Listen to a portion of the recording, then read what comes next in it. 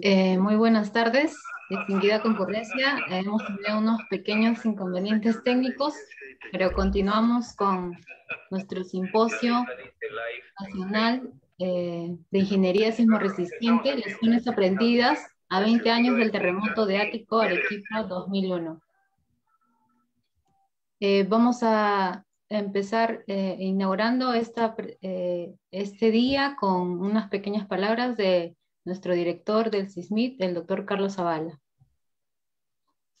Muy buenas tardes. Mil disculpas por el retraso. Ha habido un problema técnico. Tuvimos que cambiar de servidor. Así que gracias a la sección de posgrado estamos saliendo al aire. Así que por favor eh, no se vayan. Ya estamos empezando. Bien.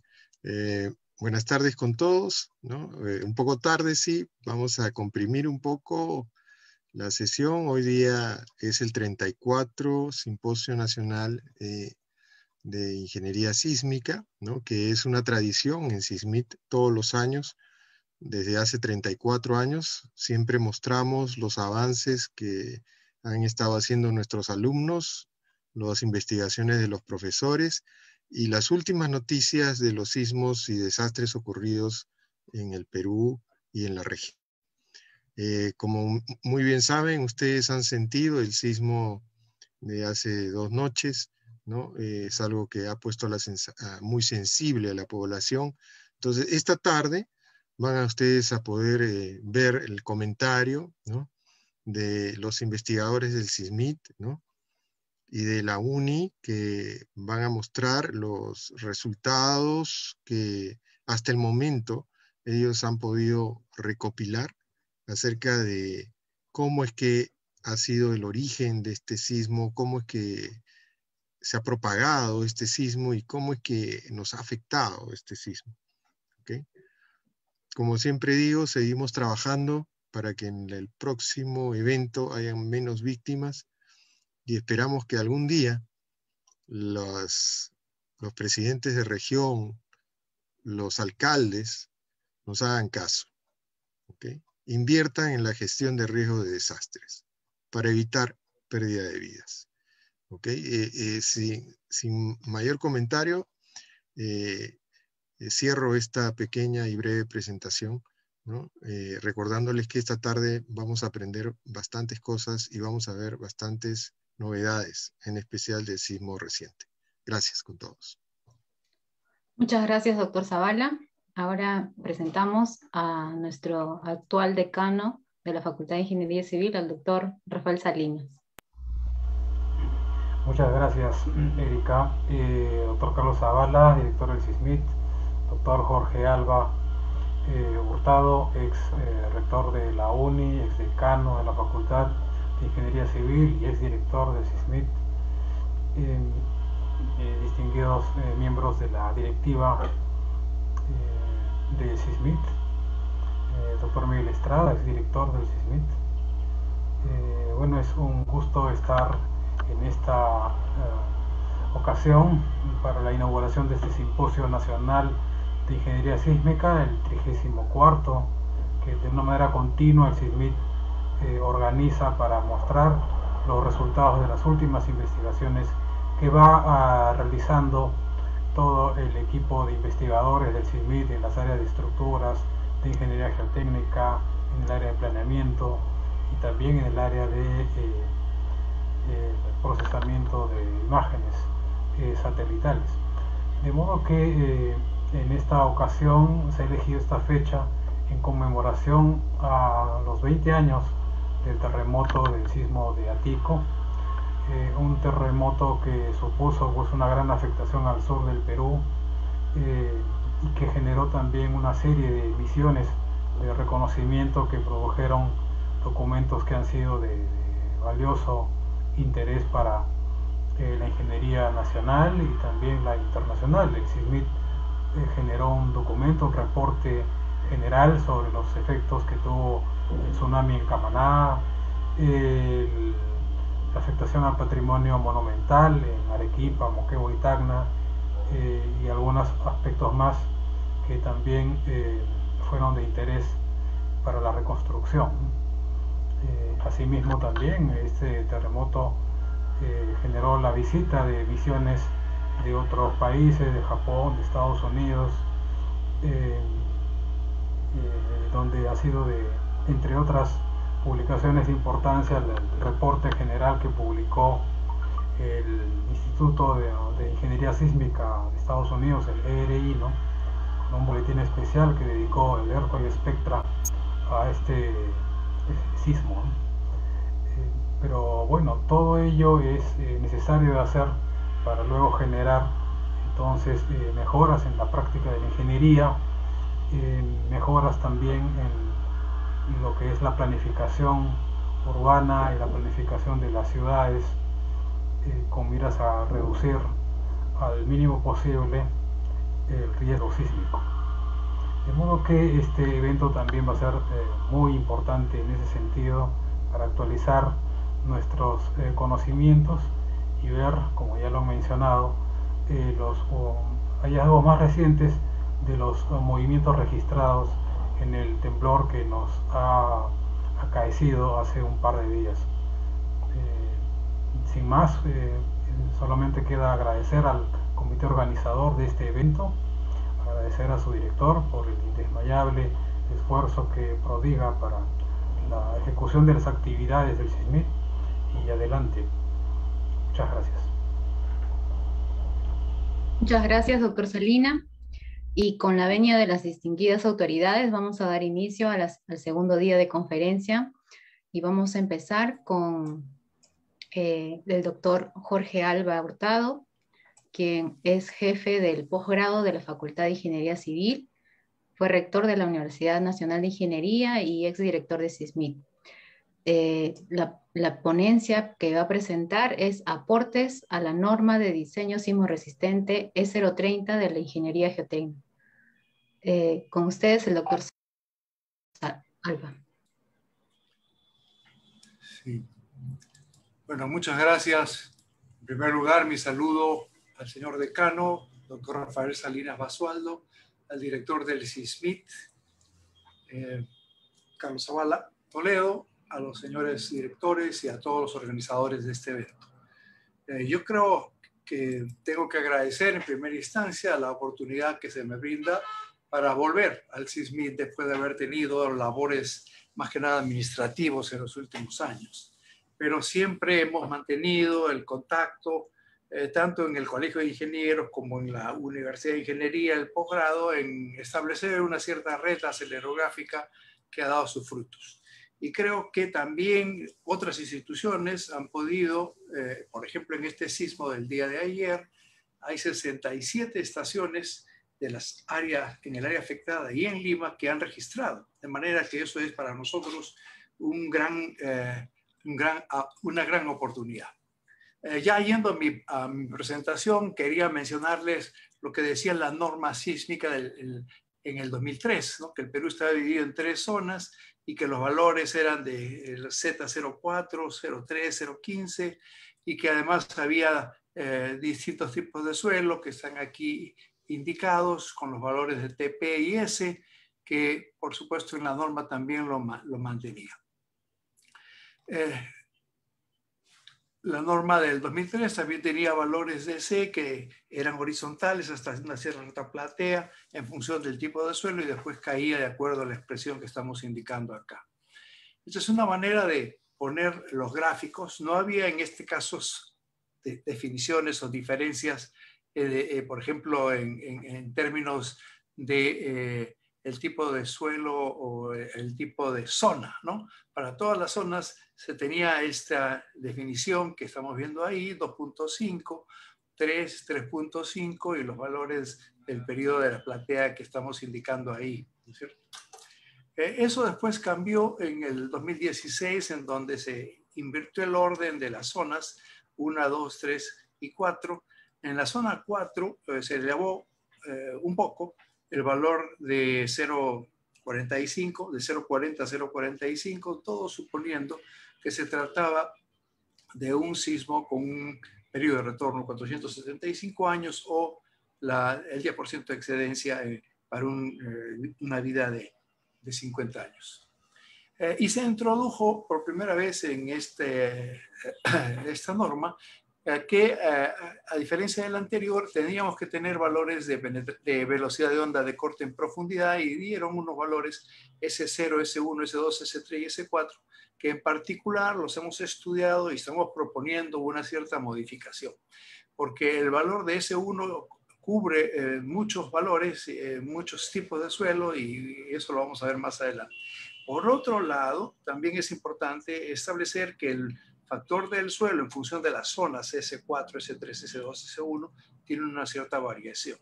Y a insistencia, me parece, de los ingenieros estructurales se bajó cuando se estaba en roca a 0,8 y siendo S1, digamos, el terreno que más o menos representaba a la, Universidad, de, a la zona de Lima. Eh, aquí hemos puesto para la zona 4 los distintos valores de C por S y quisiera hacer especial énfasis en que estamos viendo los valores de S sub 0, S sub 1, S sub 2, S sub 3 que están eh, en nuestra norma. En nuestra norma, además de tener el valor de T sub P, tenemos un valor de T sub L que está ahí eh, indicado y que no voy a ir en mayor detalle. Haciendo un poco de historia, cuando yo estaba en los Estados Unidos, antes de los años 80, donde sustenté mi tesis y regresé, pues eh, hicimos estudios eh, allí de, los sismos, que no los podíamos conseguir en Lima y los tuvimos que conseguir directamente del, del USGS.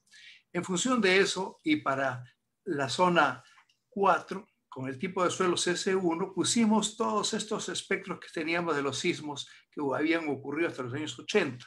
¿no? Y vemos ahí pues, que hay unos picos que sobresalen el 2.5, que es el valor de referencia, pero pues que para periodos altos eh, eventualmente se cubría dichos valores. Eh, con la tesis del doctor Meneses, eh, hizo su tesis de grado aquí conmigo en los años 80, a mediados de los 80, lo que hicimos fue estudiar de una manera estadística ese valor promedio y promedio más una desviación estándar que están en las líneas de color azul y de color rojo no continuos, eh, y eh, lo estamos comparando ahí con lo que dice la norma ah, eh, peruana de, del suelo tipo 1, ¿no es cierto? nuestro espectro arranca desde 0 en el periodo con 2.5, se va hasta el caso de 0.4 del suelo tipo 1.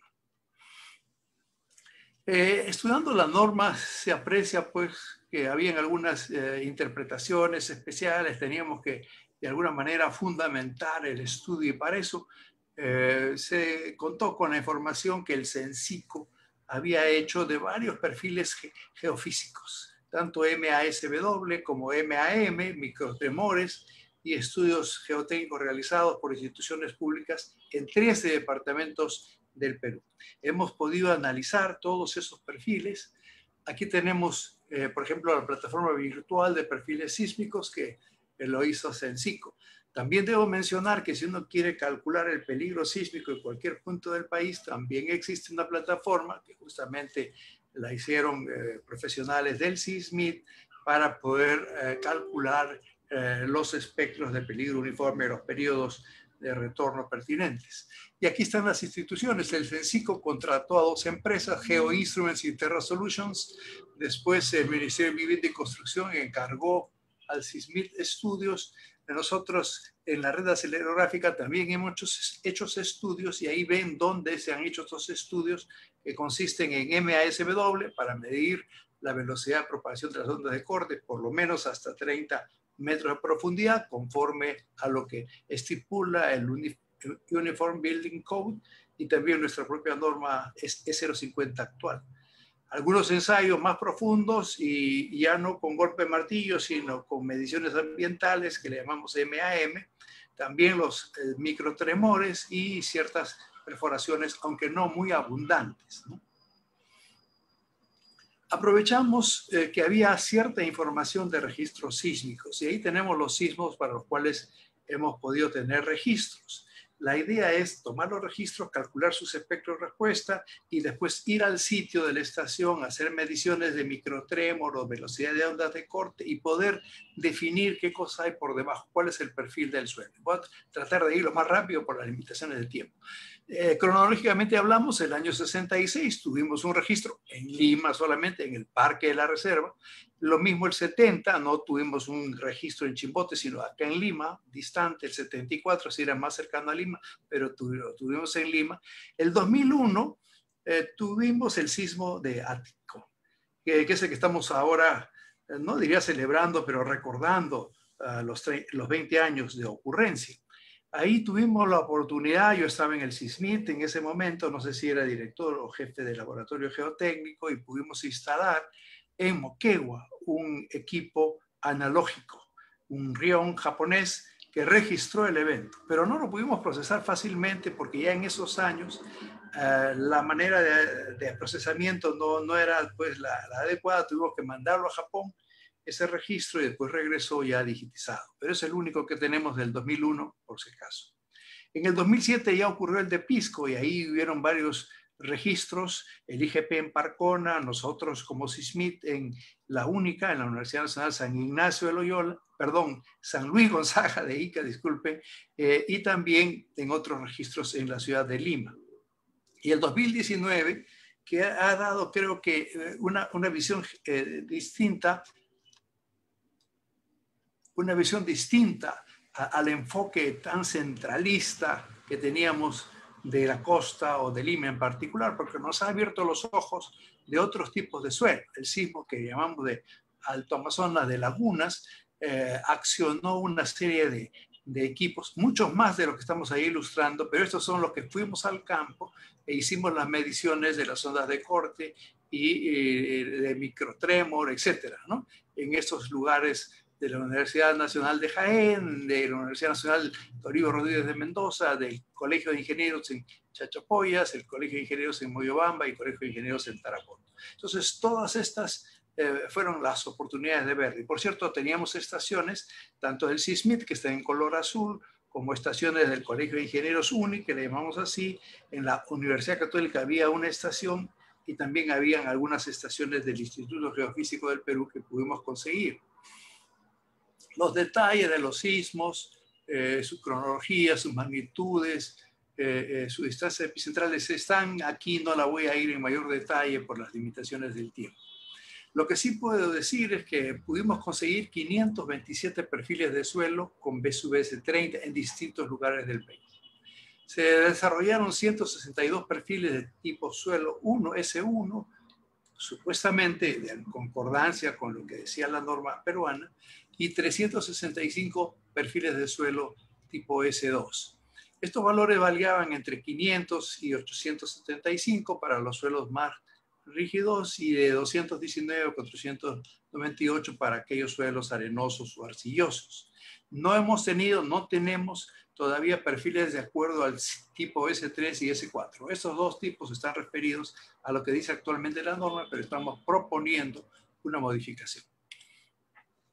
Si vamos a los sismos, el año del 66, ahí hay una escritura que se puede ver más adelante. Tenemos los tres registros famosos, esto lo conseguimos del USGS porque aquí era difícil conseguirlo. Tenemos el espectro, tenemos eh, el, espectro de, respuestas eh, y también el espectro de Fourier. Y para cada uno de los sismos, vamos a ver, están las tres componentes ahí. Pudimos también eh, encontrar eh, este perfil que hizo eh, el CISMIT en cooperación con JICA. era un sondaje que se pudo medir las ondas P y las ondas S, hasta, no obstante, hasta los 14, 15 metros. nosotros en este momento estamos trabajando en una perforación de 40 metros en ICA, como parte de nuestro proyecto de investigación, y ahí vamos a utilizar un equipo similar, es decir, con la sonda, con el torpedo, podemos calcular las ondas P y las ondas S. También queremos comparar con lo que hacemos en superficie, que son los métodos MASW, MAM, microtremores, etcétera, etcétera, para tener una idea cabal completa. Aquí en esta vista tenemos los espectros, ¿no? Y estamos viendo que en términos de valores grandes pasamos y en términos de, eh, diríamos, eh, normalización del espectro, también vemos que hay unos picos, ¿no? Para periodos muy cortos y después más o menos trabaja bien. Aquí lo que hicimos fue tomar las mediciones que habían hecho para Sensico, la empresa Geo Instruments, que tenían velocidad de corte. Entonces, este suelo se tipifica como suelo C para la zona 4 y corresponde a ese 1. Por eso es que le hemos trazado esas envolventes que vemos en color, en color lila, ¿no? para estar bien seguro que hay o no hay elevación o pase o, quebranto de, de, esa comparación. Eh, el sismo del 70, lamentablemente no tuvimos un registro cercano, sino el de Lima, en las mismas estaciones, y también vemos que eh, en, la normalización de, del espectro hay picos pues, que sobresalen el 2.5 eh, que estamos asignando en la norma actual para el suelo de Lima. Lo propio ocurrió en el 74, un sismo más cercano, utilizamos el mismo perfil porque se trataba de un suelo eh, de una sola estación, ¿no? la, la, única, el Parque La Reserva. Eh, ahí vemos que también se cumple más o menos lo que se estaba hablando. ¿no? Después aparece el sismo, el sismo de, del 2001, ¿no? Y entonces allí, eh, como he mencionado, teníamos, tuvimos el, el registro único de eh, la estación César Vizcarra en Moquegua, eh, que está en el gobierno regional ahora, eh, y calculamos sus, sus espectros. Desafortunadamente no hemos hecho datos mejores de velocidad de la onda de corte en ese lugar, así que no sabemos si el suelo es S1, es S2, es S3. Sin embargo, estamos notando que hay una movida hacia la derecha de los valores más altos del espectro de respuesta y hemos puesto las tres líneas que corresponderían a S1, S2 y S3. Sí pudimos hacer algunas mediciones de eh, vibraciones eh, eh, en el tiempo reciente, cuando hicimos los trabajos en Tacna, que también los hemos presentado anteriormente, y esto nos daba un valor de periodo relativamente alto. El sismo del 2007 sí fue ocasión de poder tener varios registros, ¿no? Como mencioné, el SISMIT en, la única, eh, IGP en Parcona y también hemos tenido registros en Lima, en el Colegio de Ingenieros, en Mayorazgo, que es el IGP, y en la Pontificia Universidad Católica. Ah, aquí están los eh, registros de única. Y eh, aquí hemos notado una cierta, ah, ah, digamos, valores más altos de periodo predominante del suelo, como lo vamos a ver más adelante. Eso es lo que estaba indicando. ¿no? Hemos hecho velocidad de ondas de corte 255, lo cual califica al suelo tipo D o S2. Estamos en sola 4. También hemos hecho algunas mediciones de eh, eh, el método de Nakamura y nos da un periodo de 0,62. Pero aquí estamos viendo que efectivamente hay una salida, no sé si se puede apreciar aquí, hay una salida grande, algo, raro está pasando por estos puntos de acá, si es que el, suelo fuese S3, pero aparentemente está correspondiendo a S sub 2, o sea que sería el suelo de color lila. En muchos puntos se está sobrepasando ese espectro. En Parcona no ocurre eso, sino ocurre lo usual, ¿no? El terreno es un poquito más eh, rígido, 422 metros por segundo en los 30 primeros metros, eh, y también el periodo predominante de 0,34. Y vemos que efectivamente el espectro de respuesta que le corresponde a ese tipo, a ese tipo de suelo, pues no hay ningún problema. En el CIP Lima nos pasó también una cosa rara, eh, esto se midió y en, eh, hicimos mediciones, Jorge Soto Guamán, un alumno mío de antegrado y ahora de posgrado, posiblemente viaje a Japón a hacer su doctorado, pues eh, en su tesis de antegrado eh, hizo mediciones de las ondas de corte y ahí vimos que el suelo era prácticamente tipo Lima, ¿no? hicimos también, eh, no, hicimos, sino que recuperamos información de microtremores hecha por el SISMIT en los años 2004. Y aquí nos aparece esta, esta cosa, esta componente este oeste rara, en donde está bastante por encima, no obstante que está por debajo en términos de los valores de aceleración, pero está en, la forma, eh, está por encima de lo que se estaba proponiendo. Esto es en mayorazgo eh, del IGP.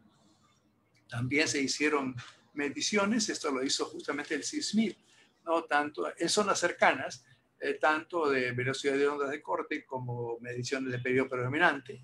Es un suelo tipo C o S1 en la zona 4, estaba bastante lejos, del, eh, del espectro de aceleraciones, pero en la, en la forma espectral también estamos cumpliendo las condiciones pertinentes.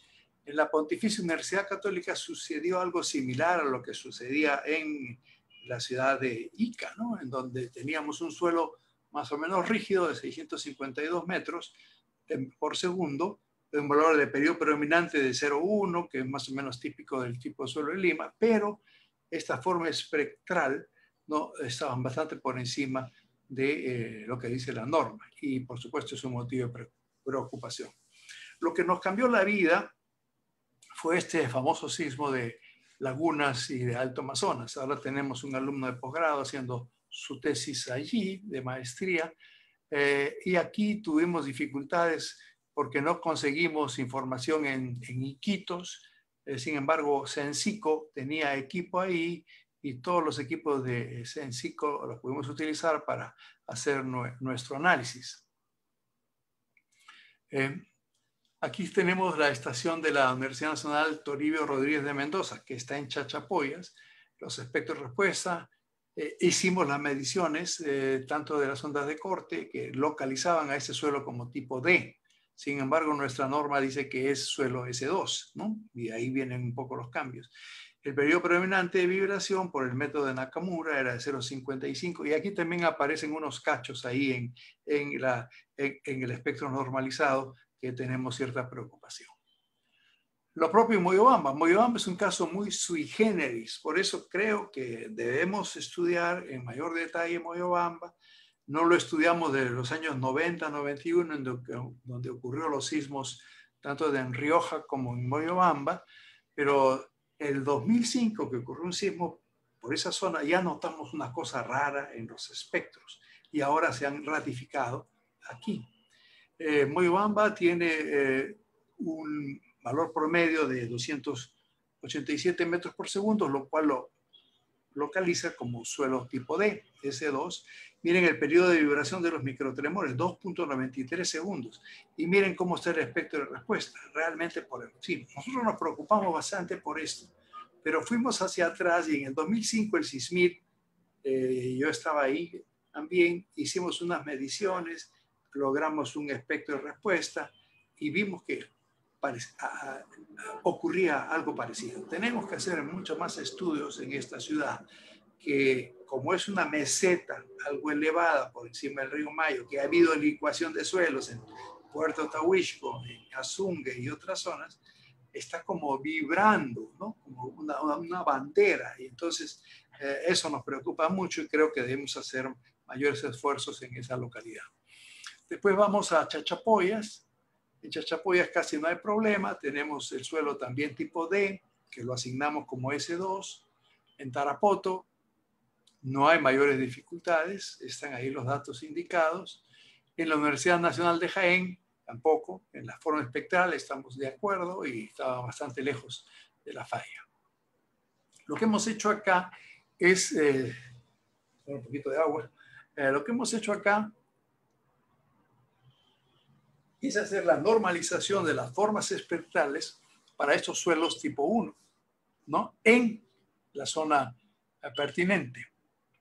Bueno, aquí debería ser zona 4 en realidad. Aquí un lapsus, me van a disculpar. Aquí debería ser zona 4. Entonces, aquí es lo que dice la norma y miren estos registros que están saliendo por encima. Ya los he hecho mención anteriormente, algunos en el IGP, otros de, eh, en la Pontificia Universidad Católica. Tenemos que darle una mejor mirada a aquello. Y ahora nos hemos ido a, también eh, la zona, en realidad debería ser zona 4, ¿no? Pero es eh, tipo, tipo S2 de suelos.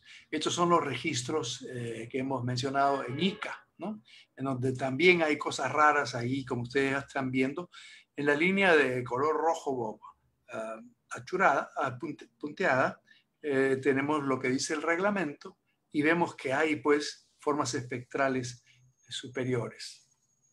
Ahora si nos vamos a la zona 3, que es la que corresponde a la selva, y esto es la cosa rara que le digo y el aporte que nos ha hecho la instrumentación en el sismo del 2019, aquí vemos que en algunos lugares, en particular Moyobamba y algo Tarapoto, pues salen por encima de lo que debía ser la forma espectral. ¿no? aquí estamos en el suelo tipo S2, un poco más rígido el suelo, pero no obstante eso, también existen algunos picos que están por encima de nuestra forma espectral. Ahora quiero conversar algo sobre el sismo de Mala, que lo vamos a hacer brevemente. El sismo de Mala nos ha dado la oportunidad, como ya mencioné, de poder tener registro de 67 estaciones.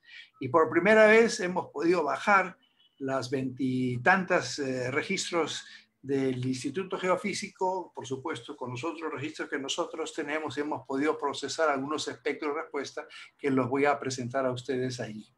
Pero todos y cada uno de estos puntos que estamos viendo acá son los valores eh, de aceleración que se obtuvieron en este sismo.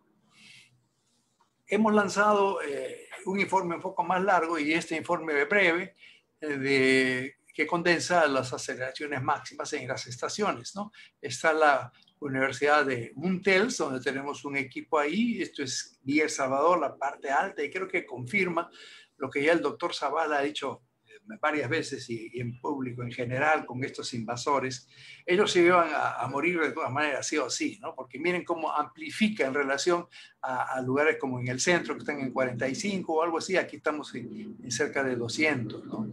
Casi cuatro veces más para este sismo que es pequeño, por supuesto, pues la amplificación puede ser distinta en un sismo más grande. Tenemos el registro de Mala y el registro de Asia. Lamentablemente el Internet no nos trabajó bien y sacamos un informe previo, pero lo sacamos después de una hora, a las once y media, doce de la noche ya teníamos el informe listo, ¿no? pero hemos tenido que rehacerlo, actualizarlo con estos dos datos que eran sumamente importantes para nosotros, ¿no? Y también en Cañete, en el Consejo Nacional del Colegio, en el Callao, en Sencico, y por supuesto la infinidad, la cantidad grande de registros que tiene el SISMIT y creo que tiene una gran oportunidad para poder establecer un buen mapa de isocistas. Eh, aquí están los registros que hemos procesado. Eh, componentes norte, sur, este, oeste, vertical, espectros que conocemos de la estación de Mala. Eh, miren, la llegada de la onda P con la onda S está pues bien, bien próxima. Significa que el epicentro ha sido muy, muy cercano. ¿no? Eh, esa estación la tengo yo en una chacra que tengo por allá. Eh, llegó la lluvia, se malogró el internet, pero de todas maneras el grupo valioso de, de personas que tengo trabajando la red acelerográfica hizo posible que pudiésemos recuperar esa muestra y de poner a punto otra vez el equipo. Esta es la estación Asia, que es la playa, un poco más al sur, kilómetro 115, 125, 115, 115 creo que es. Eh, también lo pusimos a punto. Esta es la estación Cañete del Colegio de Ingenieros. Y lo que hemos hecho acá es poner una envolvente, ¿no? De, eh, como no conocemos bien si se trata de S1, S0, S2, etcétera, aquí hemos puesto todos estos registros y lo que quiero hacer notar es que hay un pico muy grande para periodos muy cortos, ¿no?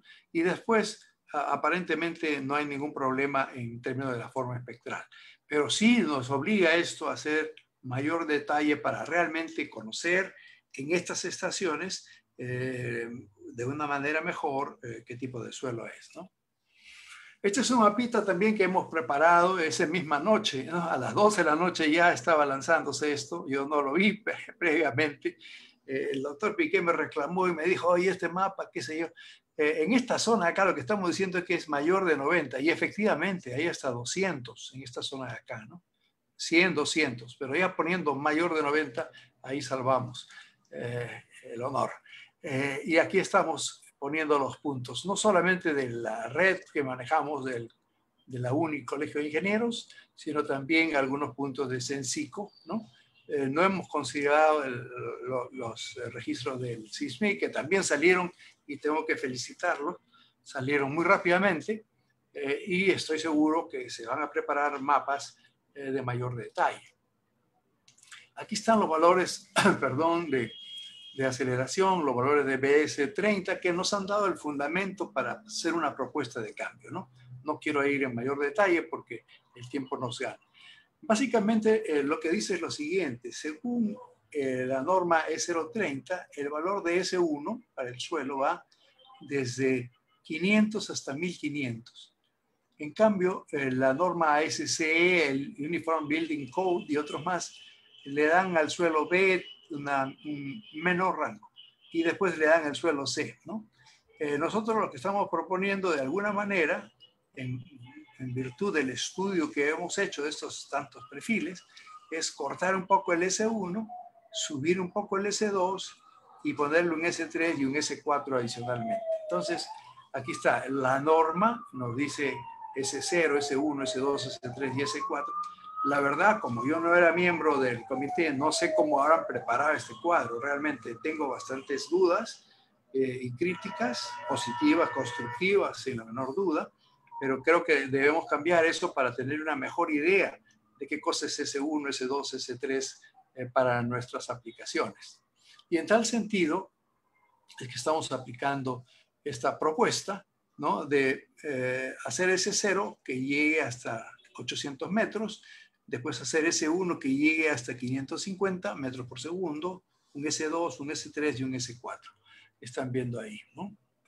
Entonces, eh, lo que podemos decir es que tenemos que hacer, además de las ondas de corte, mediciones de eh, vibración ambiental. De hecho, la norma 031, que recién he tenido yo la, posibilidad de, leerla, porque como ustedes saben, dedicado al rectorado, pues ya no había hecho ningún trabajo práctico, pero ahora sí veo que hay que hacer muchos trabajos de este tipo, sobre todo para aquellas edificaciones que tienen eh, eh vibradores, este, amortiguadores. Y en ese sentido, la norma exige que se mida el periodo predominante de vibración. Y yo creo que debemos medirlo eh, ambos, eh, la velocidad de corta y también las vibraciones ambientales para tener una mejor idea más, más cabal de las, de las condiciones del suelo. De hecho, los chilenos lo están haciendo, los han adelantado. Entonces, aquí está la propuesta, eh, para no ir en mucho detalle, ¿no? Eh, y está bastante concordante ¿no? con lo que dice eh, American Society of Civil Engineers, con la, el perfil A, B, C, D, E, F, no es exactamente igual, pero algo parecido, ¿no es cierto? Y creo que con eso podemos estar de una mejor forma. Con esto quiero concluir con las recomendaciones y las conclusiones. Estamos proponiendo modificar eh, la clasificación de los suelos eh, en función del BS eh, 30 eh, después podemos decir que hay que hacer más ensayos de velocidad de ondas de corte y de hecho, pues así lo establece la norma E030 y también la E050, aunque hay cierta discordancia entre uno y otro, estamos tratando de podernos de acuerdo en esas dos normas. Se puede apreciar el efecto de la no, linearidad si hacemos el periodo predominante del suelo en vibraciones de poca deformación, hay un valor y el valor más alto cuando uno tiene un sismo real, pues eso es, eso es lógico, ¿no? Creo que debemos realizar ensayos geofísicos en todas y cada una de nuestras estaciones y además en estos mapas de, de zonificación como ya se han venido haciendo. Esto no es ninguna historia nueva, ¿no? El SISMIT ha trabajado en todos estos años, desde los años en que eh, yo participé en la PSEC, eh, hasta ahora ¿no? en distintos distritos y se tiene muy información muy, muy valiosa que he tenido la oportunidad de revisarla. Creo que hay que continuar en la evaluación y análisis de las mejoras de los valores de CIS y de la forma espectral propuesta en la norma. Y recomendamos que así como ahora hemos podido tener 67 registros, que las instituciones públicas y privadas unan esfuerzos para financiar la instalación de mayor instrumentación sísmica y la ejecución de mayor número de ensayos geofísicos en el Perú. Y muchísimas gracias por su atención. Eso es todo lo que tenía para ustedes.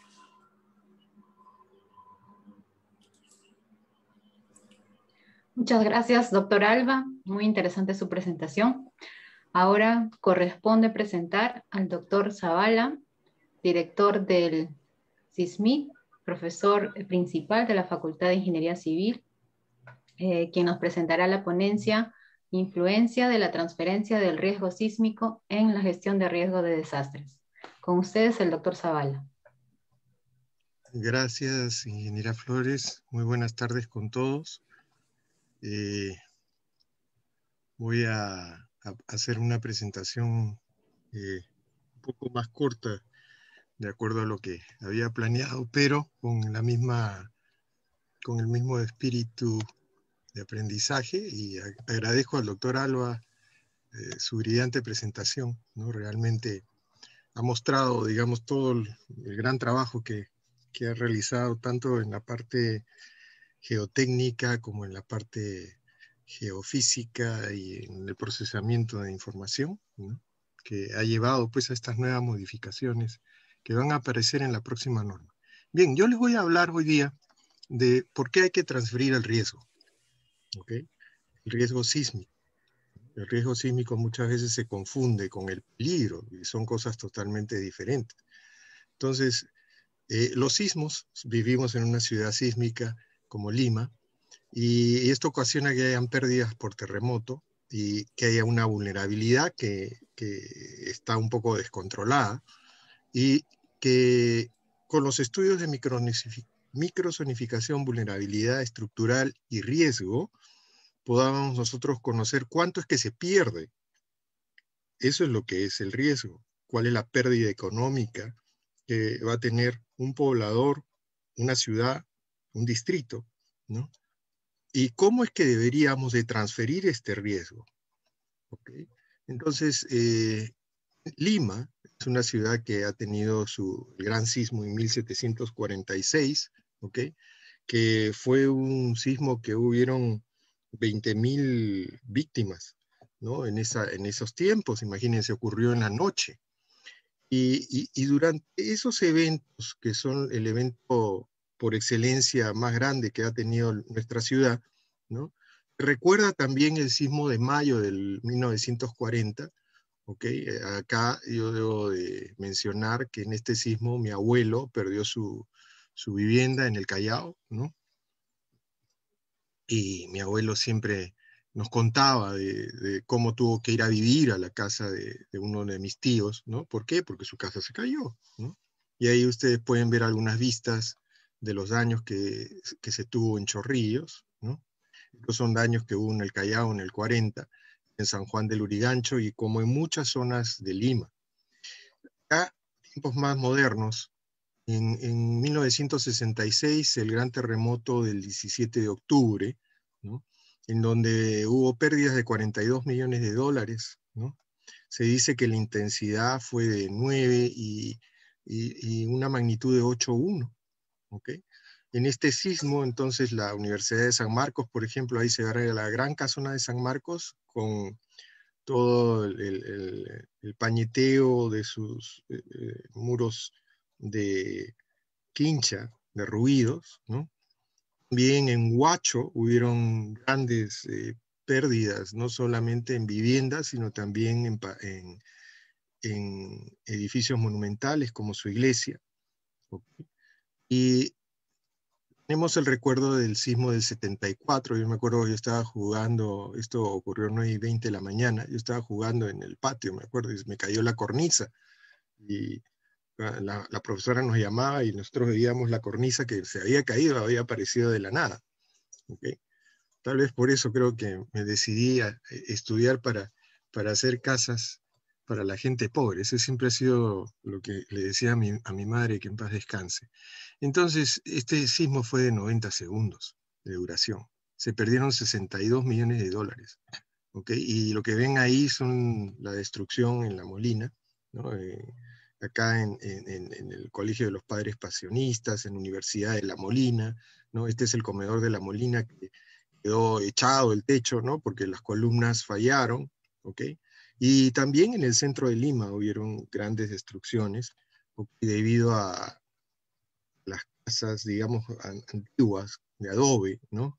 Al igual que en la propia Molina, eh, en la parte de frente a la Universidad de la Molina, que ahora, ahora son grandes campos, pero en, esa, en esos tiempos había eh, asentamientos que ahora el único que queda es las hormiguitas, ¿no? Pero mucha gente pasó a vivir a Musa.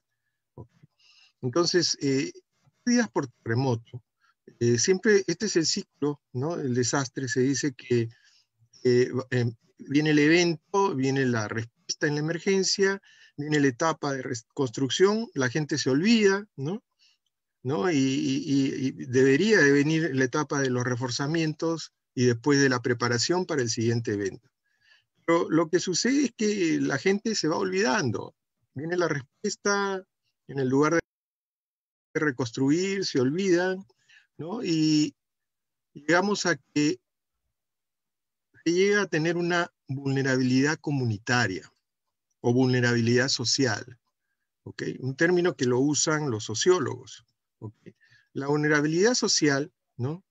Eh, tiene causas que son la falta de recursos, la falta de asesoría técnica para las estructuras, la falta de tener un crédito, eh, la presión dinámica que está dada por la información, la falta de información, la falta de práctica en los simulacros, la falta de confianza de la gente, y a eso le sumas las condiciones de inseguridad física, ambiental, económica, social y política, resulta que cuando llega un desastre y tienes ya los peligros como terremoto, huaico, inundación o contaminación y se junta con esto, este desastre pues eh, explosiona, explosiona desde el punto de vista de riesgo.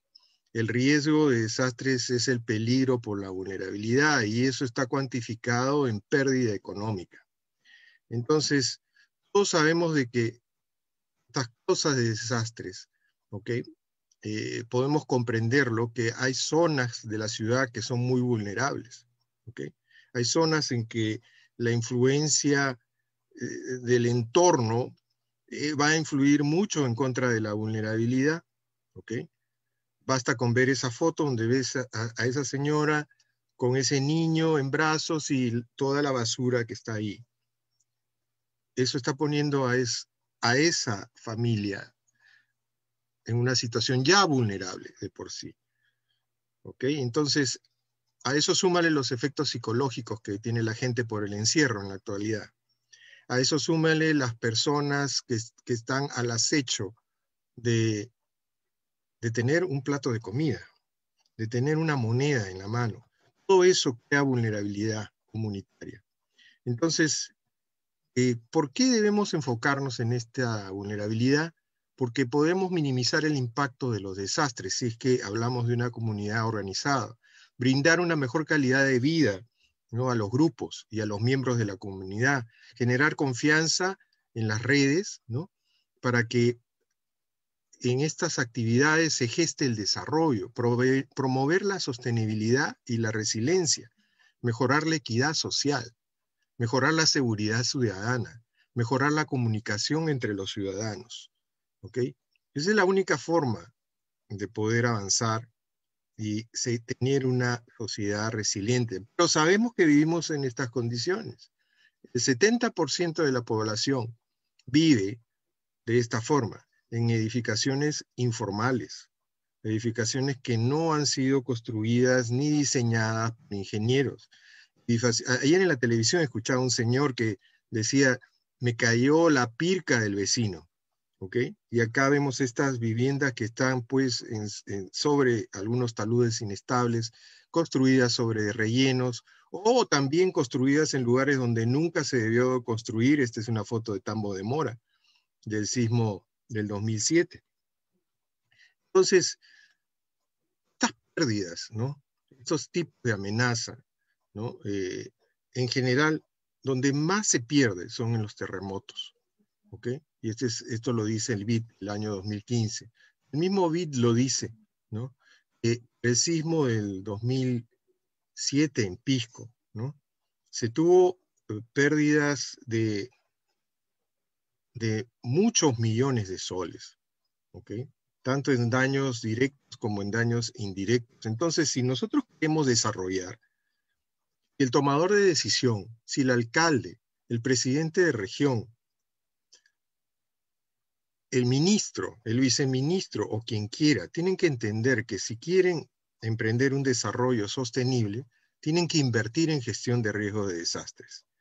Tienen que buscar que un desarrollo sostenible se dé a través de evitar que haya crisis ambiental, evitar que haya crisis de enfermedades, evitar los conflictos políticos, evitar la crisis financiera, pues todo eso va a dar un impacto negativo, ¿no? Y todo eso va a ser generado por un desastre natural.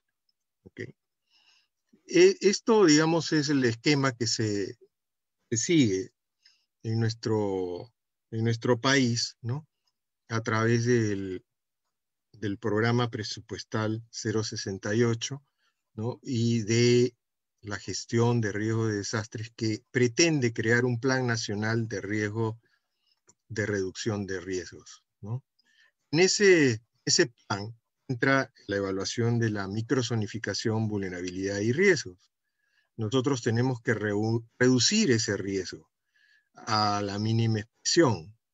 Tenemos que buscar que reubicar a la gente o reforzar los, las edificaciones para poder lograr que el riesgo sea minimizado. Este es un esquema de cómo es que nosotros trabajamos en la reducción de riesgos a través del programa que tuvimos anteriormente, la cooperación SATREPS del 2010 al 2015, ¿no? y planteamos este esquema de, de modelo de trabajo, ¿ok? en el cual se estudiaba todo lo que era el peligro de los sismos, se estudiaba todo lo que era el peligro de los tsunamis, se generaban bases de datos, se generaba la capacidad del stock de viviendas, se evaluaban los daños posibles, también se podía detectar los daños a través de técnicas espectrales con eh, el uso de imágenes de satélite y finalmente poder proponer un plan, un planeamiento de inversión para mitigar el desastre. Entonces, eh, hacer un estudio de microzonificación y de riesgo sísmico, es necesario evaluar la amenaza, es necesario eh, eh, hacer un estudio de microzonificación, es necesario evaluar la vulnerabilidad sísmica de las edificaciones yendo al campo, es necesario evaluar el riesgo de las edificaciones mediante simulaciones numéricas para saber cuánto se pierde, y es necesario, pues, tener mapas que nos den esta información. Caudamente les muestro lo que ya en parte ustedes ya han visto en la, exposición del doctor Alba. Somos un país sísmico, tenemos un peligro sísmico alto, por lo tanto tenemos que explorar los suelos, tenemos que ir al campo, y eso es lo que se denomina microzonificación sísmica. Esto sale porque se ha ido al campo, se ha tomado muestras se ha verificado y se tiene la idea de que en las zonas rojas son las zonas donde no se debe construir, sin embargo tenemos ciudadanos que viven en esas zonas. En, en ese caso hay que decirles a esos ciudadanos, oye, tú vives en esa zona muy peligrosa y ten cuidado, porque puede pasar cualquier desgracia. Entonces, en esas zonas vamos a esperar altas aceleraciones. ¿no? Estas son aceleraciones que aún no han ocurrido, son aceleraciones esperadas a partir de la historia sísmica, de todos esos acelerómetros que ha mostrado el doctor Alba que existen, de toda la historia de acelerómetros que, que se ha trabajado, ¿no? El doctor Aguilar ha trabajado estas, estas cosas, del, al igual que el ingeniero Lazares, ¿no? Proveyéndonos al grupo de los estructurales estas aceleraciones máximas. Nosotros como estructurales vamos al campo y miramos las estructuras, tomamos nota de las estructuras, vaciamos la información en una base de datos, ¿ok? Y luego de eso podemos tener mapas temáticos, ¿ok? Y podemos tener también el mapa de la vulnerabilidad, de la susceptibilidad que tendrían las estructuras a ser eh, afectadas por un sismo como el de la norma, por ejemplo. Pues, si yo quiero saber cuánto voy a perder, debería de buscar cuál es la reposición de esta estructura, cuánto voy a gastar debido a ese daño. Entonces, nosotros hemos cuantificado el riesgo como cuánto me va a costar reparar la estructura. Viene, tengo un edificio antes del sismo, viene el sismo y aparecen todas las rajaduras, todas las lunas rotas, todo lo que se cayó. Hay que entonces reforzar, poner mallas, pintar, poner fierros nuevos y otras reparaciones. Todo eso cuesta, eso no viene del cielo, eso no es gratis. Entonces, por ende, eso, ese costo no va a poder ser evaluado gracias a que yo tengo un inventario urbano, gracias a que yo tengo la microsonificación sísmica y gracias a que tenemos una valiosa data de laboratorio de nuestras estructuras, de nuestros ladrillos, de nuestros concretos. Con, eso yo puedo evaluar cuánto se pierde. Es una comparación de nuestro simulador, el SRSND, eh, comparando el levantamiento de daños casa por casa que se hizo después del sismo de Pisco con lo que hemos sacado numéricamente. Tenemos un match de 15%. ¿ok? Entonces, sí, nuestros números pueden dar un diagnóstico bastante cercano. Y de esa manera, por ejemplo, yo tengo mostrando acá el mapa de riesgo de San Juan de Miraflores, por ejemplo. Entonces vemos zonas verdes, zonas rojas, zonas amarillas, cada una de ellas. Las rojas, por supuesto, es donde va a perderse más, más del 65%.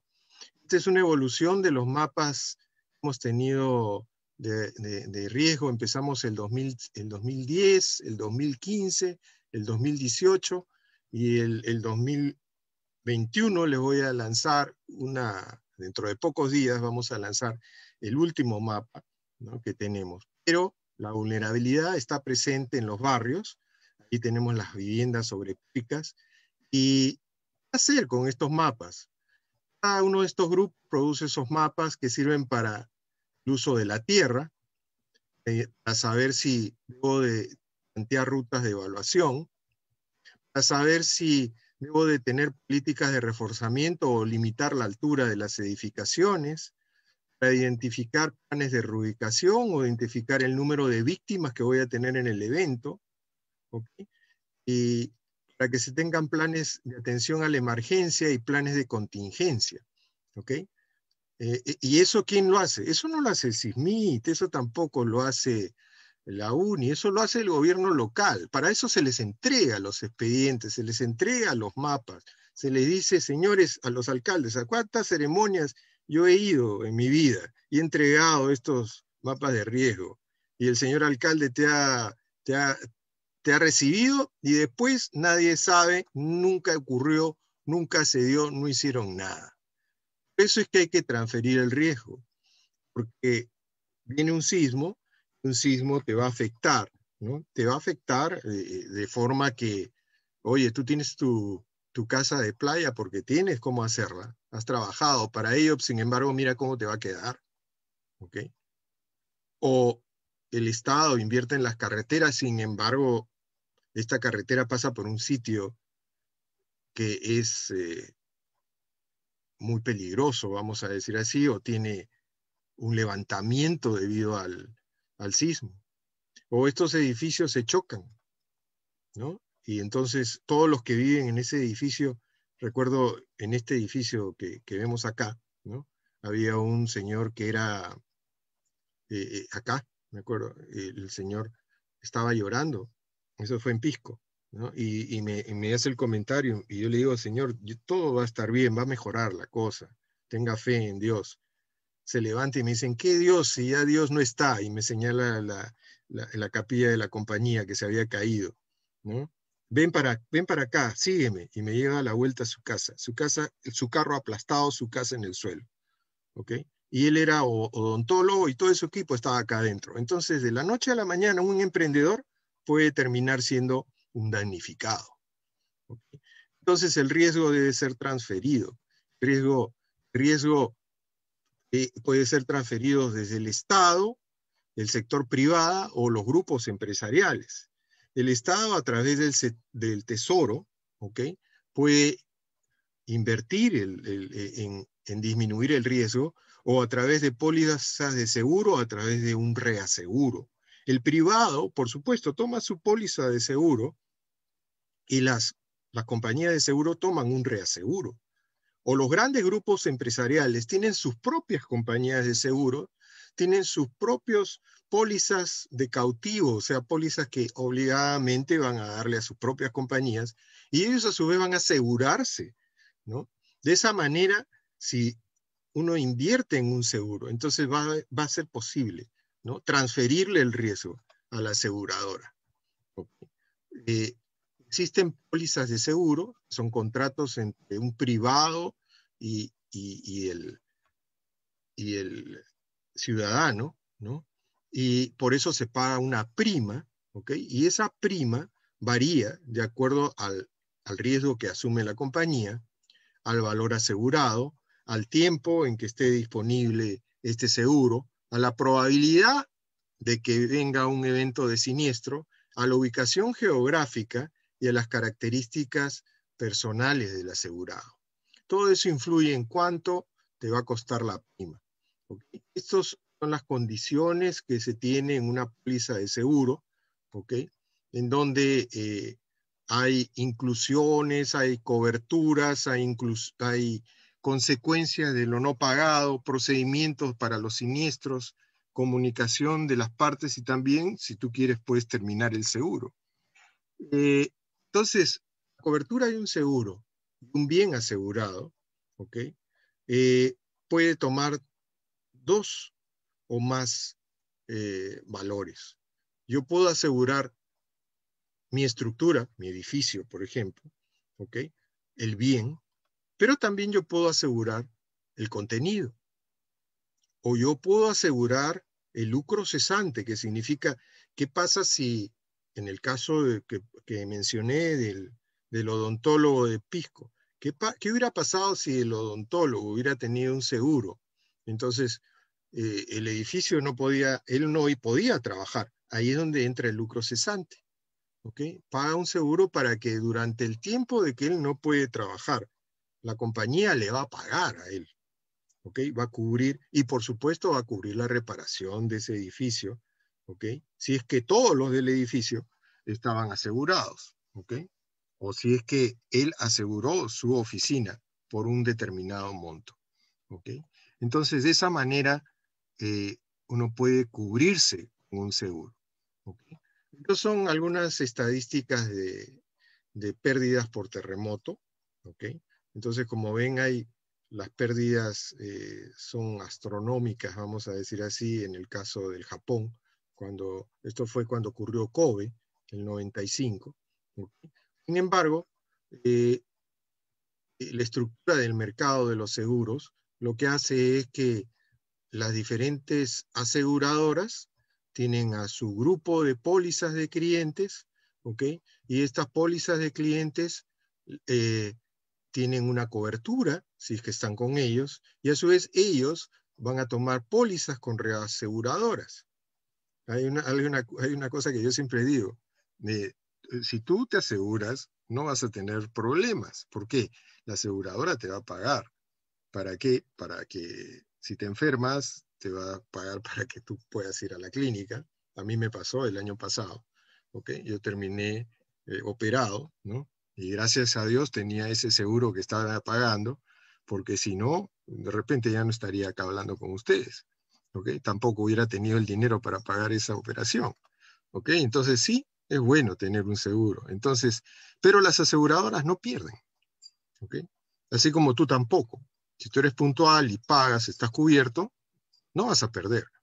Eh, y las aseguradoras tampoco van a perder. Ellos por eso van y se aseguran con una, una reaseguradora. ¿ok? Entonces, el propietario asume una parte, la aseguradora asume otra parte, ¿ok? Y el reaseguro asume la parte complementaria.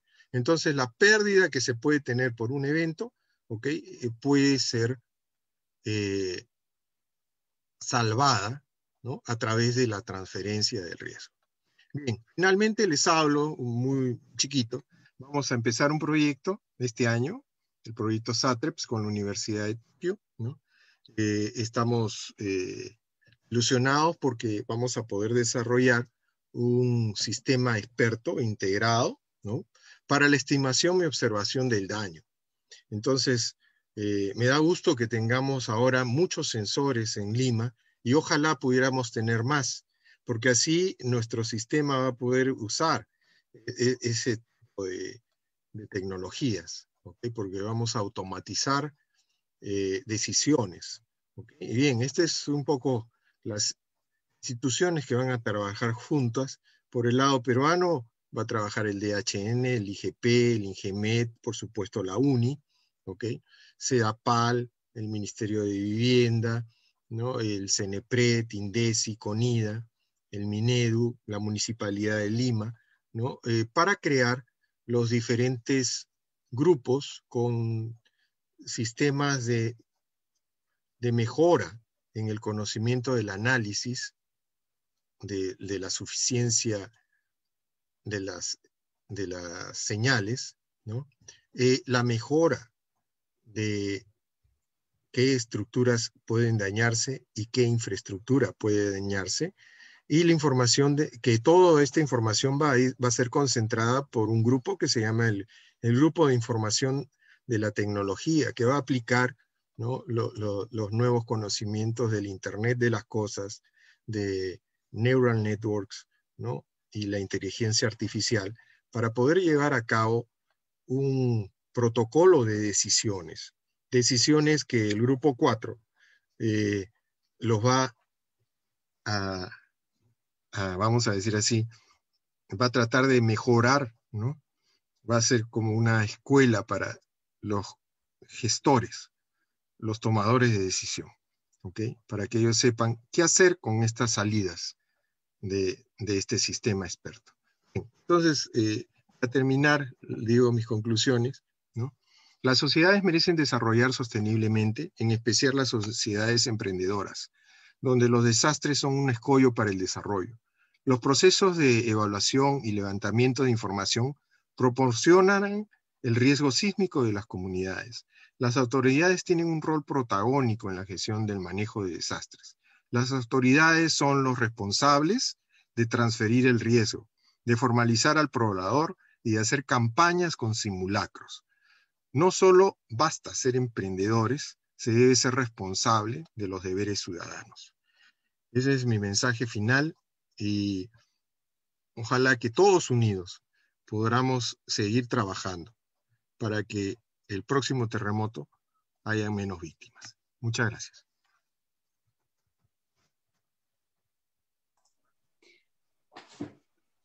Muchas gracias, doctor Zavala.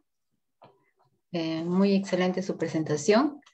Vamos a continuar con, la siguiente ponencia a cargo del doctor Roy Reina, eh, actual jefe de Laboratorio de Estructuras, investigador asociado de CISMIT y profesor de la Facultad de Ingeniería Civil. El tema, prototipo de aislamiento sísmico de bajo costo ABC con disipación de energía mejorada. Con ustedes el doctor Reina. con todos. Eh, muchas gracias por la presentación, Erika. Eh, bienvenidos todos a, este segundo día de exposiciones. Y eh, permítanme presentar pues, el, proyecto que venimos desarrollando con el Grupo de Investigación del Laboratorio de Estructuras, referido pues a el desarrollo de un sistema, la segunda versión de este sistema ya de, de un sistema de aislamiento de bajo costo usando materiales nacionales fabricados acá en el Perú. Eh, eh, agradecimiento a los trabajadores, al equipo técnico y a los asistentes de investigación, Luis, Núñez, el tesista de este grupo, el estudiante, bueno, ya egresado, Diego Velázquez. Vamos a, iniciar. Sí se ve la presentación, ¿verdad, Erika? Sí, sí se ve. perfecto un poquito de contenido, vamos a ver un poquito acerca de la introducción sobre lo que es el aislamiento, el por qué usar el aislamiento, ¿no? los objetivos que estamos buscando nosotros, los antecedentes y ya entrar de lleno a lo que es la parte de estudio experimental que hemos venido realizando. En referente pues, a la introducción, de ya desde el año, de los años 60 ya se venía hablando de una implementación de aislamiento sísmico. La Escuela Pestalozzi School de Macedonia fue una de las primeras edificaciones aisladas, ¿no? solamente con caucho natural.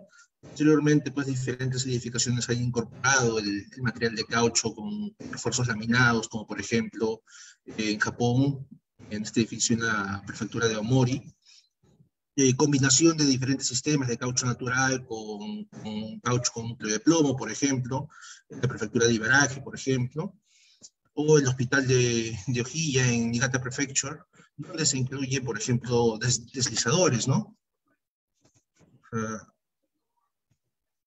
El caso de deslizadores combinado con núcleos de, perdón, con, con aisladores de núcleo de caucho natural, perdón. Eh, otro tipo de sistemas mixtos, que en la práctica internacional es muy habitual, por ejemplo, combinar eh, sistemas de aislamiento con sistemas de rollers o de equipos de disipación de energía, como amortiguadores, por ejemplo. ¿no? En, la, en, nuestra realidad, tenemos pues, este, algunos hospitales ya, ya que han sido construidos en los últimos años, como el Hospital Regional de Moquegua, unos edificios multifamiliares en la capital que también han sido construidos con sistemas de aislamiento sísmico. Eh, más cercano a nuestra realidad todavía en la Facultad de Ingeniería Civil se construyó hace unos años se terminó el edificio de, del Centro de Información e Investigación de la Facultad de Ingeniería Civil, cual pues, también con un sistema de aislamiento sísmico en la base. Entonces, la tendencia del uso es más la norma E030, eh, ya actualmente se ha desarrollado la E031, la cual eh, está abocada al diseño de estructuras de aislamiento sísmico. Tenemos una normativa la cual eh, nos permite realizar un diseño apropiado para poder hacer el análisis y diseño de edificaciones para darle un nivel de seguridad para nuestra realidad. ¿Qué usar el aislamiento sísmico? Veamos el, edificio, un modelo del edificio de la Facultad de Ingeniería Civil, el cual se preparó pues, para los ambientes del CESAT, que es el Centro de Sensibilización del CISMID. No, ya. Si podemos ver, por ejemplo, al lado izquierdo, tenemos un edificio con base fija y al lado derecho un edificio con base aislada. Entonces podríamos ver eh, podemos apreciar ¿no? la gran deformación entre piso que se puede generar en la superestructura al tener un edificio de base fija. Sin embargo, en la edificación de base aislada prácticamente no se aprecia la deformación entre piso. ¿no? Esto es un, ejemplo académico en realidad, como para poder eh, observar cuál es la diferencia entre tener o la, la bondad del, aislamiento sísmico en la base de las estructuras, ¿no? el desacoplar el movimiento de la base del suelo respecto de la estructura para poder eh, disipar esta energía del movimiento sísmico, ¿no? concentrar el desplazamiento en, el nivel de aislamiento y reducir aceleraciones inducidas a la superestructura. El objetivo de, esta investigación, que ya empezó hace varios años en realidad, pues es aplicar este sistema de aislamiento sísmico a edificaciones eh, que no están catalogadas como esenciales según la, la norma de 030. Recordemos que la 030 menciona que las categorías, las edificaciones de centros hospitalarios de cierto nivel, de acuerdo a MINSA, clasifican como categoría A1 especiales, o esenciales, deberían de contar sí o sí con un sistema de aislamiento sísmico para proteger y garantizar la operatividad de las estructuras. No así, pues, edificaciones de tipo B o C, las cuales no se, no se les exige el sistema de aislamiento sísmico, debido, pues, también al, al, tema del costo involucrado en el sistema de aislamiento sísmico, es, relativamente alto el costo, para poder eh, ser utilizado en sistemas o en estructuras de menor cuantía. Entonces, la idea es desarrollar un sistema de bajo costo que pueda ser producido a nivel nacional, ¿no? con ciertas características y, de, buena calidad, obviamente, y que sea factible su uso para proteger estructuras de bajo costo, o, por ejemplo, residencias o edificaciones de, residencias de viviendas o edificaciones que no, no se pueda contar con un sistema de gran envergadura. Considerando esto, desde el año 2011 se viene trabajando una investigación después de, los materiales que tenemos disponibles. Por ejemplo, en el año 2011 se, se realizó un trabajo eh, para determinar el modo de corte estudiar el modo de corte del, caucho natural a través de, ensayos de módulo de corte siguiendo la normativa, la ACTM D4014, con la cual pues, se pudo calcular el módulo de corte, la degradación del módulo de corte debido al incremento de la deformación de corte en, la lámina de corte, el caucho. Posteriormente, en el año 2012, pues, se hizo simulaciones numéricas sobre edificaciones aisladas en Japón después del sismo de Tohoku del 2011, poniendo pues modelos de comportamiento para el sistema de aislamiento, modelos de comportamiento, incluyendo la degradación del módulo de corte. En el año 2013 se fabricó un espécimen de, acero de tres niveles, cual fue ensayado sobre unos apoyos a manera de aisladores, sobre una mesa vibradora para poder conocer el comportamiento y la efectividad de este sistema de aislamiento a través de una excitación en la base, entre una edificación fija a la izquierda y una edificación aislada hacia la derecha. en la figura de la derecha, ¿no? Acá, ¿no? Esta es la edificación aislada, el modelo aislado y el modelo fijo. Se observó pues que eh, efectivamente el movimiento quedaba desacoplado de la base de la estructura, al usar los aisladores sísmicos se incrementaba el periodo de la misma y se reducían los desplazamientos y aceleraciones en la superestructura. Posteriormente, en 2017, eh, nos embarcamos pues en una propuesta de desarrollar ya un prototipo de aislamiento sísmico ya más cercano a la realidad, usando caucho, eh, llantas recicladas, llantas de autos, de camiones, ¿no? Entonces, eh, fabricamos un aislador de 15 por 15 centímetros, de 20 por 20 centímetros, si no mal recuerdo, el cual fue ensayado pues en mesa vibradora, también fue ensayado bajo una carga axial controlada y un desplazamiento lateral controlado. ¿no? La carga axial para simular el peso de la, superestructura que vendría a soportar el aislador y la carga lateral que simularía pues la carga sísmica. Eh, fue bastante exitoso, llegó hasta un 150% de deformación de corte. El aislador y un uso eh, recomendable de 100% de deformación de corte. Cabe mencionar que este tipo de aislamiento sísmico no tenía un refuerzo vertical, no, había, no es el típico aislador láminas de acero eh, horizontales para poder proteger o, o, proveer de rigidez vertical, ¿no? Entonces se trataba de hacer un, un de bajo costo en realidad, ¿ya? Posteriormente se procedió a hacer un análisis de la curva de histerética de, el, ensayo, ajustándolo pues a un modelo que ajuste el comportamiento del, del modelo, del espécimen. En el año 2019 se publicó pues una simulación sobre la vivienda objetivo aplicando este tipo de aislador. Un aislador, un caucho reciclado de núcleo de plomo, de llanta de caucho. ¿no? no hemos usado el de núcleo de plomo. Entonces, eh, se puede observar acá claramente en la curva negra, se tiene pues el historial de, aceleraciones, eh, de desplazamientos, perdón, del segundo piso de la edificación, considerando que la edificación está fija en el suelo, no hay sistema de aislamiento y la curva roja vendría a ser el, historial de desplazamientos en el segundo nivel, considerando que la, que la, estructura tiene un sistema de aislamiento en toda la base de la estructura. Entonces, se pudo garantizar, ¿no? O pudo tener como conclusión pues, que el sistema de aislamiento propuesto, el primer prototipo del sistema de aislamiento propuesto, funciona pues, para desacoplar la estructura, reduciendo aceleraciones y desplazamientos de la misma frente a una excitación sísmica.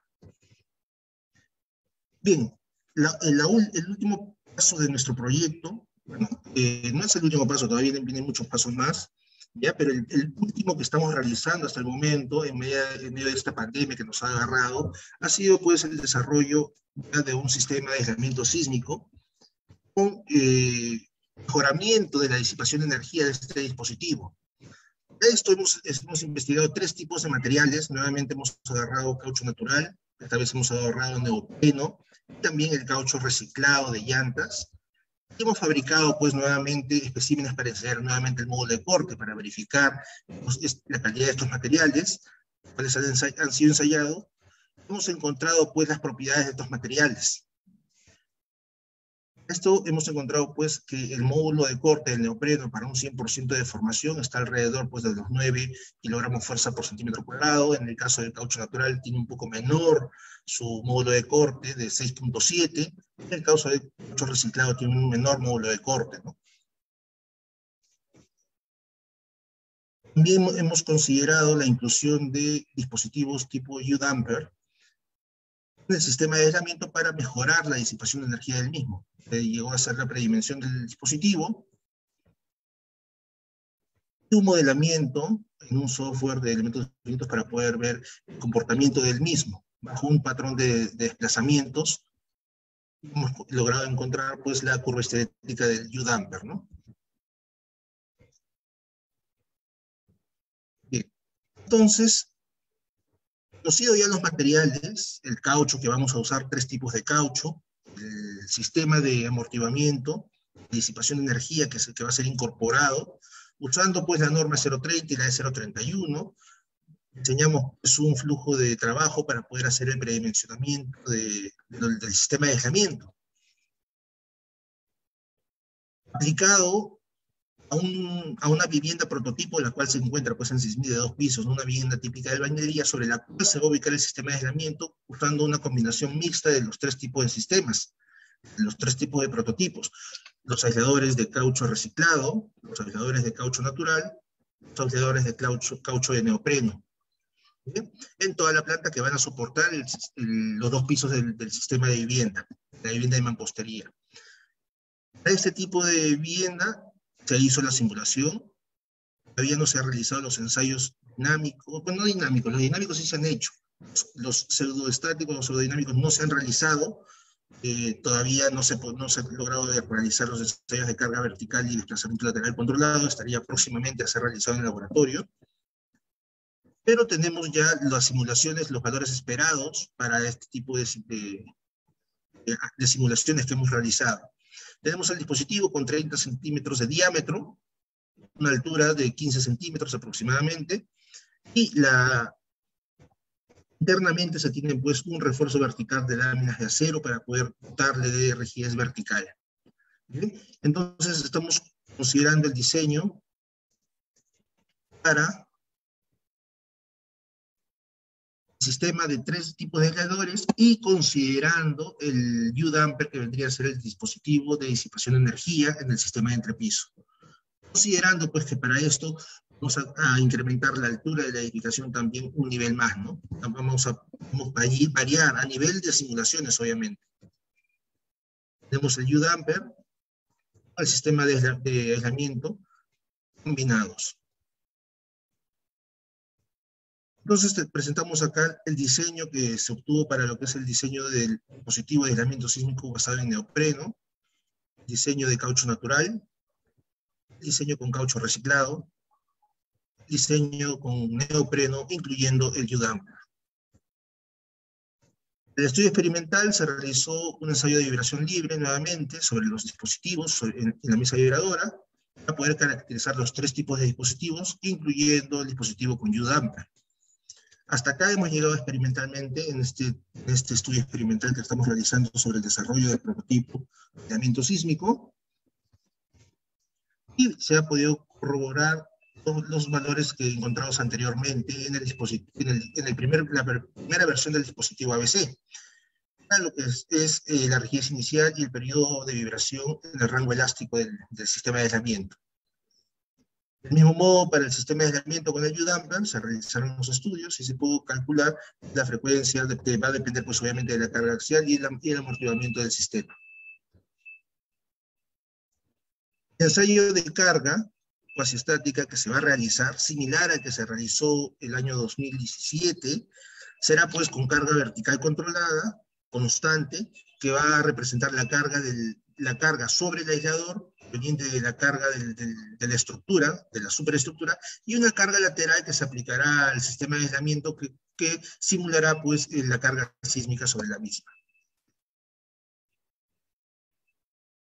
Se usará pues la norma E031, que está basada en el ACE 716, para aplicar el patrón de desplazamientos de acuerdo a la tabla. Y se ensayarán pues diferentes, eh, los los seis diferentes. Tenemos tres tipos de materiales, caucho natural, caucho reciclado y caucho de neopreno, y los mismos con el U-Damper, ¿no? Para ver pues la influencia y poder calibrar nuestros experimentos, nuestras simulaciones realizadas. Sobre las simulaciones realizadas, tuvimos esta edificación en la dirección de análisis, que sería la dirección de esta, que donde indica la flecha, norte-sur, tenemos la edificación simulada, encontramos y le hemos, eh, hemos usado el sismo de Pisco escalado 2007 para poder hacer un tiempo historia sobre esta edificación, encontrando pues el trazamiento de aceleraciones, el registro de aceleraciones escalado, la histéresis de los dispositivos de aislamiento sísmico y la comparación, pues, ¿no? Entre el sistema de vivienda dos niveles, la curva negra de color negro, considerando que la edificación está fija, y en color rojo considerando que la edificación tiene el sistema de aislamiento propuesto. Pues notamos pues que en, términos de aceleración, del segundo piso, pues se observa una reducción notable en la aceleración del segundo piso. ¿no? Lo mismo en términos del desplazamiento, podemos observar que el desplazamiento de la estructura ha reducido notablemente. Asimismo, podemos corroborar ¿no? que en, considerando la estructura fija, la estructura entra en el rango de comportamiento no lineal, el lazo histerético, pero al considerar el sistema de aislamiento, la estructura se mantiene en el rango de comportamiento elástico lineal. En términos de distorsiones, comparados con la norma 031, se, un análisis tiempo-historia se mantiene menor al 0.00 al 5 por mil, y la, y la estructura, la superestructura, tiene una distorsión de entrepiso muy baja, en realidad, como se puede observar. En términos de desplazamientos, comparado la, edificación fija con la, edificación aislada, podemos ver pues, una reducción en términos de desplazamiento de ambos niveles también. Si consideramos el sistema de aislamiento con el U-damper, con el sistema de disipación de energía, considerando un nivel más en la edificación, el registro sísmico escalado, podemos observar sistema o el lazo histerético del sistema de aislamiento con el U-damper, la reducción también de lo que es las, aceleraciones de entrepiso, considerado la aceleración máxima con base fija y con base aislada, en términos de desplazamiento de igual manera. Asimismo, podemos observar también que el comportamiento de la estructura, global de la estructura, pues se reduce, o sea, eh, todavía se mantiene en el rango elástico lineal, ¿no? Es lo que se busca en realidad, lograr que la estructura no entre en el rango lineal, en el rango no lineal, para evitar eh, los daños que se puedan generar en la estructura. En términos de distorsiones de entrepiso, también eh, se mantiene debajo de lo, tipificado en la norma, y las, distorsiones de entrepiso son muy pequeñas. Las deformaciones de entrepiso bien se reducen, sobre todo en el segundo y tercer nivel, en el primer nivel todavía se mantienen en el mismo orden.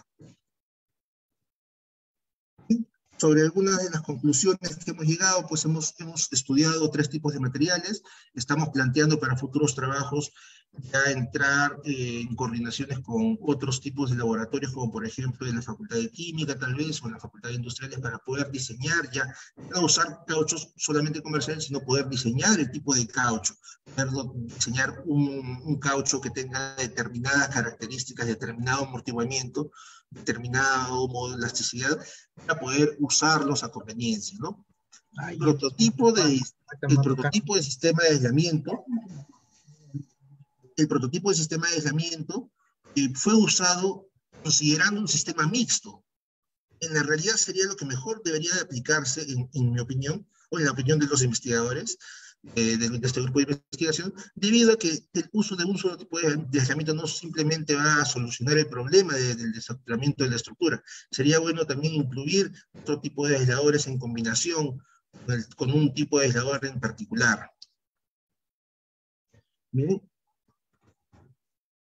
en términos de comparativos, podemos, pudimos observar pues, que en términos del cortante, usando el sistema de base aislada, se redujo un 39% la cortante basal. En términos de aceleraciones, se redujo un 70%. En el caso de incluir, incluyendo el U-damper, se redujo un 47.8, casi 48% del cortante basal, y en términos de aceleraciones hubo una reducción del 79%. Entonces podemos dar pues un, gran eh, visto bueno, ¿no? De que se puede lograr esta reducción, se puede, eh, trabaja efectivamente el sistema de aislamiento, tanto eh, el sistema de aislamiento mixto como con los, los dispositivos con, con, energía de disipación mejorada, pero esto está en, números, ¿no? Estos han sido simulaciones. Falta la calibración de, de estas simulaciones de estos modelos con la parte experimental que está próximamente a ser realizada en el laboratorio de estructuras, ¿no? Estos son los dispositivos que están, están listos ya para ser ensayados. Próximamente ya será publicada la información sobre los resultados hallados en estas investigaciones. Muchas gracias por su atención. Muchas gracias, doctor Reina. Dejamos de compartir.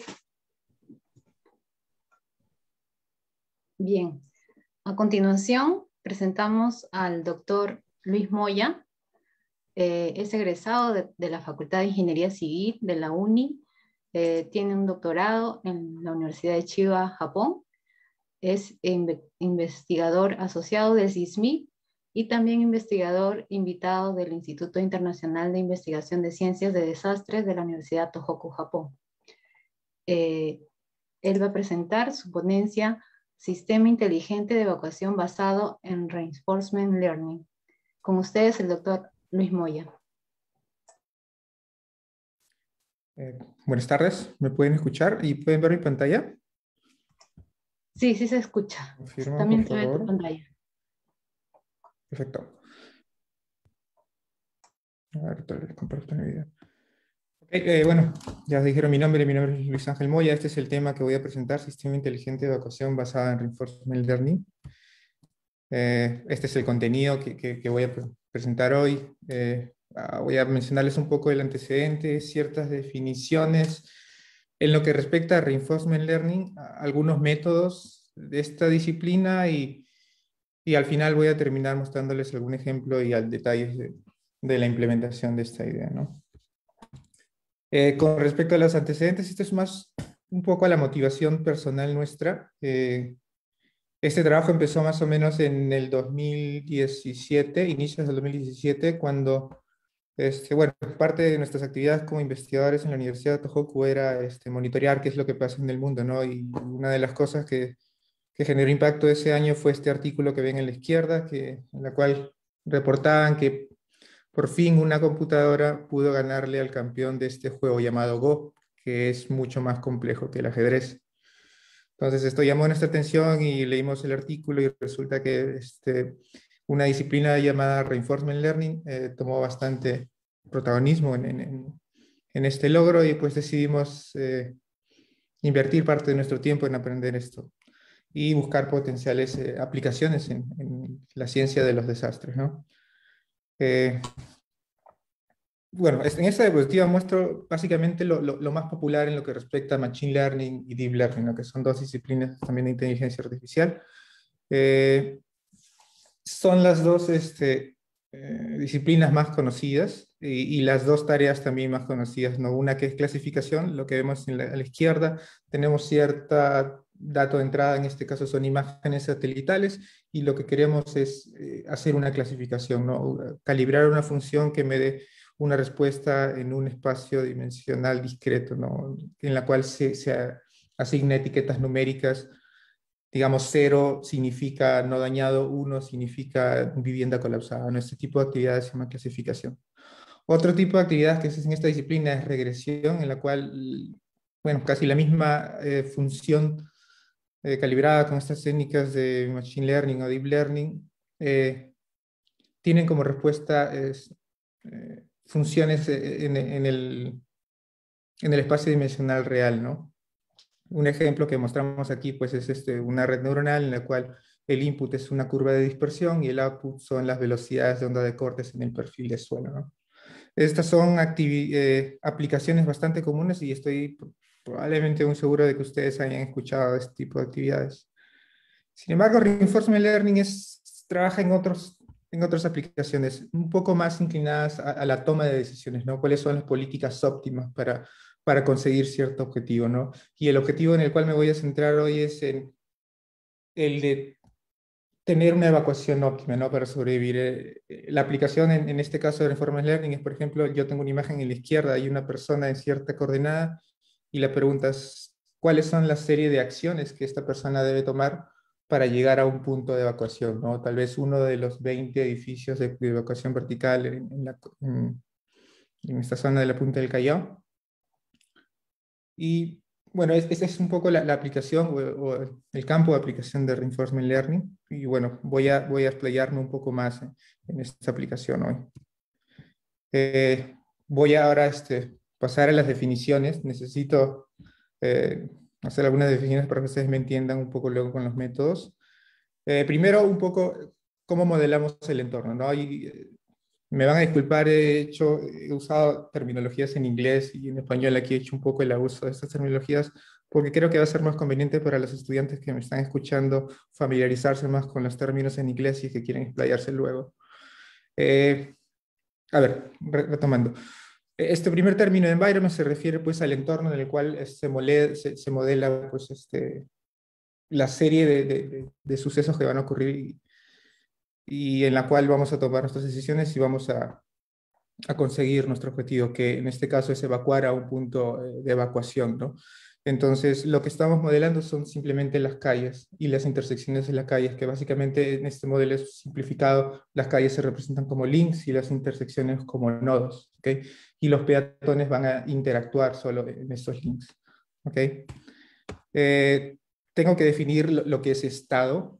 Estado se refiere a la cantidad de información que yo puedo percibir del entorno, del environment, desde un punto en específico. ¿no? Eh, aquí tengo un ejemplo en el cual un peatón se encuentra en el nudo denominado n sub 0 y, lo que él puede percibir del entorno es el número de calles que colindan, que se intersectan en este nodo y la cantidad de personas que hay en estas calles. No, no puede saber nada más del entorno. A, esto nosotros le llamamos estado o state. Eh, luego, este, una vez yo alcanzo un nodo, necesito, para continuar, necesito tomar una decisión. ¿no? Tengo aquí acciones alternativas que en este caso en específico está asociada a las direcciones en las cuales yo eh, me dirigía. Y estas decisiones están bastante asociadas a una política, ¿no? ¿Cuál va a ser la política de mis decisiones? Okay, eh, las acciones aquí están representadas por esta variable A y la política por esta variable pi. Eh, Ok, entonces, bueno, como mencioné, este Reinforcement Learning trata pues de evaluar políticas, ¿no? Este, y para cuantificar nuestras acciones, eh, tenemos que definir una, una variable que le llamamos reward o recompensa, que básicamente se le asigna a la gente por cada acción que hace. En este caso en específico, por ejemplo, eh, cada vez que una persona está durante el proceso de, evacuación, cada segundo que pase se le va a dar una, recompensa negativa porque está pasando el tiempo y todavía no ha logrado evacuar, no digamos de menos uno. ¿Ok? Si al terminar la simulación, que significa que, digamos, el desastre terminó, el tsunami, por ejemplo, llegó y, y el agente no ha llegado a un punto de evacuación, el reward de nuevo va a ser negativa y tal vez mucho más fuerte, no sé, digamos menos mil. Pero si el agente llega a un punto de evacuación, la recompensa va a ser positiva, porque queremos reforzar esa acción. Entonces, lo que estoy mencionando ahorita es simplemente cuantificar las acciones del agente, en este caso un peatón que está intentando evacuar. ¿no? Y lo que se denomina retorno es básicamente la recompensa o el reward acumulado a futuro, ¿no? Es como, es como nuestra recompensa a largo plazo, ¿qué es lo que voy a ganar de aquí, desde el tiempo T hacia adelante hasta, hasta que termine la simulación. Y bueno, también hay otra definición que se llama discounted return, que es básicamente el retorno con, bueno, pueden ver aquí la fórmula, eh, los retornos están multiplicados por un, un, parámetro gamma que tiene una serie este, exponencial para eh, penalizar los retornos eh, que ocurren en un tiempo más alejado al tiempo actual. ¿no? Ok, más, o menos me parece que estos son los términos que necesitamos para entender este, un poco los métodos de Reinforcement Learning. Bueno, tengo que hablar ahora un poco de lo que es Value Function. Value Function básicamente expresa el, valor esperado, el expected value, del retorno, dado que yo me encuentro en un estado S. ¿okay? Esto es un poco de estadística, espero que estén familiarizados y que no sea incomprensible. Esto, la, ecuación 1 básicamente muestra esto, ¿no? ¿Cuál es el value function en un estado S? Es simplemente significa cuál va a ser mi retorno a partir de este punto hacia adelante, ¿no? Entonces nosotros debemos considerar todas las posibles acciones que vamos a tomar y cuál va a ser el efecto de mis acciones en el entorno, que van a, van a modificar mi estado, ¿no? Entonces el diagrama que muestra a la derecha básicamente es algo así como una cadena de sucesos, no es el diagrama de las calles, eh, los círculos en blanco representan pues estados, estados que percibe el peatón. Los círculos en negro son las acciones posibles de esta persona ante ese estado. Y obviamente estas acciones van a tener repercusiones y, el estado se va, a cambiar, ¿no? se va a modificar, vamos a tener a cambiar un estado S', digamos. ¿Ok? Bueno, regresando a la ecuación 2, simplemente es la misma que la 1, simplemente he reemplazado la variable g, que es el retorno, por esta sumatoria que presenté en la diapositiva anterior. Y pues, bueno, con un poco de álgebra se puede llegar a la ecuación que está aquí sombreada en gris, que básicamente conecta el, el, el value function del estado S con el value function del siguiente estado, del potencialmente siguiente estado. Y bueno, aquí hay variables como por ejemplo tal vez este pi que, es de, que representa la probabilidad eh, de ejecutar una acción en específica dado que me encuentro un estado S, ¿no? Y bueno, aquí hay otro término que el P, que es este término P, que significa la probabilidad de que yo pase a un estado S subprima y obtenga una recompensa R, dado que me encontraba anteriormente en un estado S y tomé una acción A. ¿Ok? Eh, perdone, tal vez este es un poco abstracto, pero he tenido que poner esta ecuación porque es muy importante. Esta se llama la, ecuación de Bellman. Es importante porque esta expresión conecta dos, eh, el, la valor value function de, de dos estados, ¿okay? es importantísimo. Y hay una analogía similar. Eh, este, el QSA que vemos abajo le llaman Action Value Function, que es básicamente cuál es el retorno esperado cuando yo me encuentro en un estado S y decido tomar una acción específica, ¿no? Por eso le llaman action, action value function. Ok, entonces, ¿cuál es el objetivo de todo esto? ¿no? Buscar políticas de decisiones óptimas, ¿no? Bueno, esto probablemente no es necesario explayar en esto, simplemente eh, la política óptima simplemente va a ser eh, tomar la mejor política de todas las posibles value functions del Estado. Y lo mismo para el action value function, ¿no? Bueno, y aquí tengo una expresión que conecta el action value function y el value function. Eh, esta conexión es importante porque, bueno, en lo personal a mí me parece más útil la, variable Q porque si yo me encuentro, digamos, en una posición, en una situación y decido tomar una acción en específica, a mí me gustaría saber cuál es la mejor política, el mejor retorno para, la mejor política perdón, para esta acción. ¿Ok? Me parece que es, es todo con respecto a definiciones. Eh, ahora voy a ver un poco los métodos. Eh, los métodos disponibles para, para buscar políticas óptimas. ¿okay? Aquí he puesto dos un resumen rápido de los dos modelos antiguos que, que, es como una introducción a Reinforcement Learning. Lo que tenemos a la izquierda es este, métodos de programación dinámica. Eh, estas ecuaciones básicamente es la ecuación de Bellman, las, las estoy, la estoy repitiendo aquí en la ecuación superior, y debido a que mencioné que esta ecuación conecta dos distintos estados, se puede usar en una fórmula recursiva para, eh, de, de, una manera iterativa, reafinar los valores y obtener los valores, los value functions para todos los estados posibles, ¿no? de una manera iterativa como muestro en esta ecuación en términos de gris. ¿no? Aquí tengo el, una estimación de value function en una iteración K más 1 y está eh, conectada al estado subsiguiente, pero en, un, en un, tiempo K, digamos. Entonces, esta, esta ecuación es, muy importante, es muy efectiva, pero tiene la limitación de que para yo aplicar este, método necesito saber cuál es la probabilidad, este término pi, la probabilidad de tomar una acción dado que estoy en un estado, y el término p, que es la probabilidad de que estando en un estado S y tomo una acción A, esta acción este, me conlleve a un estado S suprima y obtenga una recompensa específica R. ¿no? Son valores que son bastante, bastante complicados estimar en la vida real, en la cual hay infinitos posibles estados y tal vez infinitas acciones a tomar. Entonces, esta es la limitación, ¿no? No se puede aplicar a, casos bastante más real, realísticos. Entonces, esa es la limitación principal de programación dinámica, Dynamic Program, ¿no? El otro enfoque pues es Monte Carlo, ¿no? Es, realizar simulaciones, como por ejemplo lo que nosotros hicimos es generar personitas sintéticas y, modelar eh, cómo ellos se mueven en una computadora, ¿no? Entonces modelábamos, digamos, este, ciertas calles en Japón, simulábamos que venía un tsunami en 40 minutos y, eh, modelábamos estas personitas tratando de evacuar, ¿no? Y al final la simulación, cada persona este, obteníamos un reporte de sus acciones durante toda la simulación y podíamos hacer un estimado del valor esperado para todos los estados que estas personas sintéticas han experimentado. ¿no? La ventaja es que eh, no necesito saber todos los potenciales estados, simplemente estoy este, evaluando los estados experimentados por estos agentes, estos peatones virtuales. Y este, bueno, los value functions son este, estimados simplemente con el promedio de todos los retornos observados por todas las personas durante la evacuación. ¿no? Eh, la limitación que nosotros observamos eh, en, estos métodos es que eran muy lentos en, en, alcanzar una convergencia y encontrar políticas óptimas. Realmente hay veces incluso llegábamos a, a casos incoherentes en los cuales una persona comenzaba a actuar en una especie de bucle, no se movía de cierto círculo y era, era muy lento para, para, obtener políticas óptimas. Entonces, bueno, seguimos este, estudiando y, y, pasamos a estos métodos que, bueno, este es el, método ya yéndonos más a reinforcement learning, este, los métodos se llaman temporal difference learning.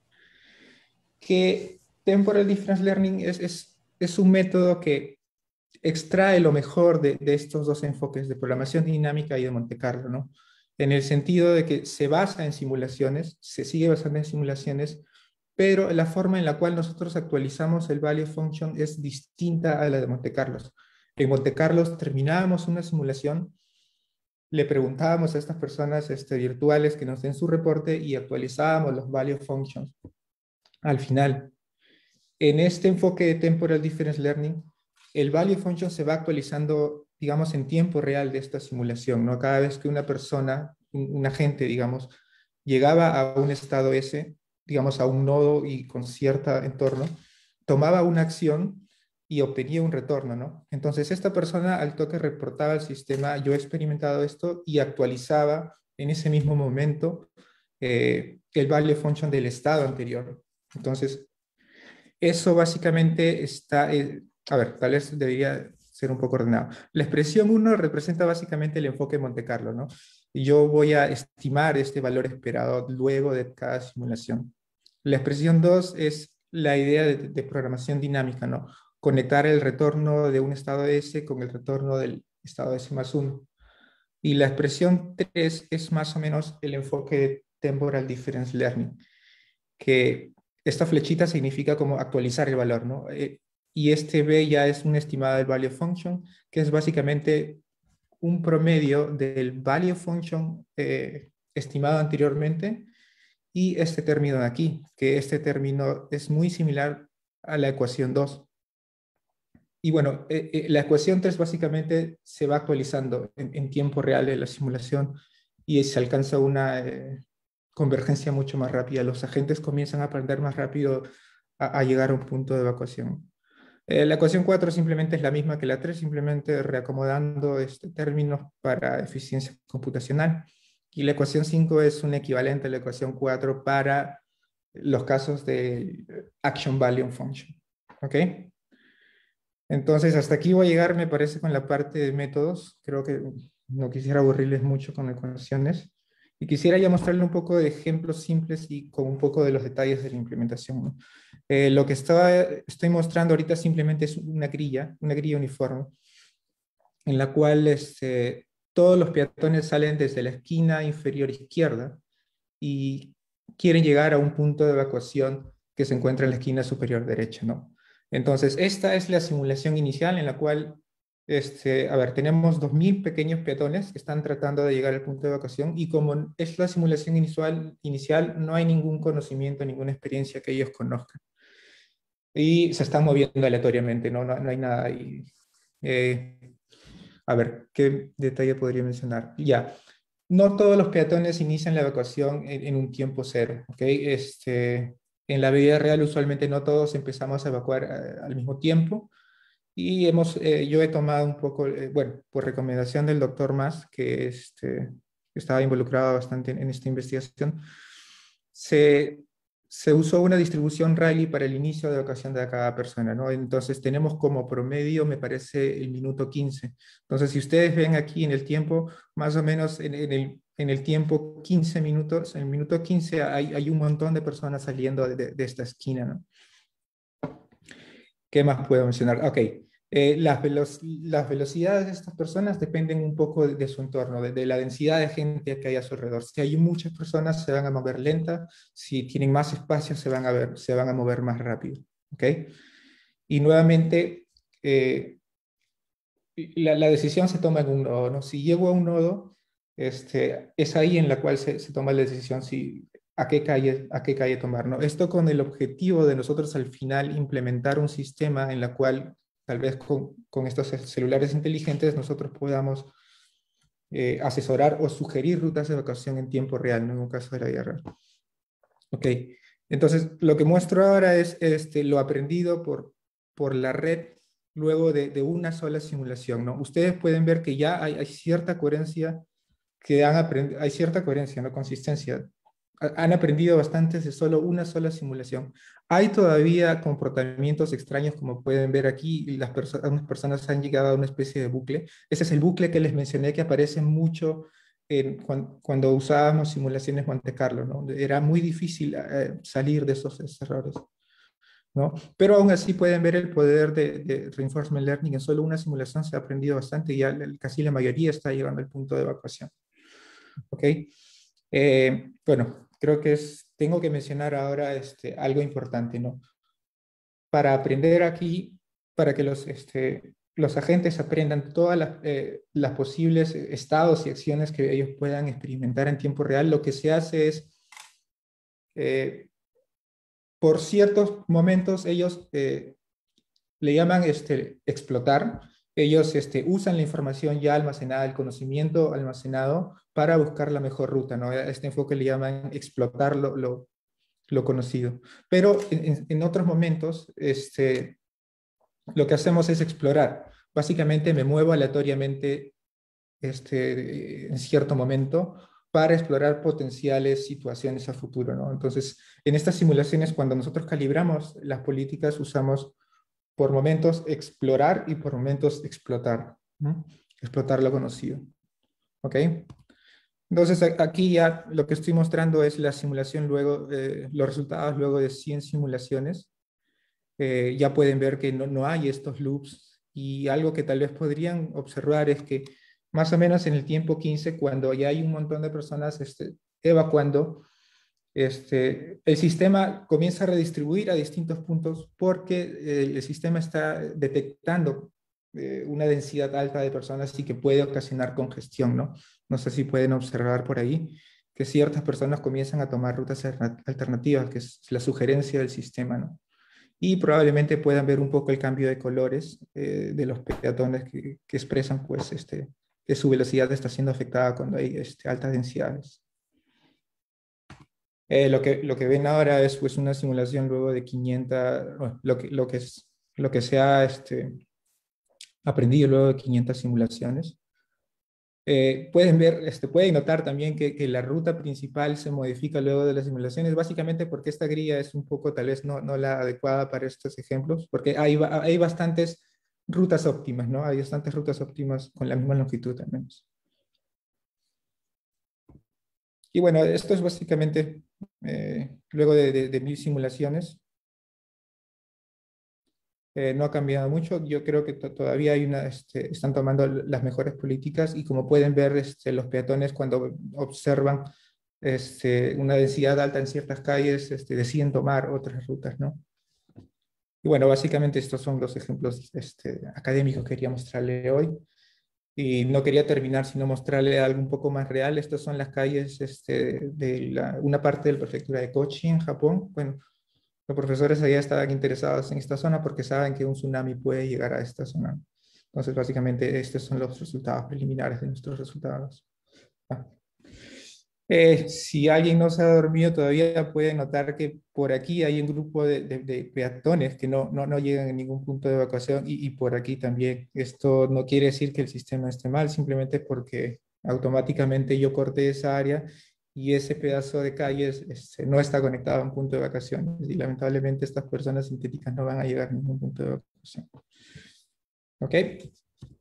Entonces, me, parece que eso es todo. Eh, gracias por su atención. Como conclusión, yo podría decir que, que se puede implementar este, estas técnicas modernas para, para implementar un, un, sistema de, de, guía, ¿no? De, de, guía para evacuación en tiempo real. ¿no? La, la, idea es que una vez esté calibrado esto, sea una herramienta que, en la cual nosotros este, podamos ser guiados mediante nuestros celulares o incluso, no sé, alguna red un poco más este, formal y tomar este, las rutas más las, todas las rutas posibles para llegar a un punto de evacuación, ¿no? Y probablemente sea útil, por ejemplo, en, zonas donde hay bastante turismo y hayan personas que no conocen las calles y no sepan a dónde ir, qué hacer durante una evacuación.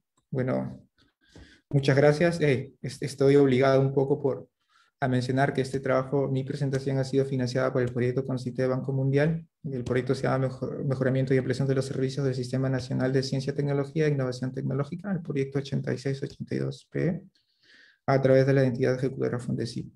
Y bueno, ahí están mis correos. Si tienen alguna pregunta, están interesados, tal vez involucrarse un poco, estoy feliz de escucharles. Muchas gracias. Muchas gracias al doctor Moya.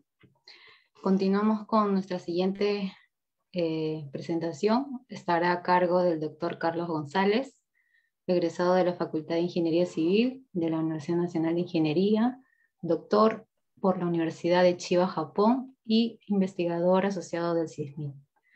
El tema que dará será el sistema de estimación de mapas de intensidades sísmicas para Lima Metropolitana. Con ustedes el doctor Carlos González.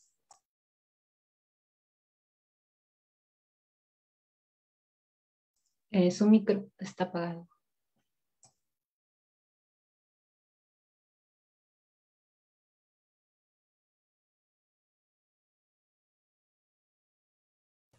Ahora. Sí, ya se escucha. Ya, ok. Eh, muy buenas tardes, eh, ya casi noche. mi nombre es Carlos González Trujillo. Soy, a ver, permítame un momento. Voy a hacerlo de una mejor manera. Ya, ahora sí.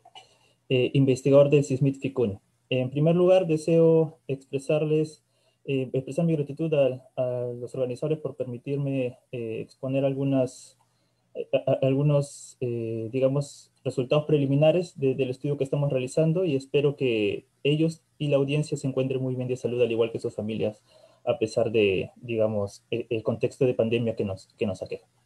El tema de la presentación de hoy como bien dijo Erika, el sistema de estimación de mapas de intensidades sísmicas para la línea metropolitana, lo cual eh, obtiene una importancia eh, relativamente trascendental dado el evento que, que ocurrió el 22 de, este mes. Entonces, el contenido de la misma eh, está dado por la información geotécnica y geofísica, todo relacionado a, digamos, la línea metropolitana, factores de amplificación y redes acelerográficas, digamos que son los medios que nos permiten para poder eh, estimar este tipo de, eh, de, mapas. La metodología de obtención de parámetros sísmicos, en particular el mapa de aceleraciones máximas, eh, resultados para sismos recientes, que incluye sismos lagunas, algunos del año en corriente y el año pasado, con énfasis en el sismo que, que ocurrió el 22 de junio, y algunas conclusiones. Entonces, en particular, este, digamos, este sub eh, proceso dentro de un proyecto más grande, que es el proyecto que, justo al final de la presentación eh, Luis eh, nos estaba comentando, es un proyecto financiado por el Banco Mundial, llevado a cabo por, por CISMIT y digamos monitoreado por, por Fondesit Concitec, tiene que ver con la sinergia y la fusión de diferentes metodologías. Luis ha explicado muy bien la relacionada al Machine Learning y al Reinforced Learning, en este caso en particular, el diagrama de flujo del, proyecto en, su totalidad empieza, digamos, con la activación, que vendría a ser eh, la ocurrencia de algún evento, no necesariamente eh, limitado a sismos. Ahora, el fin último es la identificación del área afectada en escala regional, y esto se va a dar a través de tres grandes ítems. En primer lugar, es el mapa de zonas urbanas, eh, digamos, una identificación de las áreas urbanas, digamos que esas áreas pueden haberse expandido eh, luego, a través de imágenes satelitales, digamos que esta identificación puede, puede darse. Luego, el mapa de demanda sísmica que vendría a ser el input, digamos, del sistema. Y como nosotros, digamos, estamos eh, interesados en evaluar algún tipo de daño en estructuras, eh, nos es importante tener algún tipo de índice de daño, como la disponibilidad de curvas de fragilidad. El doctor Moya tiene un artículo muy interesante publicado en el año 2018 que data de esto, que es de la calibración del modelo, básicamente y luego se hace el mapeo del daño eh, tomando en cuenta estos tres grandes ítems. ¿no? Entonces, eh, lo que me corresponde en particular explicar en este momento es lo que está eh, en un rectángulo de color rojo, que es el mapa de demanda sísmica. El mapa de demanda sísmica dado a entender cómo la intensidad del evento sísmico en particular y aterrizado, digamos, a un nivel de aceleración. Eh, ahora vamos a hablar un poco de información geotécnica y geofísica para el área en particular de Lima Metropolitana. Entonces, eh, ya hace bastante tiempo ha, empezado y continúa desarrollando ciertos estudios relacionados a la microsonificación sísmica. La microsonificación sísmica es eh, aquella que permite distribuir, diferenciar el comportamiento de determinadas zonas urbanas relacionadas a sus características mecánicas y sus características dinámicas. Con un poco más de énfasis en esta presentación en particular en las, características dinámicas porque estamos hablando de sismos. En el caso mecánico, digamos, tiene que ver mucho más con la capacidad portante de los suelos, eh, digamos, algunos parámetros de, resistencia, etc. Entonces, el primer mapa de microsonificación, como ustedes observan en, la lámina, en la parte izquierda de la lámina, eh, data del año 2004 digamos que a partir de, una iniciativa de la Asociación Peruana de Aseguradoras, se realizó el mapa de microzonificación considerando una determinada cantidad de ensayos y para todo el Lima metropolitano. Y se obtuvo dicho primer mapa.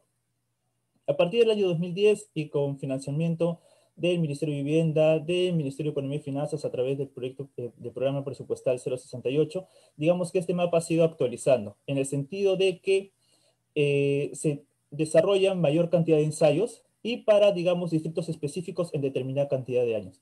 Esta vista pretende explicar un poco cómo se ha ido desarrollando a lo largo del tiempo eh, y en qué número de distritos y en particular en qué distritos se ha ido desarrollando este tipo de ensayos. Empezando con los seis eh, distritos de La Molina, Chorrillos, Villa Salvador, Puente Piedra, Comas y San Juan de Lurigancho y esperando ser terminados, digamos, este año en el Callao, Chosique y Chaclacayo. Hay tres grandes ítems que tienen que ver también, muy aparte de la microsonificación sísmica, con eh, que, alimentan, digamos, el estudio que les vengo a, presentar. El primero es la tesis de doctorado de la, de la doctora Dina Calderón. El segundo es el artículo de su profesor y mi profesor, el profesor Higuchi, en el artículo en JDR, que habla de, digamos, una ambos hablan de una primera estimación eh, de los factores de amplificación.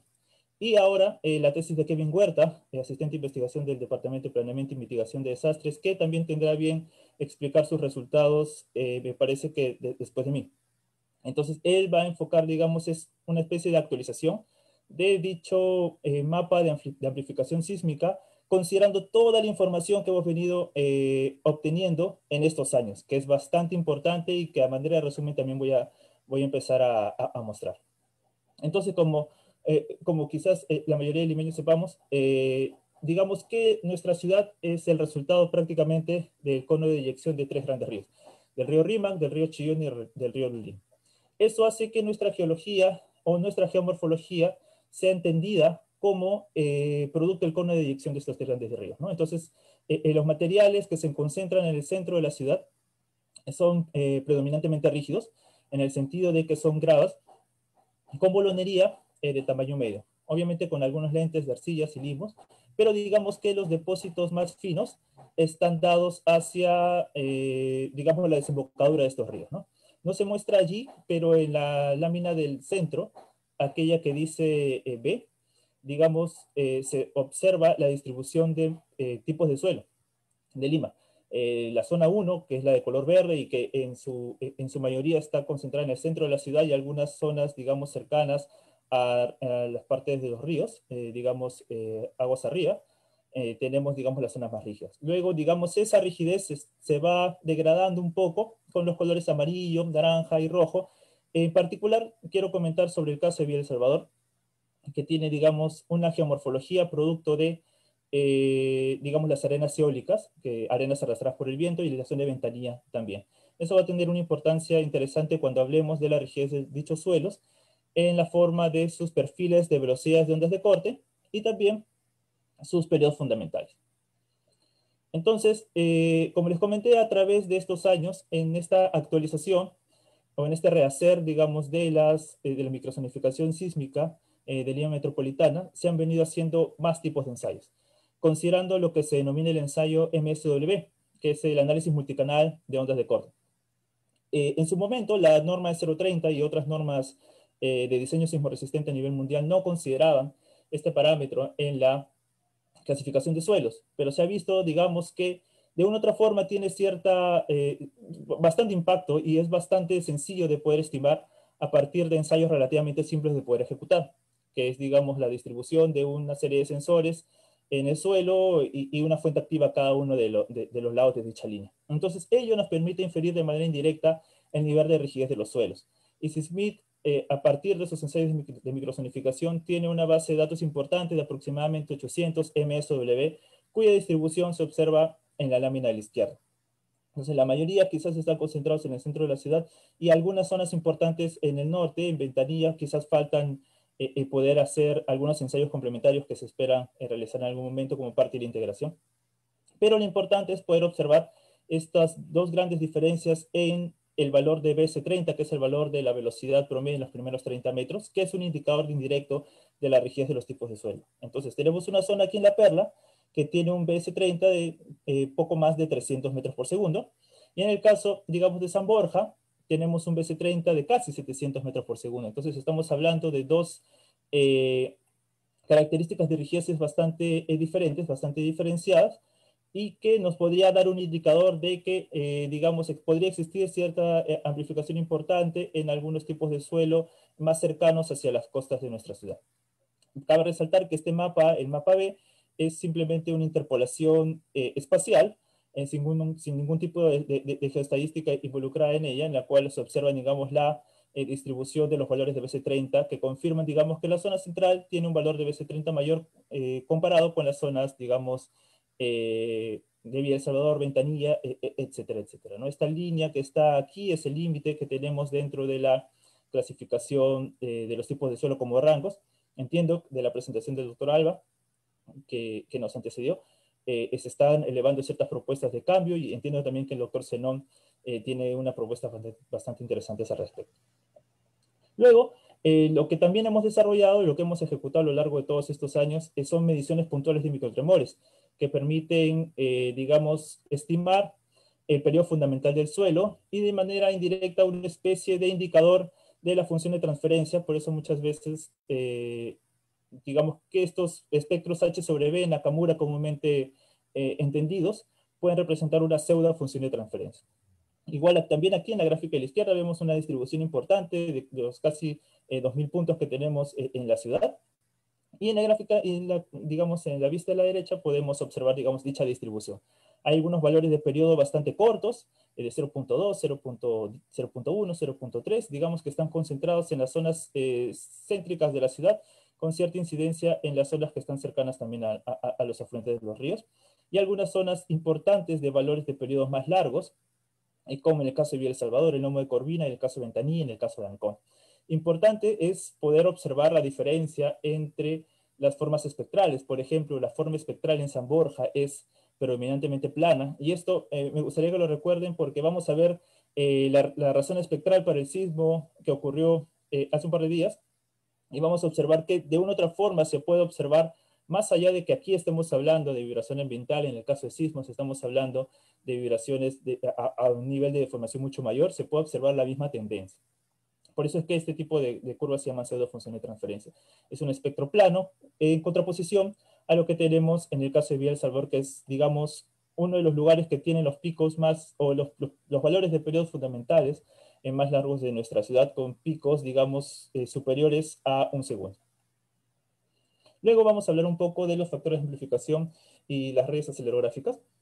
Entiendo que eh, Kevin Huerta va a, ahondar mucho más en este tema. Yo solo quiero traer algunos conceptos aquí a, esta comunicación para poder eh, hacer un poco más llevadera la, la presentación. Entonces, como les comenté, la, doctora Dina Calderón, el profesor eh, Toru Sekiguchi y, ahora Kevin Huerta eh, estaban involucrados en el cálculo de estas funciones de transferencia, lo que denominamos nosotros una función de transferencia promedio. Entonces, con base en la información que se tiene de los perfiles, eh, podemos obtener diferentes funciones de transferencia eh, de la superficie con respecto a, un nivel de referencia. en primer lugar, eh, tenemos el primer, el primer nivel de referencia en 500 metros por segundo y en segundo nivel de referencia 760 metros por segundo. Que va a mostrar que, digamos, eh, existen mejores correlaciones para uno de los casos en particular y considerando determinada profundidad ah, eh, de los perfiles tipo de suelo. Entonces, el cálculo de esta función de transferencia es considerando, o de esta, de esta función de transferencia promedio que hemos denominado aquí ABTF, que es un indicador indirecto de los niveles de amplificación, está dado por una especie de análoga, una manera análoga al cálculo general de intensidades sísmicas, que básicamente es el cálculo del área debajo de dicha curva de, o dicha función de transferencia, en determinado rango de periodos de interés para la ingeniería civil. En este caso estamos hablando entre 0.05 entre y un segundo. Y así se han obtenido diferentes valores de esta función de transferencia promedio y con la correlación con otros factores que son mayormente conocidos eh, a nivel de distribución geográfica, tales como eh, la topografía, tales como los valores de periodo fundamental, tales como la pendiente, podemos, digamos, inferir ciertos tipos de mapas eh, que puedan englobar el área metropolitana de la ciudad. Este es el mapa que la doctora Diana y el profesor Sekiguchi publicaron para el año 2012. Entiendo que Kevin está haciendo un mapa actualizado que a su vez va a ser de gran utilidad para este cálculo del mapa de intensidades sísmicas, porque por ejemplo aquí vemos una zona que aún no ha, sido explorada para ese momento, la zona de Pachacama, y una zona superior también en, la parte de Ancón y, y Santa Rosa. Pero digamos que ese es un buen indicador de la amplificación esperable. Eh, por ejemplo, aquí en la zona del Callao y aquí en la zona del Lomo de Corvina se concentrarían estas zonas de mayor eh, amplificación. Entonces, otro de los grandes inputs que requerimos para hacer el cálculo de este mapa de intensidades, en primer lugar, es lo que acabo de comentarles, es eh, el mapa de factores de amplificación, pero también necesitamos los registros sísmicos. Los registros sísmicos en particular y que SISMIT, con los que SISMIT cuenta en primerísima mano son de dos tipos. De su propia red, la red acelerográfica de SISMIT, REDASIS, y en un convenio eh, interinstitucional con CENSICO, con el Servicio Nacional de Capacitación para la Industria y la Construcción. Para este último, tenemos el monitoreo en pseudo tiempo real, en casi tiempo real, de 11 estaciones históricas y 4 estaciones nuevas que CENSICO ha tenido eh, a bien instalar, principalmente en sus oficinas, eh, en sus gerencias zonales, por ejemplo, en las ciudad de Quitos, Piura, Chiclayo, Trujillo, etcétera, en los cuales se tienen eh, instrumentos Kinemetrics. Y ahora estos cuatro nuevos en Pucallpa, Arequipa, Gracias. Y, en Lima, Los Olivos y en eh, Chorrillos, entonces que son eh, sensores Gayacol. Y históricamente nuestra, nuestra red cuenta ahora con 35 estaciones, en las cuales su distribución está plasmada allí en, en, este mapa de color rosa con los puntos de color verde, y que concentran gran parte de la ciudad, pero adolecen un poco aún de poder representar las características dinámicas de una zona muy importante, que es, por ejemplo, San Juan de Urigancho, que es el distrito más poblado de, nuestro país. También de la zona de Villa de Salvador, de la zona de Villa María del Triunfo y algunas otras zonas que en algunos convenios que estamos trabajando con algunas instituciones, ellas van a poder acoger eh, estos acelerógrafos y poder, digamos, eh, monitorear estas zonas que aún, como les comentaba, adolecen de, cierta, eh, de cierto monitoreo en tiempo real. Y poder digamos, porque para el procedimiento de interpolación y de generación de un adecuado mapa de intensidades sísmicas es necesario colocar los acelerógrafos en buen número, uno, y en segundo lugar que puedan también abarcar diferentes condiciones geotécnicas y dinámicas para que la interpolación pues, pueda verse adecuadamente representada. Entonces, ahora vamos a hablar un poco de la metodología en la obtención de los parámetros sísmicos. En particular, del mapa de aceleraciones sísmicas. Entonces, en la vista de la izquierda tenemos eh, lo que vendría a ser el mapa de redes acelerográficas, redes principalmente concentrado en Lima, eh, y algunas otras zonas, como les comenté, que monitoreamos de CENCICO, y bueno, la red acelerográfica de la unidad de la unidad posgrado de la Facultad de Ingeniería Civil de de la UNE en convenio con el CIP también tiene otras, otras tantas que no directamente, pero indirectamente podemos obtener eh, eh, las señales eh, de manera bastante, bastante rápida, al igual que el Instituto Geofísico del Perú, como, como bien comentó el doctor Alba en su presentación. Entonces, la estimación se va dando de la siguiente manera. En estos puntos, esta es una gráfica tomada del artículo del profesor Matsuoka que tiene, digamos, un sistema bastante interesante denominado QuickWake. Los puntos en superficie representan las mediciones donde estamos cuantificando a través de los acelerómetros eh, el nivel de intensidad a, través de sus valores de PGA, PGB, eh, digamos, eh, algún otro índice energético, etc. Entonces, al poder nosotros hacer una deconvolución, es decir, regresar este registro a un nivel de roca que nosotros hemos definido, podemos esperar que se desarrolle una interpolación a ese mismo nivel de roca porque consideramos que no existiría mucha variabilidad teórica entre esos niveles de roca. Es decir, la variabilidad que existe en un nivel de roca es muchísimo menor que aquel considerado en la superficie, porque en la superficie, como bien sabemos, están influenciados por el efecto de sitio particular de cada uno de los puntos en los cuales nosotros estamos midiendo. Entonces, la interpolación se desarrolla a este nivel de bedrock, como dice aquí, a este nivel de roca ingenieril, y luego, bueno, la estimación, digo, disculpen, la de convolución, y después eh, la interpolación se desarrolla para una, digamos, una malla discreta de, un, de tamaño 300 metros de grilla, para lo cual se eh, realiza dicha interpolación y se obtiene los valores de intensidad para cada uno de esos valores.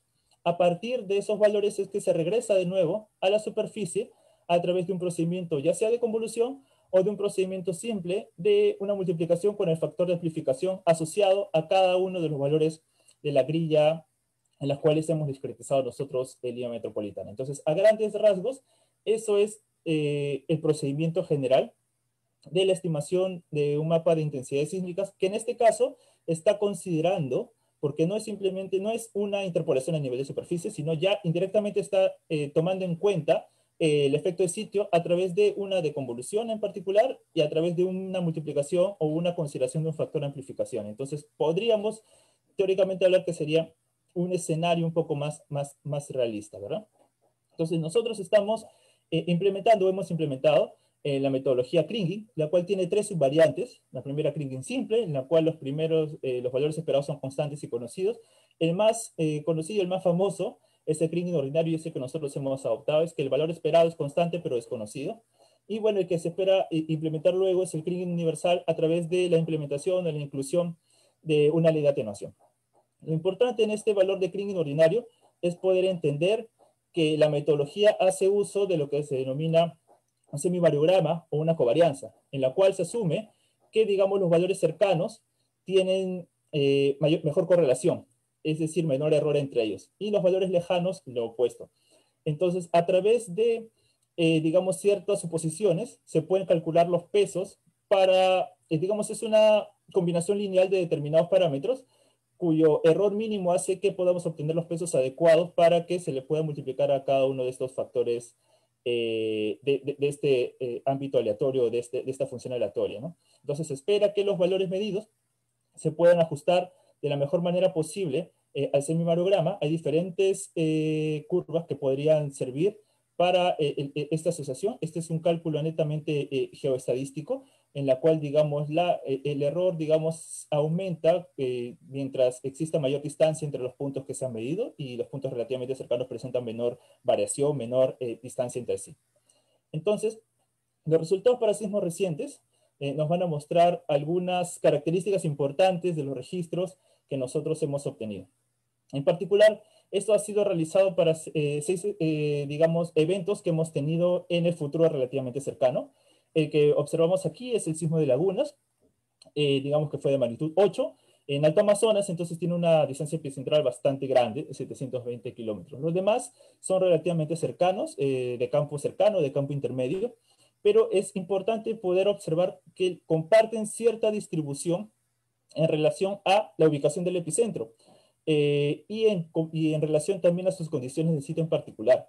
Como habíamos visto, eh, existen factores de amplificación, es decir, las condiciones del suelo son un tanto adversas para las zonas eh, un poco de la, del norte de nuestra ciudad por la presencia de arenas eólicas. Entonces sí se observa que para la gran mayoría de eventos hay una, un, un mayor valor de intensidad para estas zonas. Y por otro lado, existe un importante efecto topográfico que hemos nosotros evidenciado y se observa más en los registros que nosotros tenemos en el Centro Deportivo eh, Olaya, en Independencia y en la parte baja de, digamos, de la formación rocosa que está contigua al CISMIT, en la estación Jorge Albortada de nuestra institución, también en, eh, en, la Municipalidad de Independencia. Entonces, nos interesaría quizás seguir monitoreando eh, ciertas pendientes pobladas eh, al norte de nuestra ciudad para poder, digamos, estar seguros de, esa, de ese efecto topográfico que por el momento, y como solamente estamos monitoreando esta zona de la ciudad muy cercana a Independencia, pues aparece aquí de manera eh, relativamente puntual.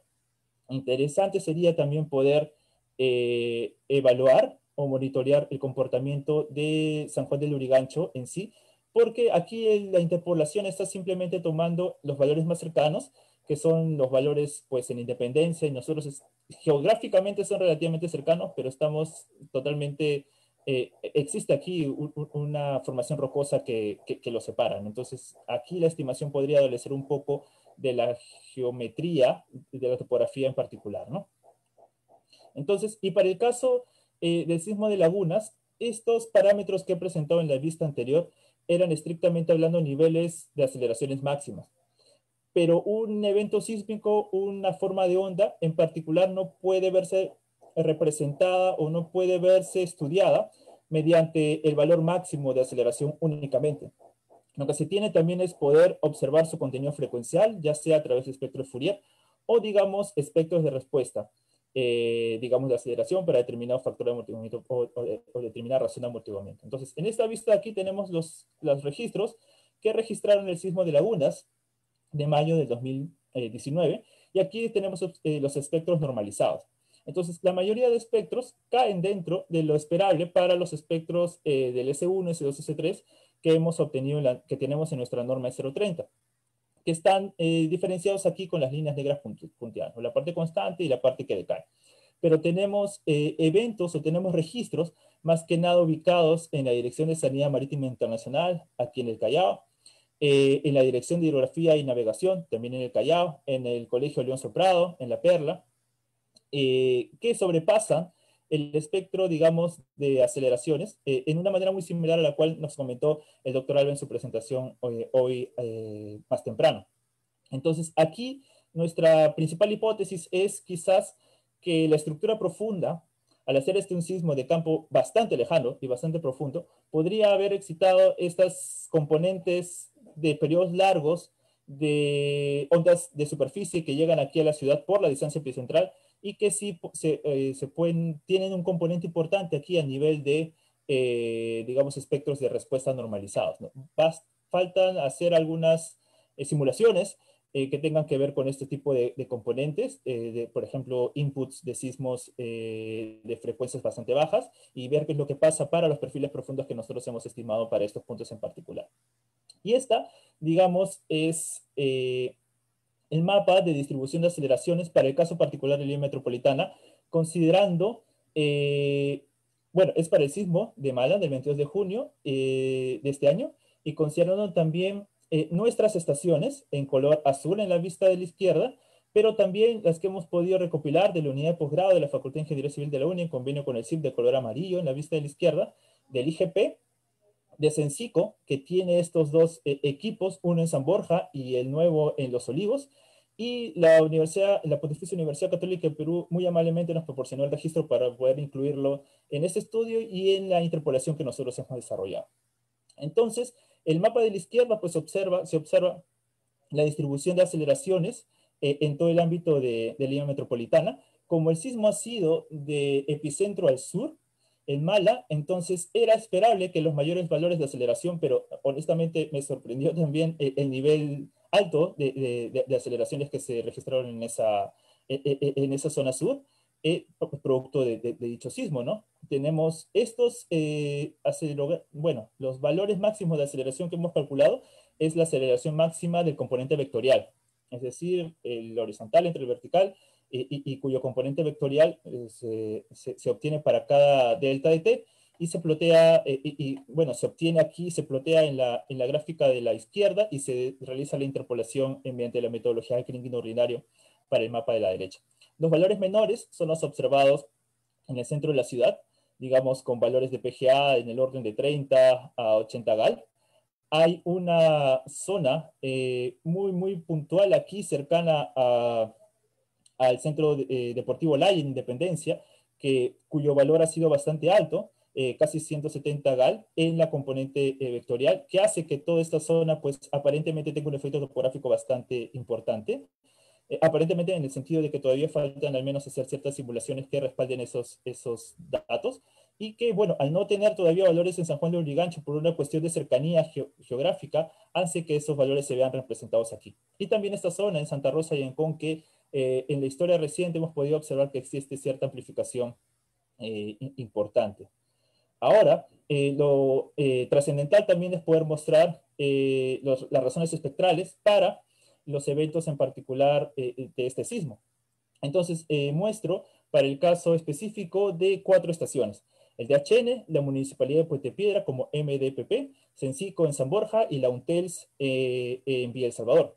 En el caso de, de, los de DHN, de Puente Piedra y de UNTELS, estamos observando que las razones espectrales en este caso representan muy bien el comportamiento de los suelos.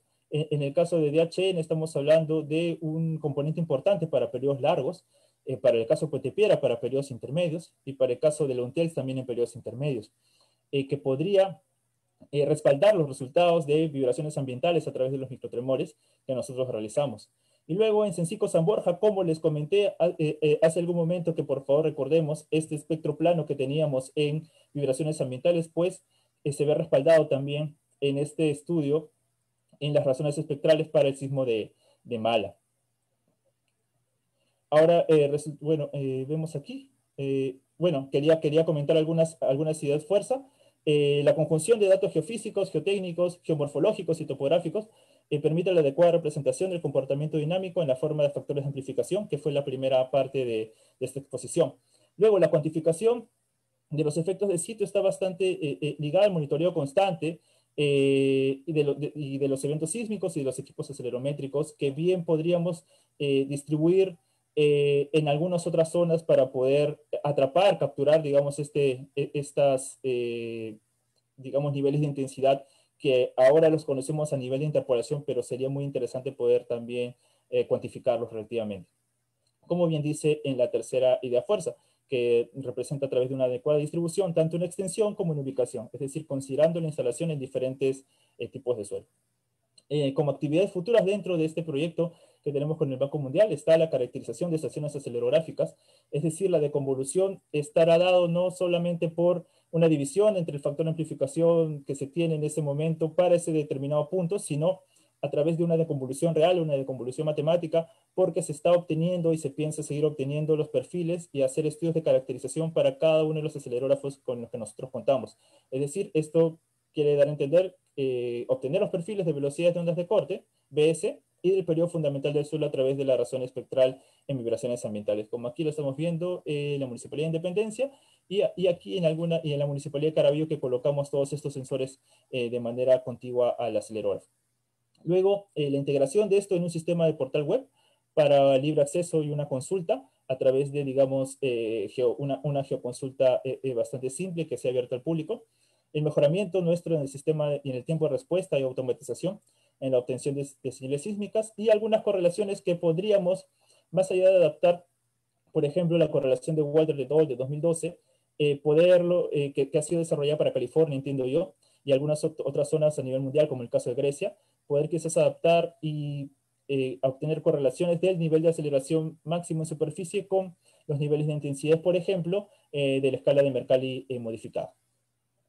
Eso sería todo. Muchas gracias por su atención. Eh, ese trabajo viene siendo financiado por el proyecto Consistema Banco Mundial, Mejoramiento y Ampliación de los Servicios del Sistema Nacional de Ciencia y Tecnología, 8682P, a través de su unidad ejecutora, eh, Fondesit, contrato 038-2019. Cualquier consulta, sugerencia, eh, algún intercambio de información, eh, estoy bastante presto a poder, digamos, realizar algún tipo de comunicación con cualquier persona interesada en este, en este tema muy interesante. En mi correo está allí. Esto sería todo. Muchísimas gracias y cuídense, por favor. Muchas gracias al doctor González. Bien, vamos a dar una pausa para preparar la siguiente presentación y retornamos en unos segundos. Muchas gracias.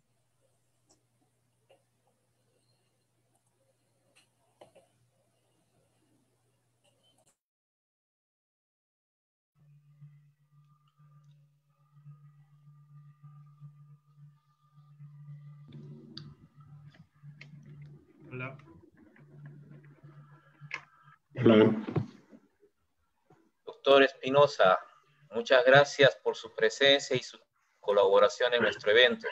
Doctor Cuellar, muchas gracias, por su presencia y su colaboración.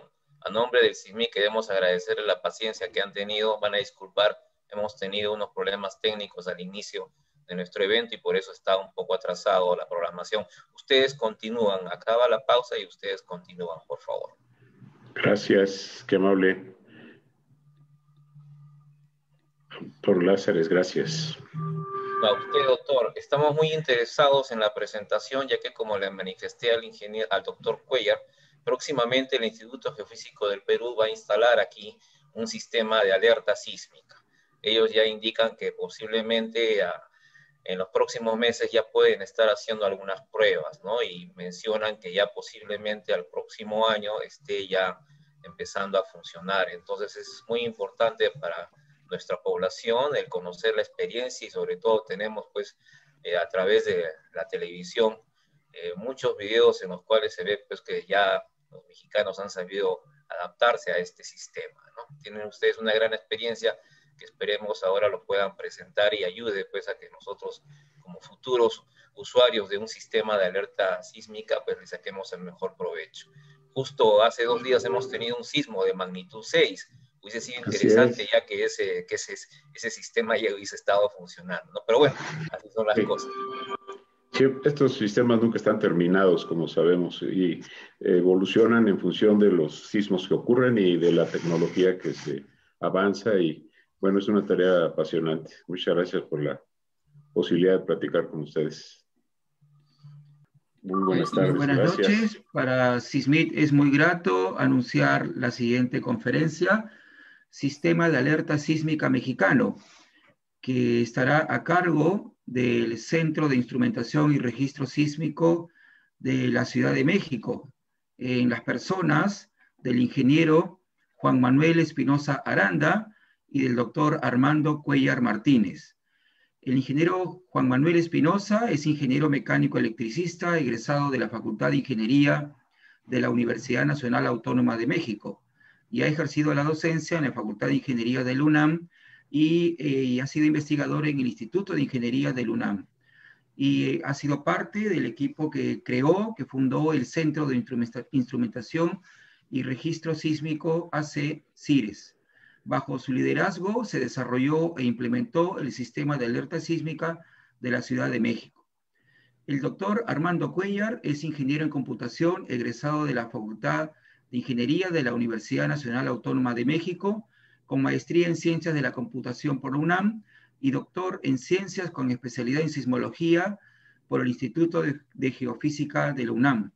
Actualmente, el doctor Cuellar es coordinador de investigación y divulgación en el Centro de Instrumentación y Registro Sísmico, en el área de investigación de tecnología y ciencia aplicada a sismos, principalmente en sistemas de alerta temprana.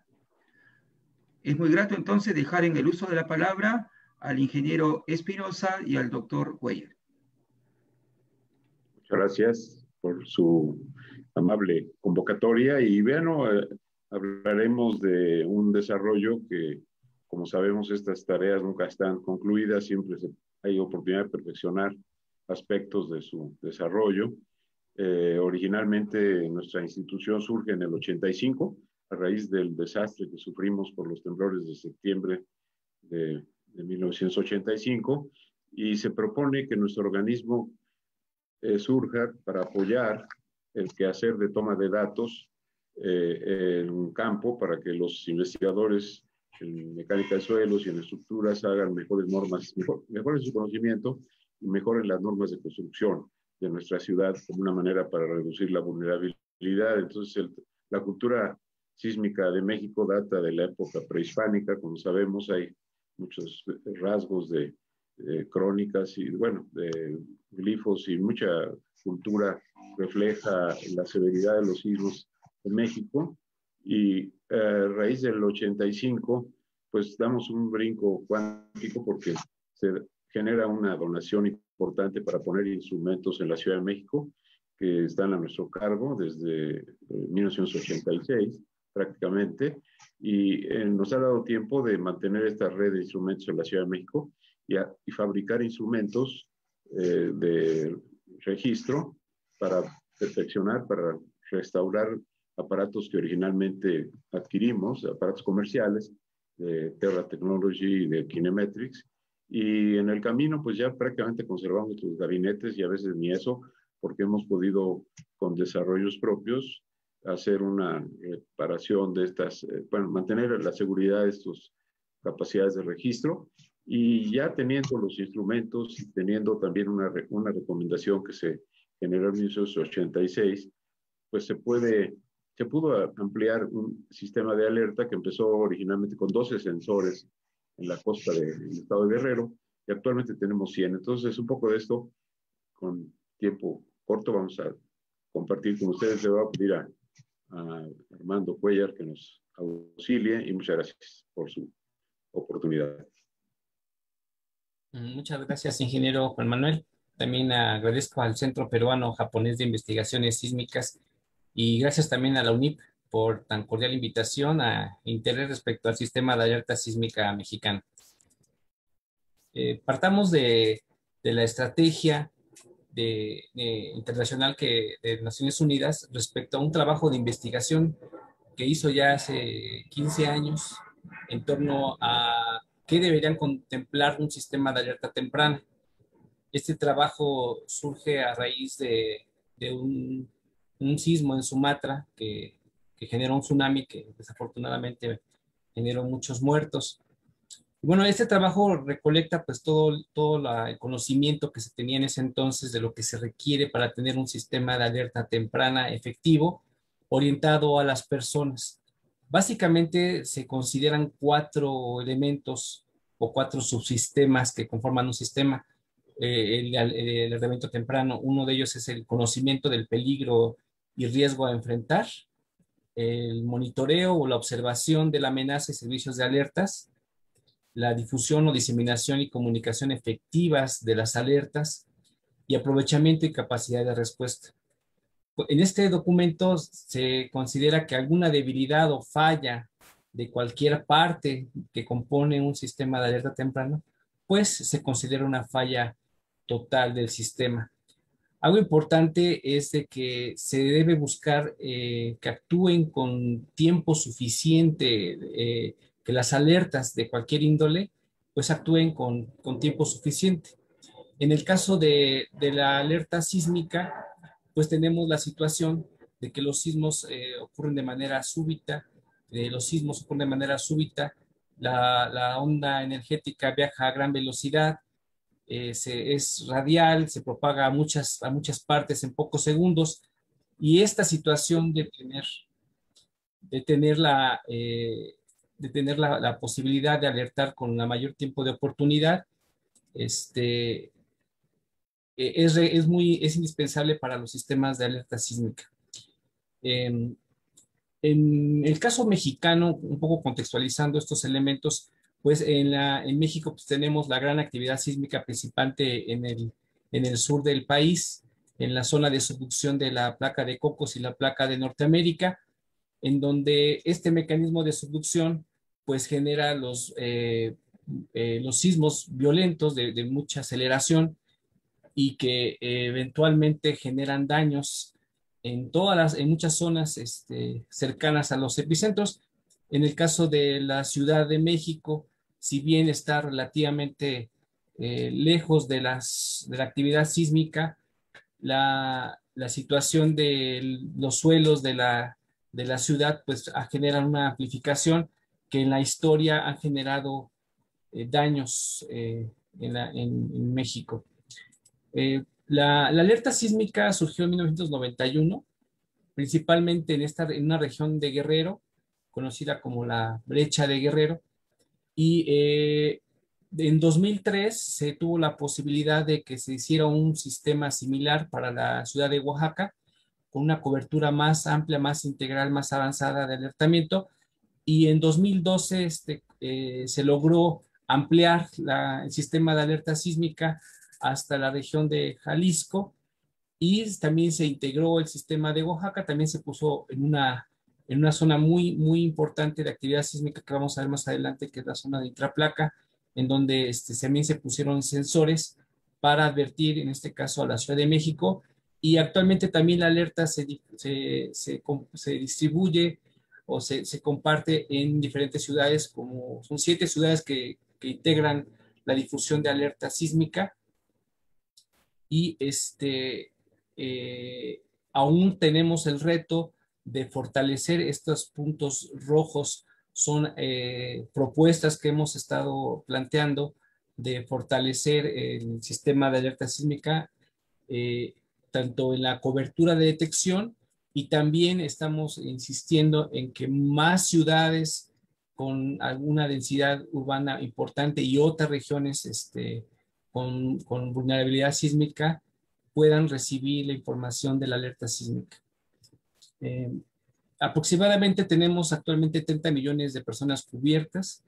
La alerta sísmica, da estas características que tenemos para, la caso, para el caso de la Ciudad de México, nos ha brindado tiempos de entre 20 hasta más de dos minutos de, tiempo de oportunidad de anticipación de las ondas energéticas que, son las que generan daños en la Ciudad de México.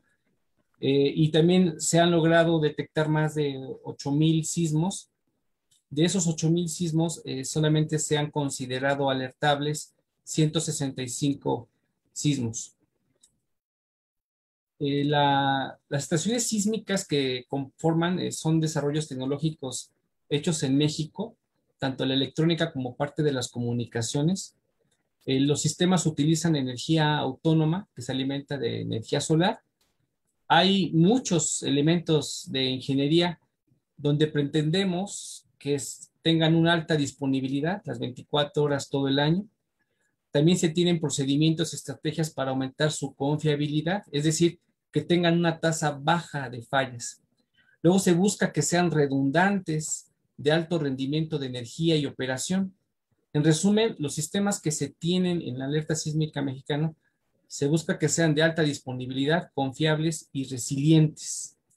Es decir, que en caso que tuviéramos alguna falla, el sistema rápidamente se recuperará o que no le afectara en la, en la difusión o en alguna etapa de comunicación de la alerta, por ejemplo. Eh, los sensores sísmicos que se tienen son este, de aceleración, son triaxiales y poseen este, tres algoritmos para estimar la, magnitud sísmica. Es una magnitud eh, diseñada considerando los catálogos que tenemos de históricos de las regiones sísmicas que nos interesan medir.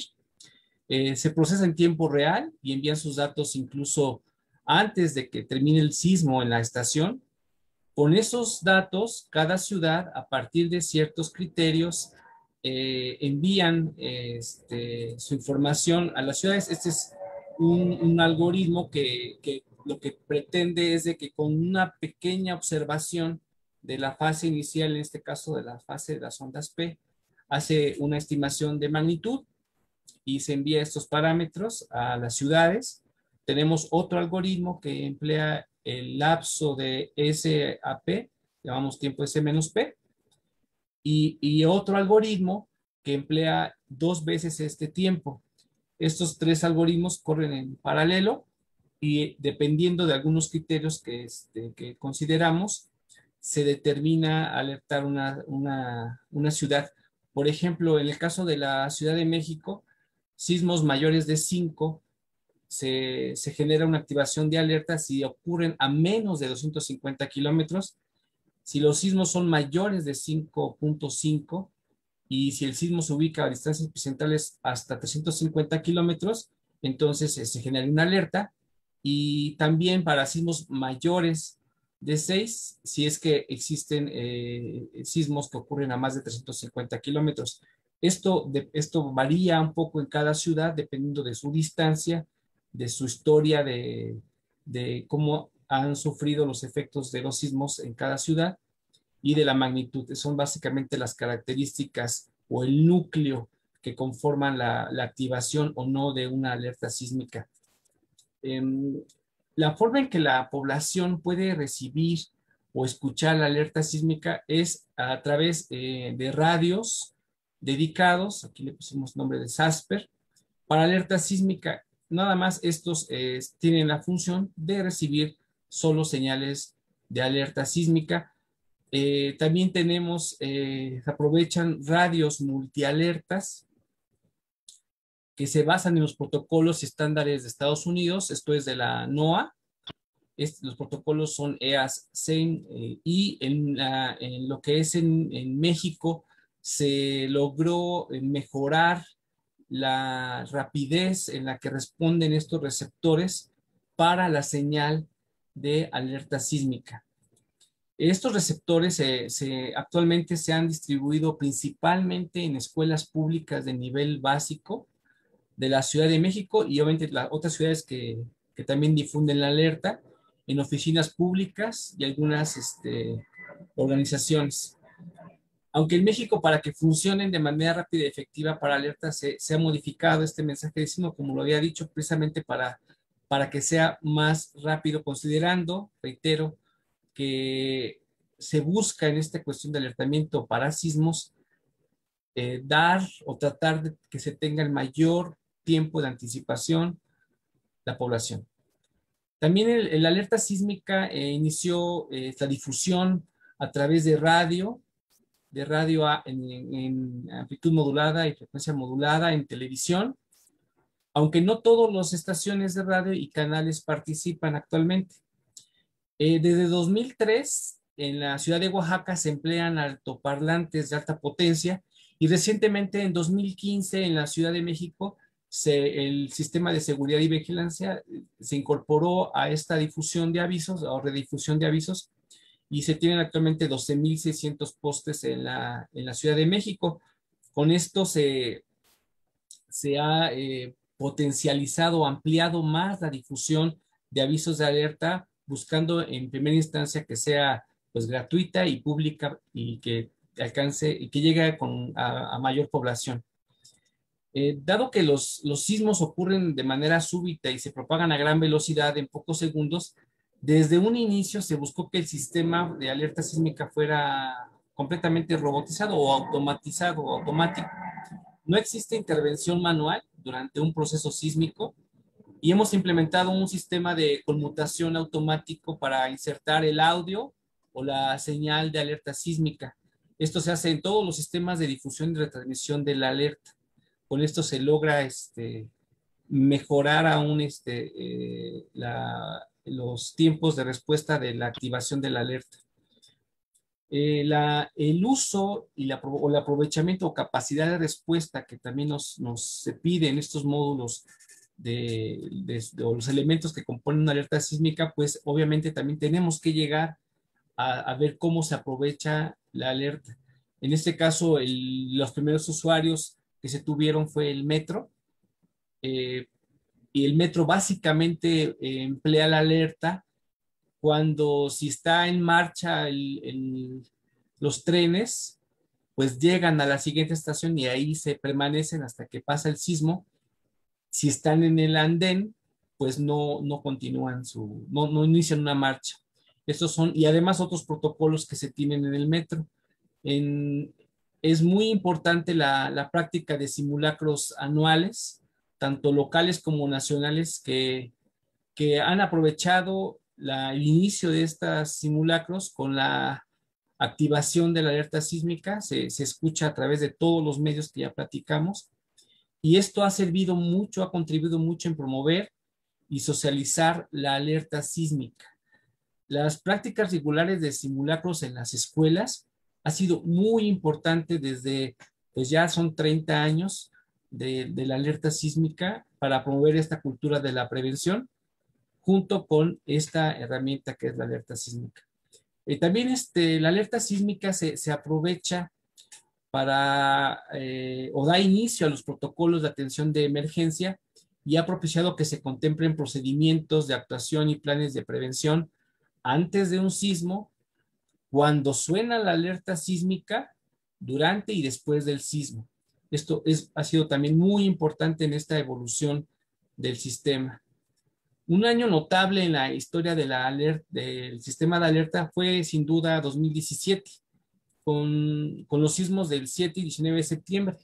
Ambos fueron alertados correctamente y dadas las distancias epicentrales a la Ciudad de México, permitió observar pues los diferentes tiempos de alerta ante estos escenarios. En el, para el sismo del, 7 de septiembre de magnitud 8.2, eh, el sismo más grande en 90 años en México dio casi dos minutos de ventaja a la Ciudad de México. Por otra parte, el sismo de, de Morelos de magnitud 7.1, cuyo sismo es el segundo más destructivo en la historia reciente de la Ciudad de México, su epicentro se ubicó a menos de 130 kilómetros y con eso solo tuvimos 11 segundos de previos a las ondas sísmicas de mayor intensidad. Claro, aunque dada la cercanía, ya las ondas, eh, las ondas P, las primeras ondas ya se habían, estaban siendo eh, percibidas por, por la población. Los efectos sísmicos de estos dos eh, sismos ejemplifican lo que puede ocasionar un sismo dependiendo de su distancia y magnitud.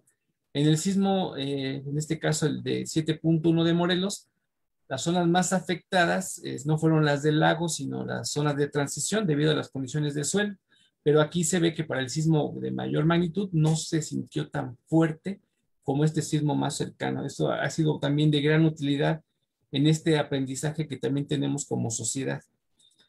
A, los siguientes meses de estos eventos y eh, pues ha habido otras activaciones de alerta. Y con esta experiencia tan, tan importante de, los sismos de, de 2017, eh, para un sismo que ocurrió el 16 de febrero, unos meses este, siguientes, a 380 kilómetros de la Ciudad de México, de magnitud 7.2, la activación de la alerta dio poco más de 70 segundos. En este video que vamos a ver este, a continuación, vamos a ver el comportamiento de la población cuando escucha la alerta sísmica y cuando está a la expectativa del arribo del sismo. Es decir, en, afortunadamente, dadas las condiciones de distancia que platicamos, la mayoría de alertamientos, eh, por lo general, este, siempre dan un tiempo, reitero, de tiempo de oportunidad. Entonces, la gente ya está, ya está eh, aprendiendo a que debe esperar el sismo que, viene en segundos posteriores. Eh, este video, pues, se grabó en el, en el barrio chino, el día del año nuevo chino, entonces había muchas personas este, en, ese, en este barrio. Y también se va a observar cómo la gente está ya un poquito más este, condicionada a estar tranquilas, a no gritar, a no correr, a no empujar. Sin embargo, cuando se empieza este, a presentar el sismo con, ya con mayor movimiento, sí se, se, empieza a escuchar una especie de mayor murmullo de la gente de que se están sintiendo, se empiezan a espantar un poco respecto a este sismo. Entonces lo, lo vamos a ver este, Estamos en el barrio chino. Son las 5.40. Y se activó la alerta sísmica. Estamos aquí en la celebración del Año Nuevo Chino. Este, pues la gente la neta está, está tranquila, la gente salió de sus negocios y pues bueno, vamos a ver. Tiene unos minutos de, de sonar. Ahí está, son las 17.40.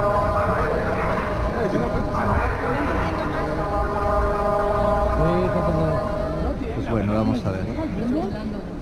Sí, sí está temblando un poco. Ahí se puede ver. Ahí está la torre latina.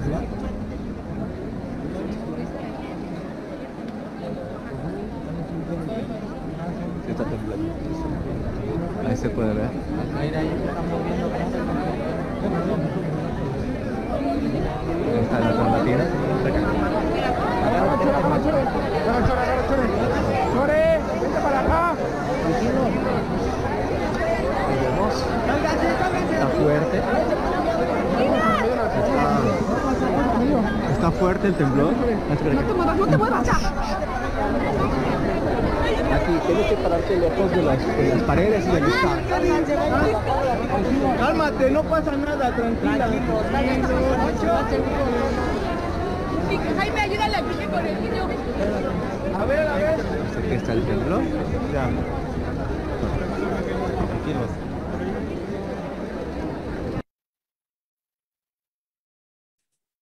Bien, pues ha sido una toda una, situación de aprendizaje, eh, a pesar de que las campañas eh, que se hicieron al inicio del sistema, este, es algo que también debemos tomar en cuenta, que debe ser permanente las campañas de, prevención y, y, de los sistemas que se incorporen para ayudar a la población a que sean campañas regulares. Bien, en el año pasado, la alerta sísmica también se activó el 23 de junio por sismo de magnitud 7.4. Este sismo se originó en la región de Huatulco, en la región de Oaxaca. En esta fecha este, estábamos en semáforo rojo, aquí en México se implementó ese semáforo rojo debido a la contingencia SARS-2 COVID-19. Y bueno, eh, algo de las características de este sistema es de que pues debe operar independientemente de cualquier situación en la medida de lo posible. En este caso, este, pues el sistema se, activó y aquí, aquí vamos a mostrar que a pesar, este, vamos a ver cómo se funcionó el, el sistema.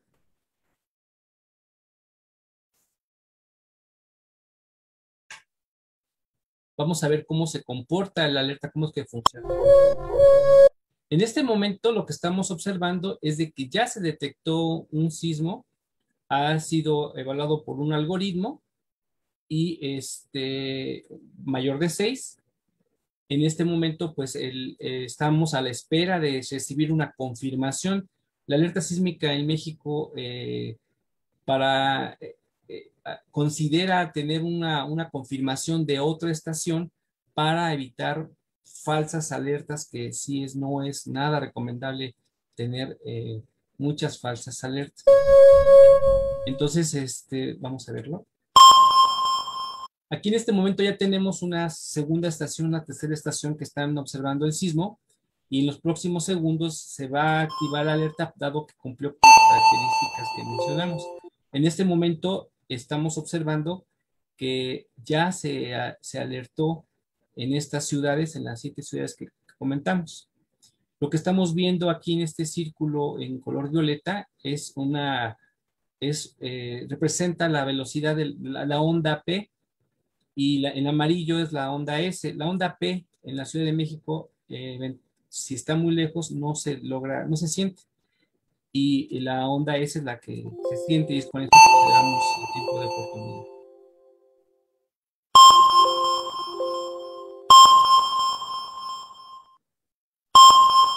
Ahí se, empieza a observar que, tenemos eh, pues ya varias estaciones que están detectando el, sismo, están estimando, calculando sus parámetros.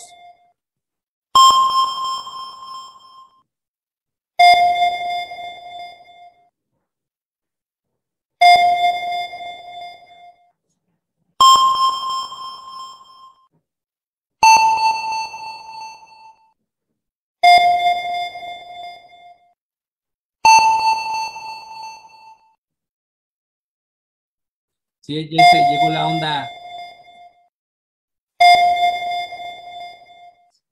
La onda P a la ciudad es prácticamente imperceptible.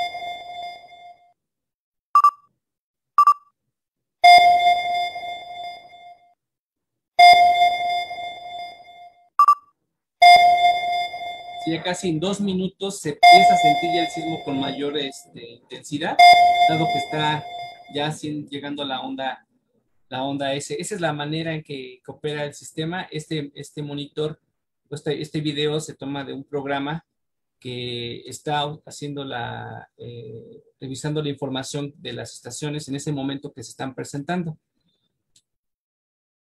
Eh, este le comentaba que la oportunidad que nos dio en el caso de la Ciudad de México fue de 134 segundos desde que se activó. Aquí se ven algunas otras ciudades que aprovecharon el tiempo de oportunidad. Y eh, bueno, aquí lo que podemos ver, ese es el último tema que me resta comentar de es que este sistema, desde sus inicios, envía y publica rápidamente en los segundos o minutos posteriores boletines o informes cuando detecta un sismo o hay alguna activación de la alerta sísmica. Este es un ejemplo de las publicaciones en diferentes plataformas. Prácticamente aquí cuando, cuando se, se, confirma que tenemos un sismo y, es alertable, tenemos este, sistemas de cómputo como este, que ha sido muy importante para las autoridades, que se dan una idea muy clara de lo que está presentándose en, los segundos posteriores. Este es el, el, el, software o el, programa de cómputo que les platiqué, que es el que vimos el video, que también lo, está disponible para las autoridades y tratamos de aprovechar las diferentes redes sociales. Es bien importante aclarar que esto no, estos elementos como las redes sociales, este, el mismo monitor y algunas, pues todo lo que tenga que ver con el Internet se emplea nada más como notificaciones. Eh, México no, no tiene, no considera utilizarlas como medios de alerta debido a los retardos que sabemos que poseen esta plataforma de Internet. Este, y bueno, ya para, para concluir a manera de síntesis, presentamos estas notas finales. El, objetivo principal de la alerta sísmica mexicana y de cualquier alertamiento, como vimos, es alertar con mayor tiempo posible a la mayor cantidad de personas vulnerables.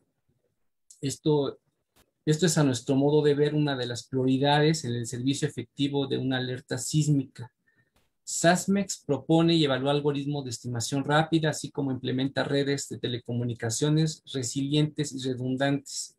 Como se mencionó en un inicio, si alguno de estos los cuatro elementos falla o es deficiente, entonces todo el sistema de alerta sísmica falla. La alerta sísmica aprovecha la infraestructura existente de difusión amplia y simultánea para una alerta temprana efectiva, como es radio, televisión, altavoces públicos y receptores multialerta. Reiteramos que debemos buscar el mayor tiempo de anticipación para la mayor cantidad de personas vulnerables. Los medios de comunicación que dependen de Internet o Wi-Fi, las apps y redes sociales, presentan retrasos, por lo que SASMEX solo las utiliza para notificar o compartir sus resultados. El tema de los retardos de las llamadas apps ha quedado en manifiesto una y otra vez en México desde hace varios años. Desde 2012 se ha planteado a las autoridades y al Congreso utilizar la tecnología Cell Broadcast existente para teléfonos celulares, debido al protocolo de comunicación rápida y simultánea que ofrece. Japón utiliza este sistema para emitir su alerta sísmica, no el Internet. El gobierno de la ciudad ha promulgado reglamentos y normativas donde considera SASMES como el sistema oficial de alerta sísmica. En México fue fundamental contar con un marco normativo o legal para regular la participación de las diversas iniciativas, tanto de individuos o empresas, para proteger la vida por encima de promover un negocio. Por el contrario, se trata de encauzar los diversos esfuerzos de organizaciones del sector privado para que participen de una manera adecuada en la retransmisión de la señal de alerta sísmica. Finalmente, este marco normativo es un respaldo y reconocimiento a la alerta sísmica mexicana al considerarla como oficial. En memoria del desastre de 1985 en México, se practican simulacros anuales utilizando desde 2015 el sistema de alerta SASMEX para promover la cultura de protección civil. Consideramos que los esfuerzos recientes del gobierno en la promoción y aprovechamiento de esta herramienta, de este sistema, ha sido correcto, pero sabemos que aún falta mucho por hacer. Muchas gracias. Muchas gracias. Simir está muy reconocido, muy agradecido al doctor Armando Cuellar y al ingeniero Juan Manuel Espinosa por su muy interesante presentación. El reiterado agradecimiento a ustedes. Muy bien, continuando con el programa. Gracias a ustedes. Continuando con nuestro programa de conferencias, es momento de presentar la charla, la conferencia Correlaciones de datos multidisciplinarios en estimación de factores de amplificación para la ciudad de Lima y estará a cargo del bachiller Kevin Huerta. Él es egresado de la Facultad de Ingeniería Civil de la UNI y actualmente es asistente de investigación en el Departamento de Planeamiento y Mitigación de Desastres. Eh, lo dejo, dejo con ustedes a Kevin Huerta. Buenas noches con todos. Okay.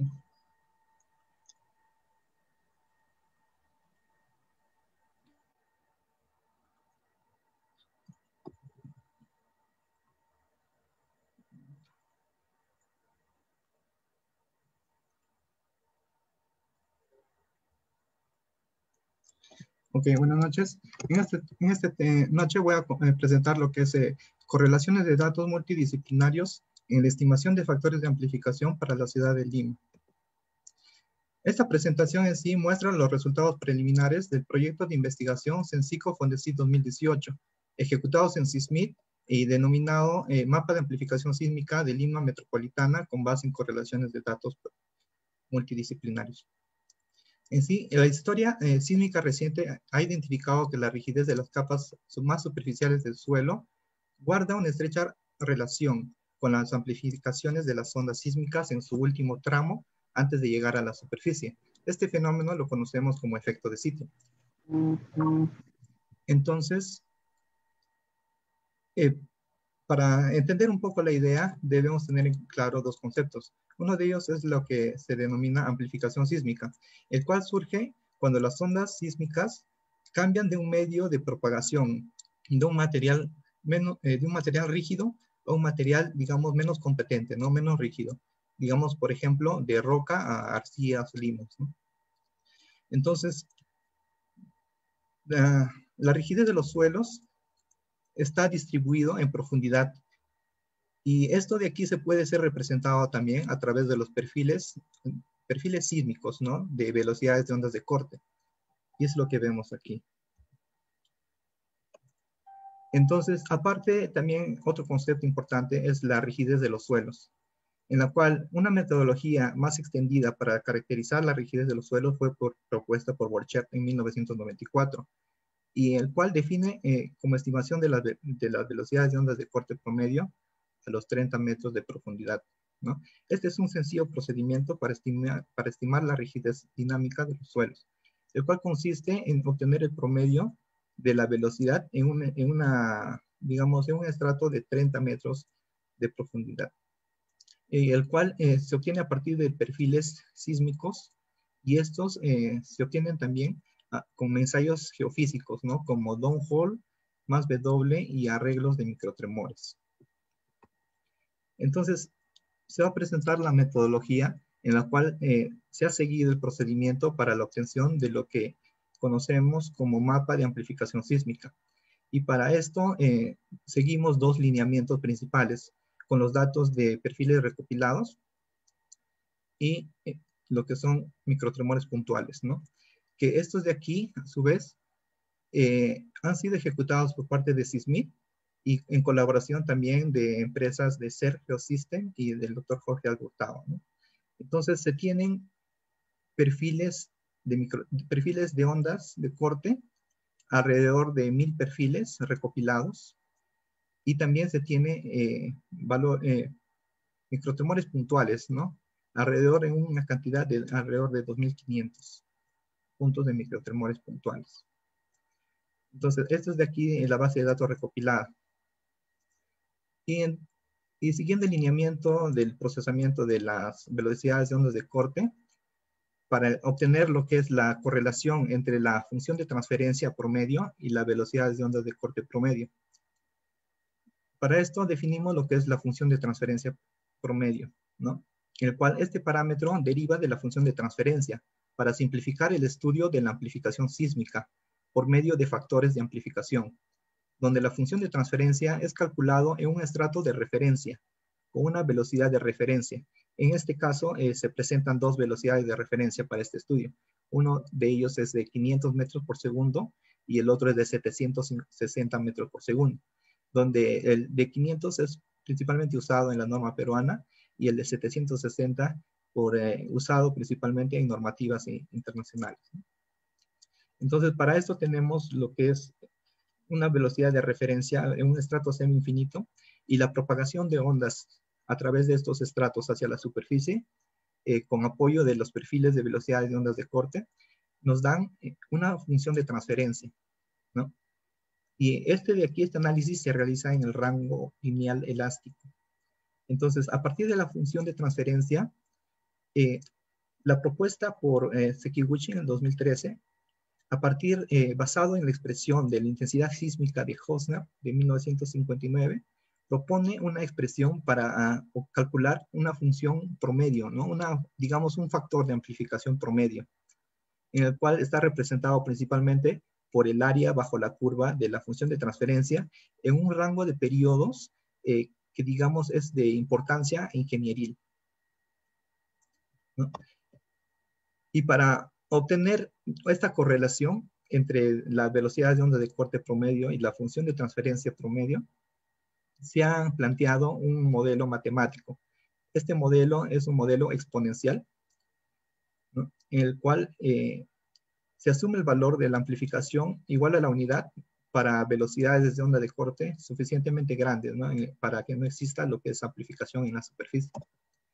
Y a partir de este modelo matemático se hace un ajuste de los datos obtenidos ¿no? para cada para cada profundidad. En este caso se evalúan las profundidades de 5, 10, 20 y 30 metros para obtener las velocidades promedio en dichas profundidades.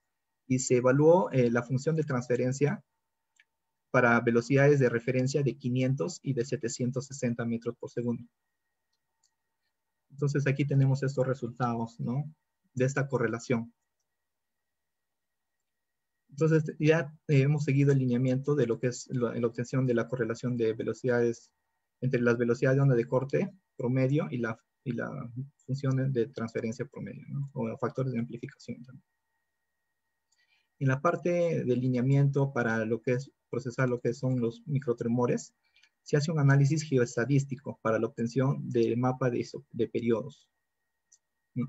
Entonces, el objetivo de este estudio es obtener el mapa de amplificación sísmica a través de la correlación entre la función de transferencia promedio y la velocidad de onda de corte promedio. Pero para obtener las velocidades de onda de corte promedio, se va a obtener a partir de unos parámetros de fácil obtención, ¿no? que son eh, superficiales, en la cual son de mapa de elevaciones, mapa de pendientes, y lo que se denomina en este estudio eh, grupos geológicos híbridos, que, eh, que está formado a partir de las unidades geológicas y de los mapas de tipo de suelos, ¿no? En los estudios de microsonificación sísmica que ha ejecutado SISMIT. Entonces, en el análisis de geoestadístico para obtención del mapa de periodos, tenemos un resultado de mapa de isoperiodos, mostrando aquí los rangos en la cual eh, se presenta principalmente la, la microsonificación de, lo que SISMIT ejecuta ¿no? en estos rangos de isoperiodos. Y aquí tenemos el ajuste teórico del semivariograma, que este ajuste, esta interpolación ha sido realizado por el método de Kriging ordinario. Y, y lo aquí, eh, continuando con los parámetros de, de fácil obtención, tenemos lo que es la elevación digital del terreno, donde esta elevación digital del terreno eh, tiene una resolución espacial de 12.5 metros, ¿no? Y fue obtenido a partir de la misión a los Pulsar, ¿no? Con el operador del satélite eh, JAXA. Y a partir de, del, mapa de elevaciones digital de terreno, se obtiene lo que se conoce el mapa de pendientes, ¿no? Que es, ha, sido calculado para cada píxel y sus vecinos correspondientes, ¿no? Con esta, con esta formulación. Entonces, teniendo ya lo que es mapa de elevaciones, mapa de pendientes, todos estos son datos numéricos, pero a su vez también tenemos un dato categórico, en la cual son los grupos geológicos híbridos.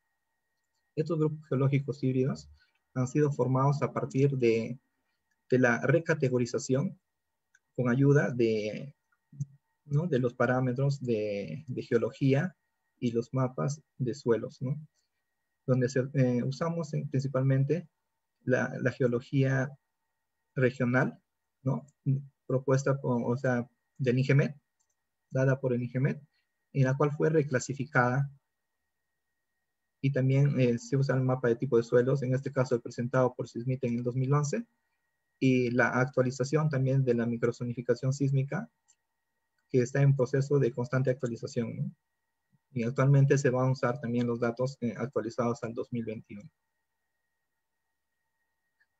Entonces, teniendo estos parámetros de fácil obtención, por, un método, por los métodos de regresión que se presentan aquí, eh, se va a obtener lo que es el mapa de velocidades de ondas de corte promedio. Entonces se plantean eh, el cálculo a través de tres métodos de regresión, eh, conocidos también actualmente por lo que se denomina Machine Learning. En este caso se presenta el método de lineal múltiple, de Support Vector Regression y del de, Neural Networks. Entonces tenemos aquí, eh, para esta presentación se realiza el promedio de, estas, de estos tres resultados, obteniendo el, mapa de velocidades de onda de corte promedio. Entonces tenemos tres resultados, lo que el, resultado del método de redes neuronales, el resultado del método de regresiones con las máquinas de vectores de soporte y el método de lo que obtiene a partir de la regresión lineal múltiple. Entonces, haciendo un promedio para esta presentación de estas tres metodologías, se obtiene lo que es el mapa preliminar de la estimación de velocidades de onda de corte promedio a 30 metros de profundidad. Y se muestra aquí, ¿no? Los rangos de colores son principalmente visuales para poder eh, observar eh, cómo, cómo cambia, ¿no? Eh, a menor rigidez en, los distritos de, por ejemplo, Chorrillos, Villa El Salvador y hacia el norte también Ancón, ¿no? Y también se ve lo que es Callao. Y estos están correspondidos principalmente por la geología y los tipos de suelos que encontramos en dichos distritos. Entonces, este mapa de resultante de velocidades de onda de corte promedio, ¿no? y también las correlaciones, ha sido obtenido a través de las correlaciones mostradas de, datos de fácil obtención, ¿no? en la cual son principalmente mapa de elevaciones, pendientes y la geología, ¿no? o tipos de suelos y esta correlación permite la generación de mapas de predicción del movimiento del suelo mediante el uso de información superficial, ¿no? Lo que había mencionado el doctor Carlos en unas presentaciones anteriores, ¿no? Que puede ser usado el mapa de velocidad de onda de corte promedio. Entonces, una vez obtenido el mapa de velocidades de onda de corte promedio, se evalúa los valores de este mapa en la función de correlación obtenida, ¿no? Se evalúa en la función de correlación obtenida. Para este caso, eh, de, la presentación, eh, se, se, mostró lo que es el mapa de velocidad de onda de a 30 metros de profundidad. Entonces, eh, la correspondiente mapa de amplificación sísmica para esta, para esta velocidad promedio, para esta presentación mostraré lo que es la, la función de correlación para la velocidad de referencia de 760 metros por segundo, el cual evaluando en esta función podemos observar lo que es el mapa de amplificación sísmica de Lima metropolitano, ¿no? con base al mapa de velocidad de onda de corte promedio de 30 metros de profundidad. Y podemos observar aquí lo que es la, la función de correlación obtenida, anteriormente mostrada, en la cual eh, está a una velocidad de referencia de 760 metros por segundo. Y también podemos observar aquí el resultado, en la cual nos muestra que los, factores de amplificación promedio para los diferentes eh, distritos, ¿no? Eh, principalmente costeros, son, son mayores. Y también en el norte. Y esto está representado principalmente, como había mencionado el doctor Carlos anteriormente en su presentación, por la, eh, por la geología, ¿no? Los tipos de suelos, principalmente suelos eólicos, ¿no? Y también por limos y arcillas. Eso, y también adicionalmente que ha sido, eh, eh, se visualiza principalmente en la obtención del, de los periodos, ¿no? debido a que, digamos, en, en El Salvador se observan periodos largos, digamos, mayores a un segundo. Y básicamente eso, esos son los resultados preliminares de este estudio. Y como conclusiones, ¿no? menciono principalmente que estos resultados son preliminares del proyecto de investigación CENCICO Fondesit 118-2018. Y en el procesamiento de esta presentación se seleccionaron solo los perfiles sísmicos que cumplieron con la velocidad mínima de referencia de 700 y o de 500 y o 760 metros por segundo, debido a que no todos los perfiles sísmicos llegan a esta velocidad de referencia. Por eso, eh, en, este, en este caso, esta presentación, aquellos perfiles que no han cumplido eh, la mínima velocidad de referencia no se han procesado. Y otra conclusión sería que el mapa de factores de amplificación muestra una tendencia de mayor amplificación en los distritos de Villa El Salvador, Chorrillos, Callao, Ventanilla, Ancón, La Molina y San Juan de Lurigancha, ¿no? como se estaba mostrando aquí. Aunque son en menor extensión en la parte de La Molina y en San Juan de Lurigancha. También los valores de amplificación están relacionados directamente con los valores de periodos pendiente y los tipos de suelos representativos para cada distrito, ¿no? para todos los distritos. Y básicamente eso sería todo. Muchas gracias por su atención. Muchas gracias, Kevin. Vamos a pasar a la siguiente presentación. Vamos a presentar a Carlos Acuña, eh, bachiller en Ingeniería Civil, eh, asistente de investigación del Laboratorio de Estructuras, con la ponencia propuesta de modelo constitutivo de concreto no confinado bajo compresión anexial. Con ustedes, Carlos Acuña. Muchas gracias por la presentación, Erika. Bueno, antes que nada quisiera agradecer al CISMIT por su invitación al simposio número 34 de prevención de desastres y agradecer a ustedes los participantes por su asistencia. Como ya me presentaron, mi nombre es Carlos Acuña y voy a presentar lo que es una parte de mi tesis de investigación de grado asesorado por el doctor Roy Reina, que es una propuesta de modelo de concreto. Bueno, para comenzar quisiera comentar que existen muchos modelos de concreto, más de 30 según lo que he llegado a investigar. Comúnmente eh, se usa modelos en, como se presenta acá, en coordenadas adimensionales de esfuerzo de formación. Y pues, ¿por qué presentar un modelo? Más que nada es por el tema de que para mi investigación necesitaba un modelo que pudiera ser integrable y no tenía esa posibilidad en muchos de los modelos. Y como tiene también la parte experimental, tenía que tener una buena correlación estos modelos con los resultados experimentales. Bueno, voy a hacer algunas definiciones para presentar lo que es el, el modelo. Carlos, pues, ¿compartes, tu, ¿compartes tu pantalla, por favor? Ah, perdón. Muchas gracias. Mm. Ya, ahora sí. Bueno, acá presentaba los, los modelos que les comentaba. No me había percatado de esto. Y bueno, voy a hablar acerca de algunas definiciones necesarias para lo que es mi, para, que para lo que es la propuesta del modelo presentado. Eh, básicamente, limitar eh, la investigación hasta caracterizar a la caída del concreto hasta el 50% de la resistencia. Esto es debido a una estabilidad numérica más que nada al momento de presentar el, eh, las correlaciones experimentales y teóricas. Algunas pendientes y áreas características, el, el área representa la densidad de energía de formación típica del concreto y pues algunas pendientes que caracterizan al concreto como es el módulo de elasticidad inicial, que a diferencia del módulo de elasticidad que comúnmente se ve, eh, que es una definición del, de la normativa estándar ASTM, este es el, la pendiente evaluada en el punto inicial y el parámetro de compliancia que se ve en lo que es la mecánica de fractura. El modelo propuesto, como comentaba al inicio, eh, bueno, necesitaba un modelo que tenga facilidad de integración para no tener que meterme con integrales numéricas al momento de realizar el diagrama de momento curvatura. Y pues a inicio de, de la universidad nos enseñan que los modelos más fáciles de integrar en nuestros cursos son los de los polinómicos. Y pues voy a usar un modelo polinómico para modelar tanto la parte ascendente como la descendente. Esta es la curva ya presentada. Y bueno, esta es la... Estos van a ser... Esta es la misma curva, solo que presentada en coordenadas físicas normalizadas.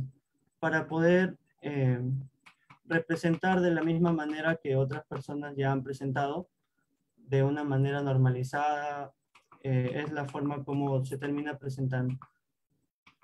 Eh, existen unas relaciones entre dichas coordenadas, dado que matemáticamente es un escalamiento, eh, las, los factores de relación tienen que ver con el escalamiento gráfico de coordenada horizontal y vertical.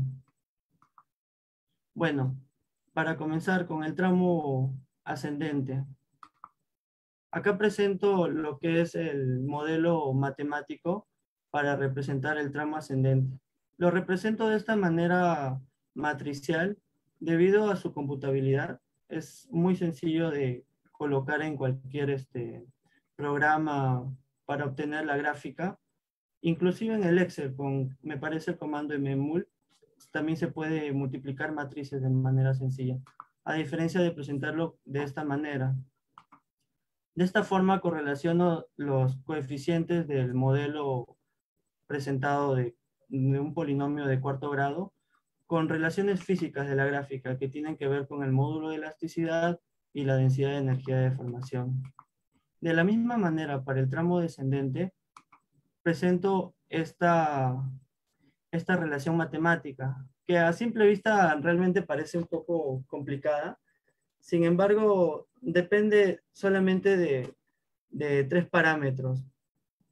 Para una persona que quiera utilizar el modelo en algún ensayo experimental, solamente eh, necesita en realidad conocer dos parámetros, ya que un ensayo de este tipo se conocería lo que es el punto final y el punto inicial del tramo descendente. Y pues todo lo de verde sería lo que es conocido para alguien que quiera modelar experimentalmente y lo que tendría que hacer es ajustar el modelo con los parámetros que no se conocen todavía, que es la compliancia inversa y la densidad de energía de deformación. Ahora, para una persona que quisiera usar el modelo para un análisis no lineal o algo por el estilo, realmente lo que no conocería serían tres condiciones. Lo que es el, el punto de deformación asociado al, a una caída del 50% de la resistencia, la compliancia en ese punto y la densidad de energía de formación hasta ese punto. Eh, lo que sí conocería es el Y50D, que vale 0.5. Y entonces habría que preguntarse, ¿por qué realizar un modelo que tenga básicamente seis parámetros que no se conozcan? Eh, y pues esa, esa pregunta también la, ya la resolvieron el siglo pasado, pues a partir de el mediados del siglo pasado, Opovic relaciona de manera racional lo que son características del concreto con lo que es el parámetro de resistencia máximo. Porque uno no le dice a un diseñador de mezcla, por ejemplo, dame un concreto de 210 con una, un módulo de elasticidad que por favor sea el doble de lo que normalmente nos das uno no, no, no, no, no se cuenta con ese tipo de control de, en lo que es la curva del concreto. Entonces tiene que haber un lenguaje entre el diseñador y el constructor eh, y el diseñador de mezcla que, lo, que, va a hacer el, el, medio.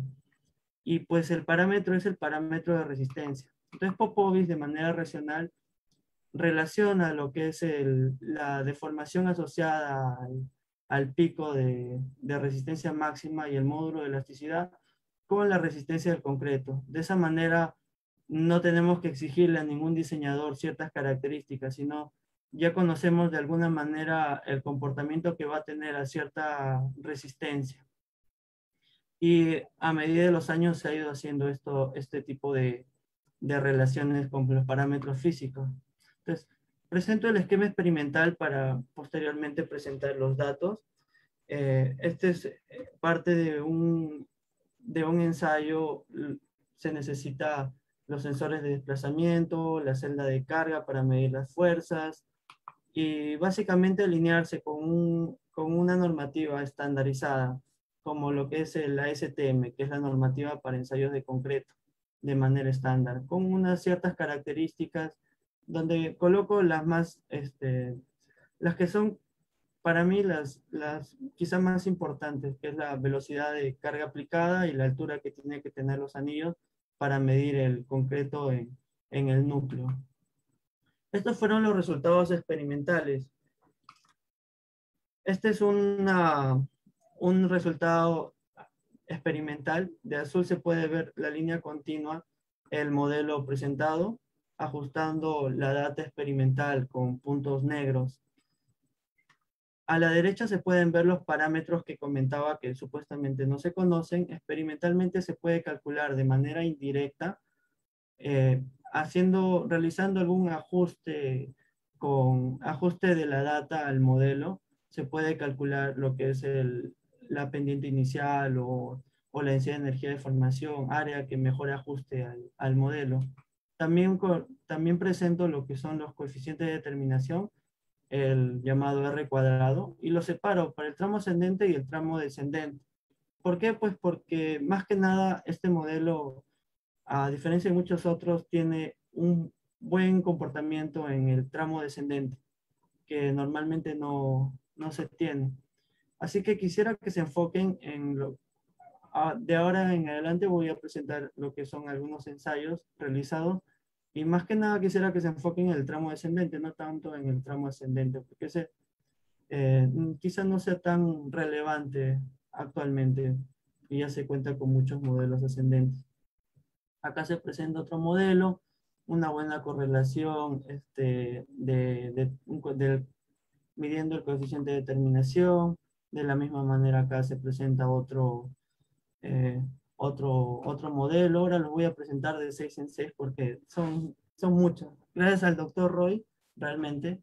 Ah, inicialmente mi tema de tesis no trataba de ensayos experimentales, así que bastaba con unos cuantos, pero gracias al doctor Roy que realmente se pudieron realizar más ensayos en el CISMIT, habían ensayos que se necesitaban y pues eh, el doctor Roy ahí en las coordinaciones con él, gracias a él, se pudieron hacer más, realizar más data. Alguna curva característica típica, por ejemplo, la que está en la esquina inferior derecha, que presenta un comportamiento un poco extraño. Esto se debe al, experimentalmente al mismo comportamiento de la probeta. Siempre experimentalmente ocurren ciertos valores atípicos, caprichos de, la misma probeta, pero a pesar de eso se puede ver un modelo que es de alguna manera tiene cierta lógica con, con, lo que debería. Acá se presentan más modelos, más, más modelos experimentales, se ve un, un gran coeficiente de correlación y acá presento en resumen eh, el coeficiente que quisiera eh, detallar, que es el coeficiente de correlación. Para 48 ensayos realizados, a medida que se iban realizando los ensayos, se usaba el modelo y pues se tenía estos, estas correlaciones. En promedio tiene un buen coeficiente de correlación, como pueden, como, como se puede ver acá, tanto para el tramo ascendente como para el descendente. Ahora, lo que venía diciendo hace, hace rato, lo que son las relaciones empíricas, acá, para comenzar, presento el, módulo de elasticidad instantáneo inicial de, con los puntos azules. Vienen a ser, como decía, la pendiente de la, de la gráfica en el punto cero y, uh, y de, en el punto verde presento lo que es el, eh, el módulo de elasticidad calculado según lo calcula el mismo ACI. Eh, con esta fórmula. Une dos puntos, el punto que es, corresponde a una deformación de 50 millonésimas y une el punto correspondiente al 40% de la resistencia máxima. Ambos puntos se unen, se calcula la pendiente y esa pendiente es la que nosotros usamos en nuestros diseños de manera típica. Este ya es un estándar internacional. Entonces lo comparo con el, e, con el módulo de elasticidad del ACI y bueno, no, no tenía que pasar esto necesariamente, pero tiene una buena correlación. Se puede ver que sigue la tendencia, los puntos verdes con la, con la línea. Y quería detallar que la, el módulo de elasticidad instantáneo inicial es un valor un poco más elevado y no, y no es el mismo que el módulo de elasticidad. Ahora presento lo que es la, energía de deformación normalizada. En los puntos azules la descendente hasta, el, hasta una caída del 50% de la resistencia y en, el punto, y en los puntos verdes se ve la, la, la energía de deformación ascendente. Ahora, para que se pueda tener una idea de esto, cuando nosotros usamos en la curva de Hognestad, básicamente todos lo usamos porque usamos el bloque equivalente de Whitney, que usa el ACI y pues también lo usa el I060. Y ese bloque de Whitney tiene que ver con la curva presentada con Hognestad, que es una curva bien simple. Y se puede ver que dicho valor de, de densidad de energía de formación hasta el punto máximo para concretos de menor resistencia que 28 megapascales o 280 kilogramos por centímetro cuadrado, tiene una muy buena correlación, o al menos lo representa la data. Sin embargo, para valores mayores, eh, dicha, dicho valor no, no tiene una representación que, que sea realmente equivalente a, a este valor. En otras palabras, se podría usar el, el valor de Hognestad sin, sin problemas para unas resistencias de, eh, menores a 28 megapascales. Sin embargo, para resistencias mayores se tendría que evaluar. Eh, de la misma manera presento la ductilidad. Como nos comentan muchas veces en universidad, a medida que aumentamos la resistencia, perdemos ductilidad. Este punto de, estos puntos de ductilidad dan a entender eso, esos, este, dan a entender esas relaciones inversamente proporcionales. También el punto de compliancia, que es el inverso del, fractor que presenté, también e, es una medida de cierta manera de ductilidad. Este valor tiene que ver con la mecánica de, de fractura y pues también tiene una relación inversa. Ahora, como conclusiones, bueno, el modelo se puede ver que tiene una buena correlación con los, con los datos experimentales y el modelo presentado presenta unas ventajas de ser fácilmente integrables, que era lo que al menos yo necesitaba, y se necesita cuando uno hace un diagrama momento-curvatura, necesita, sí, se puede hacer de manera numérica, pero es mucho más rápido y óptimo hacerlo de una manera analítica. De esa manera solamente este, optimiza programas de análisis no lineal. El modelo también correlaciona parámetros físicos con la, con la misma curva. Vi unas investigaciones en China que querían cuantificar cómo es que se degradaba el concreto bajo acciones de hielo y de hielo. Eh, y pues este modelo buscaban realmente un modelo, buscaron varios modelos y encontraron uno que relaciona algunos parámetros. Este modelo relaciona los que creo parámetros físicos importantes que representan al concreto. Ahora, algo que quizás no haya dicho antes, pero eh, al inicio comenté que solamente iba, eh, se limite el modelo a caracterizar hasta el 50% de, de caída. Esto se debe a que si, si se va más, más por debajo, dado que se tenía data en realidad, pero si se va más por debajo, el modelo presenta algunas inestabilidades numéricas y se vio que el problema está cuando los que son llamados los puntos de inflexión están fuera del rango entre una caída al 83% y el 67%, se ve que existe lo que es doble punto de inflexión y a pesar de, a pesar de eso, en algunos modelos, eh, representa de manera que se podría llamar correcta o, o precisa al, a la curva experimental. Y bueno, como recomendaciones, en México se han realizado ensayos locales para representar a sus propios eh, agregados en la tesis de Rodelo, si no me equivoco, con el doctor Mario Rodríguez de asesor presentaron eh, algunos ensayos propios del mismo eh, ensayos locales para ver qué tanto se diferencian es sus, sus agregados y su concreto utilizado con lo que presenta el ACI.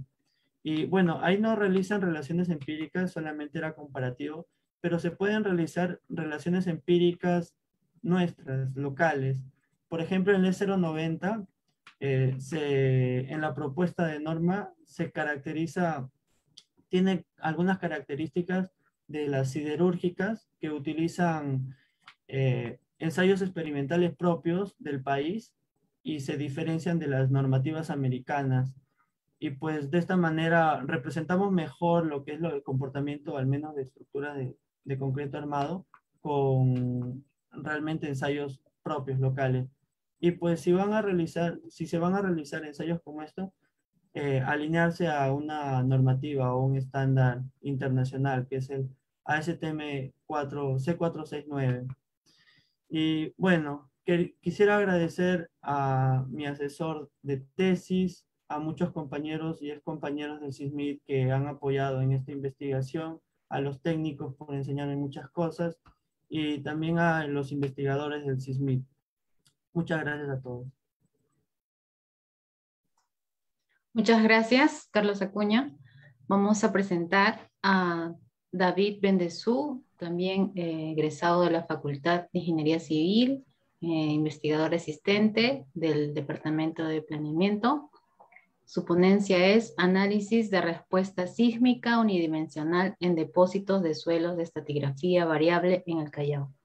Con ustedes, David Bendezú.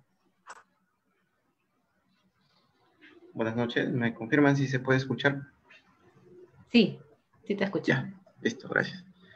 Bien, eh, gracias Erika por presentarme. Eh, bueno, muy buenas noches con los presentes. Eh, bueno, en esta oportunidad tengo el tema de análisis de respuesta sísmica unidimensional en depósitos de suelos con estratigrafía variable en el Callao, ¿no? Como parte del proyecto de mi, de mi tesis.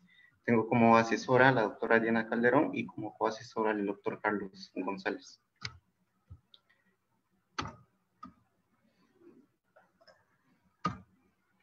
Bien, como parte del contenido, eh, estos son los eh, puntos claves a detallar. Estaré presentando de forma breve, de, que, de manera de que, de que pueda cumplir con, con lo más eh, relevante del proyecto. Bien, como parte de introducción, de una manera general, este estudio presenta los trabajos ya realizados a fin de evaluar la respuesta sísmico unidimensional en este depósito tan característico que es el Callao se llevaron a cabo exploraciones geofísicas a gran escala, que esto, esto permitió caracterizar la estructura del subsuelo de manera completa hasta llegar hasta el basamento rocoso. Paralelamente, se recabó la mayor información eh, geotécnica eh, disponible a fin de poder realizar este análisis de respuesta eh, tanto en el dominio de las frecuencias como en el dominio del tiempo. Cabe resaltar que también este proyecto está subvencionado por parte del IFIC, y también el gran apoyo que, que recibimos ahí en el, en el SISMIT. Bien, como parte de antecedentes, en el año 2007 el SISMIT realizó la microsonificación sísmica del, eh, del distrito de Bellavista. Bien, eh, en esta eh, microsonificación se consideró exploraciones geotécnicas solamente hasta los 3 metros de profundidad. Ah, paralelamente también se hizo campañas de mediciones de, de vibración de ambientales o, o también llamados microtremores, eh, donde eh, resaltaron más que todo los, los periodos cortos en, esta zona de estudio. Bien, aquí también podemos ver un, este, este mapa, mapa de suelos, eh, solamente hasta, hasta los 2.5, ¿no? Como parte de una problemática identificada, bueno, nosotros vivimos ante una realidad sísmica. Aquí en la, en la figura derecha podemos ver que al frente de las costas de Lima hay una gran área de acoplamiento sísmico, que es lo que significa que esto a un futuro eh, es probable que este, este acoplamiento sísmico eh, genere la liberación de energía de las ondas sísmicas eh, con una magnitud mayor o igual a 8.5, ¿no? Es, es, lo que se espera. Entonces, en el año 2017 y reportes ya de los años pasados, mencionan que este, este evento generaría mayores aceleraciones a, 500 GALS ¿no? en Lima Metropolitano. Entonces, frente a esta, esta problemática de naturaleza este, inminente, eh, se requiere una mayor atención eh, complementaria a los estudios de, de microsonificación sísmica, que vendrían a hacer los análisis de respuesta sísmica. ¿no? Todo esto, en fin, de que se pueda mejorar eh, nuestra norma de diseño sismo resistente 030. Bien, Entonces, como ya parte de la metodología, eh, identificamos la zona de estudio, el distrito eh, de Bellavista, eh, prácticamente es, está paralela al distrito de, la Avenida Colonial, en la cual se recabó la mayor información disponible de tanto geotécnica como geofísica. ¿no? Podemos ver ahí en, la figura izquierda estas distribuciones de exploraciones que se llevó a cabo sobre un depósito eh, aluvial, que es lo que, es, comúnmente se conoce como un cono deyectivo del río Rimac, ¿no? En la cual está eh, presente siempre los materiales granulares y los materiales eh, finos de una manera errática, ¿no? Entonces, eso también fue uno de los motivos del, del, cual llamó la atención para poder realizar este estudio, ¿no? Entonces, eh, como paso 2, pasamos a, la caracterización de la, subestructura del suelo. En la parte derecha podemos ver que eh, hay una representación eh, geotécnica del, del, Colegio Marianista, ¿no? donde actualmente está el acelerógrafo instalado. Bien, entonces ahí por diferentes entidades se recabó toda esta información. Pero por la parte geofísica también se realizó unos ensayos geofísicos, mediciones de microtremores a gran escala, en las cuales fueron eh, eh, con radios, con radios eh, radios de extensiones de alrededor de 300 metros. Ahí podemos ver en la parte derecha superior una configuración típica de estos sensores de velocímetros, el cual son instalados en, la, en, el terreno en sí para medir las vibraciones durante periodos largos, ¿no? o sea, una hora, una hora y media. ¿no? Aquí podemos ver que los diferentes sensores están ubicados en diferentes partes para su grabación, ¿no? Aquí también hay que eh, resaltar que también se, llevaron ah, campañas para tomar eh, medidas, eh, tanto de la parte superficial como los ensayos de más W, y también para mediciones de microtremores, ¿no? De forma puntual. Bien, entonces, un digamos, una de las etapas, una de las fases muy importantes en cuanto al análisis de respuesta es la identificación de qué curvas eh, dinámicas vamos a usar para nuestros materiales encontrados. Entonces, eh, ya habiendo recabado la información eh, geotécnica, identificamos que lo más adecuado es utilizar las formulaciones de Menck y la de Arandelli, ¿no?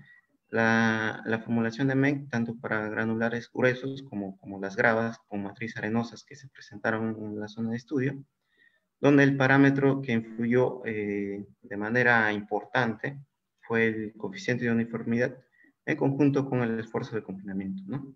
Asimismo, la, la formulación de MEC para materiales granulares medios a finos. También algo que rescatar de este proyecto es la realización e implementación de, ejecución de ensayos de columna resonante y corte torsional, el cual eh, lo, realizamos sobre una arcilla de alta plasticidad, ¿no? porque vimos que por la parte oeste este material gana potencia. Entonces eh, quisimos eh, ver cuánto influía este, este estrato de, arcilla en cuanto, a en cuanto a sus propias características como, la curva de degradación y la curva de amortiguamiento. Bien, otro también, otro tema es muy importante la identificación y, el tratamiento de las señales como parámetros de entrada, que, eh, qué sismos considerables utilizar en cuanto a, al análisis de respuesta, ¿no? Para mi caso, he seleccionado estos, en esta tabla podemos ver todos los sismos considerables, los cuales han sido tratados corregidos y filtrados para su posterior ajuste a un espectro de peligro uniforme con un periodo de retorno de 475 años para un suelo considerado eh, tipo, tipo B. ¿no? Podemos ver que hay una buena calidad de ajuste en, en, cuanto a los espectros. Bien, como parte ya del análisis de respuesta, eh, se consideró el análisis lineal equivalente y no lineal, ¿no? Para ver las diferencias en que influía. Aquí es un esquema eh, prácticamente de de, la, de los inputs que son ingresados para eh, realizar este análisis, ¿no? En el programa ya conocido como el DeepSoil. Entonces, como parte ya de los resultados, pudimos ver y pudimos identificar que estos dos métodos, eh, tanto lineal equivalente como no lineal, eh, hay una cierta sobreestimación en cuanto al análisis lineal equivalente. ¿no? Por, por ejemplo, podemos ver que eh, los, los PGAs o los, las aceleraciones en la superficie son de, de, mayor, de mayor porcentaje en respecto a, a un análisis encontrado en un método no lineal. ¿no? Aquí podemos ver eh, lo que les mencionaba, el parámetro eh, del factor del suelo. Aquí en el cuadro azul podemos ver eh, qué cuánto qué porcentaje están sobreestimando este factor de suelo indicado ya por la norma. Notamos que para un análisis el lineal equivalente está en el orden de 1.5 y para un análisis método no lineal varía de 1.1 a 1.2, ¿no? ¿Y qué es lo que nos dice nuestra norma? nos pone unos eh, parámetros de 1.05. Entonces, ahí también hay que darle mayor atención en cuanto a unas mejoras de nuestra norma, ya considerando depósitos de gran profundidad, ¿no? Pero también aquí podemos rescatar que el espectro ya normalizado, o el, también el famoso conocido factor de amplificación estructural, el C, también para un, eh, un análisis no lineal es es que está caracterizado por un valor eh, de plataforma igual a 3, ¿no? Mientras que para los análisis eh, lineales equivalentes sí está, está correspondiendo a 2.5 tal como indica la norma. También un punto a resaltar aquí es el, el tema con los, perdón, los periodos identificados. Aquí podemos notar en la, en la figura de izquierda que hay una un ligero aumento en cuanto a las funciones de transferencia identificadas con, el, modelo del, perfil de suelo, con respecto a, las, eh, a, la función de transferencia obtenida solamente por, por, los, por el, la velocidad de onda de corte. ¿no? Este, este, perfil profundo posee una función de transferencia en el cual eh, está compuesto por un comportamiento lineal, pero ya cuando eh, este perfil o esta columna estratigráfica está advierto a solicitaciones sísmicas hace que sus, periodos aumenten. ¿no? Esto también se puede identificar. Y en la parte eh, derecha quise agregar ah, una relación, las relaciones espectrales HB, tanto para los microtremores de forma puntual como para los eh, registros sísmicos, en, este caso el, sismo de lagunas, vemos que también eh, cumplen con estos, con estos aumentos de periodos debido al, a la identificación del, de, identificar el, el comportamiento no, no, lineal del suelo como debería ser eh, visto. Como parte de las conclusiones, ya para culminar, eh, se presentaron, o se, se está presentando eh, resultados preliminares del análisis de respuesta sísmica en estos depósitos característicos como, como es del Callao. ¿no? se consideró que los perfiles de velocidad de onda de corte eh, simultáneamente con la razón espectral sí está visto hasta el basamento rocoso de forma que estos eh, están validados. Mediante el método lineal equivalente se pudo observar una amplificación de 1.5. Por su otra parte, el análisis no lineal se vio que el factor del suelo está en un rango de 1.1 a 1.2. Este estudio también consideró el comportamiento no lineal del suelo. Ello hace que el periodo aumente respecto a un comportamiento no lineal visto en los ensayos de microtremores puntuales. También una recomendación es incluir estos estudios de tipo de, respuesta de sitio como parte integral de un estudio eh, ya de, de microsignificación sísmica. ¿no? También se recomienda incluir o integrar estas curvas dinámicas para los diferentes eh, suelos típicos que encontrados en Lima, tales como eh, el distrito de Ventanilla o, los depósitos de arenas eólicas encontrados en Villa El Salvador, ¿no? a, fin de tener una mayor predicción del movimiento que sea más cercana a la realidad. ¿no? Bueno, eso sería todo por mi parte. Muchas, muchas gracias. Muchas gracias, David, por tu interesante presentación. Ahora corresponde anunciar la presentación del bachiller Michel Amancio con su tema Comportamiento experimental y análisis sísmico no lineal de estructuras de albañilería confinada en la ciudad de Lima. Michel Amancio es egresado de la Facultad de Ingeniería Civil de la UNI y actualmente es asistente de investigación en, el Laboratorio de Estructuras del CISMIC. Dejo con ustedes a Michel Amancio. ¿Qué tal? Buenas noches con todos. Espero que se encuentren bien y gracias por la presentación. Este, ¿Sí me pueden escuchar, cierto? Sí, muy bien. Ok. Este, el día de hoy les voy a presentar el, mi tema de tesis, que es que es titulada Comportamiento experimental y análisis sísmico no lineal de estructuras de albañilería confinada en Lima, Perú. Este, esta tesis, el asesor de esta tesis es el doctor Miguel Díaz Figueroa y quería agradecer también a mis compañeros del CISMIT y a, los, a todos los trabajadores por su apoyo en este proyecto. Mm, voy a ampliar presentación. Mm. Este, el proyecto está financiado por un convenio entre el CENCICO, Fondesit y el CISMIT, el proyecto 115-2018 que lleva como título Implementación de una herramienta digital basada en una metodología integral para el cálculo de la vulnerabilidad, riesgo y viabilidad de reforzamiento de estructuras en viviendas de albañilería confinada frente a escenarios sísmicos diversos. Este, la motivación es el gran riesgo sísmico que se tiene este, en la ciudad de Lima y en otras partes del país debido básicamente a la autoconstrucción.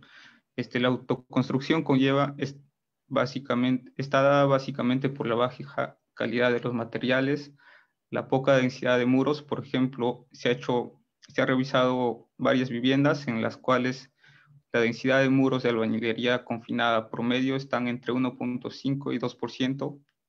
Esto para viviendas de un piso hasta, hasta cuatro o cinco pisos, ¿no? Y esa densidad es baja, según la norma es 0,70. Este, además, se puede observar que en, en Lima Metropolitana el 80% o el 82% de viviendas, de, de viviendas o estructuras son de albañilería confinada o sin confinar. De ellas, este, las predominantes son de dos pisos, con un 43%. A los objetivos, el objetivo principal es proponer una metodología de análisis sísmico no lineal estático que sea de rápida aplicación y que pueda estimar este, valores aproximados para viviendas o estructuras de albañilería confinada ya sea para viviendas formales con, con ladrillos hechos, este, con ladrillos hechos según la norma o con ladrillos informales, como el ladrillo pandereta. Los objetivos específicos se, este, se plantea una expresión matemática para el cálculo de la curva de capacidad y también se calibran este, modelos histeréticos para poder hacer este análisis no lineales tiempo-historia. Y se plantea también este, expresiones de amortiguamiento equivalente y factores de reducción de respuesta para ser usados en el análisis no lineal equivalente estático, ¿no? O también denominado pushover. Uh, se plantea usar una curva tetralineal que que consiste básicamente en cuatro puntos característicos. El primero sería el punto de fisuración, de primera fisuración del muro, el punto de fluencia del muro, el punto de resistencia máxima del muro y el punto de resistencia última, que estaría dado por un 80% de la resistencia máxima.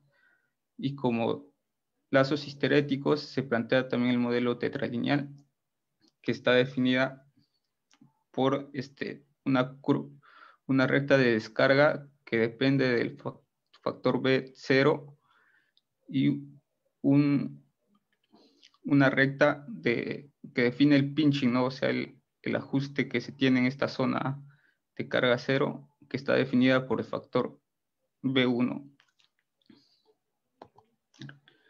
Este, el método se basa o está basada inicialmente en el método del ATC 40, el cual nos indica que el punto de desempeño de la estructura o de desplazamiento máximo es aquel en el que si se toma un punto, un punto cualquiera de, de la curva de capacidad y se calcula el amortiguamiento efectivo y este amortiguamiento efectivo nos da un factor de reducción del espectro, que sería la curva punteada de aquí. Este, y si esta curva punteada coincide o se intersecta con la curva de capacidad en el punto inicial que se, que se propuso, entonces es el, punto de desempeño. También hay, hay otras, otras ecuaciones para calcular el beta efectivo aparte del ATC40, ¿no? Por ejemplo, se tiene el amortiguamiento efectivo que nos propone el código japonés, que depende de este factor lambda. Y, y el mismo código nos propone un factor de reducción de respuesta, que sería esta expresión. Entonces, basados en eso, se va a proponer un método que para, para el cálculo del amortiguamiento efectivo, que si es que, es, que la ductilidad es, es menor al, a la ductilidad de primera fisuración, entonces el amortiguamiento efectivo sería del 5%, y si es que es menor al punto de fluencia, se tendría una recta definida por el parámetro M0, y si es que está entre la fluencia y el punto máximo, se tendría esta ecuación de aquí, que está en función de lambda, que sería la del código japonés, y si es que es mayor ya al, al punto de máxima resistencia sería una recta definida por el parámetro M2 de aquí, ¿no? Y el factor de reducción de respuesta sería la misma que el código japonés. Entonces, lo que va, vamos a hacer más adelante sería calibrar todos estos factores que están de azul, el M0, el lambda, el M2, el C1, C2 y C3. Este, para ello, primero este, se va a calcular el, la curva de capacidad de la estructura o en este caso de muros del bañilería, ¿no? Y para esto se ha seleccionado de toda la data existente en el SISMIT este, 23 muros de albañilería confinada, de los cuales 7 son de ladrillo King con 18 huecos, 7 son de ladrillo artesanal sólido y 9 de ladrillo tubular. ya, para, el, para el cálculo de esta curva de capacidad se toma como referencia la ecuación propuesta por el doctor Miguel Díaz en el 2018, que es una ecuación parecida a esta, pero la diferencia es que en lugar de utilizar este, el esfuerzo, la resistencia característica de atracción diagonal, este, utiliza la resistencia del prisma, no el F'M. Entonces, se nota que por ejemplo, si comparamos este, la resistencia del murete a tracción diagonal con la resistencia promedio de los muros a escala real, se tiene casi se tiene casi comportamientos lineales, ¿no? En función de esta. Igual para los parámetros de, que sería el parámetro cuantía de acero de las columnas de confinamiento y para la cuantía de los estribos de confinamiento, también se tiene un comportamiento, una dependencia casi directa ¿no? entre estos parámetros y la resistencia promedio del muro a corte. Igual para, para el esfuerzo axial promedio actuante sobre el muro, el esfuerzo axial que presiona el muro, este, se tiene una relación directa entre este esfuerzo axial y el esfuerzo de corte. Entonces, se calibra todos estos factores beta 0, B1, B2 y B3 y se tiene estos resultados, ¿no? Aquí están los factores B0, B1, B2 y B3 que nos dan un, mejor ajuste para cada punto característico, ¿no? Para el cracking, para el yielding, para el máximo y para el último. Entonces, se ha obtenido errores promedio para cada al promediar cada punto, por ejemplo, por el punto máximo, un error de 3.2% y una desviación estándar máxima del 18% para el punto de fisuración.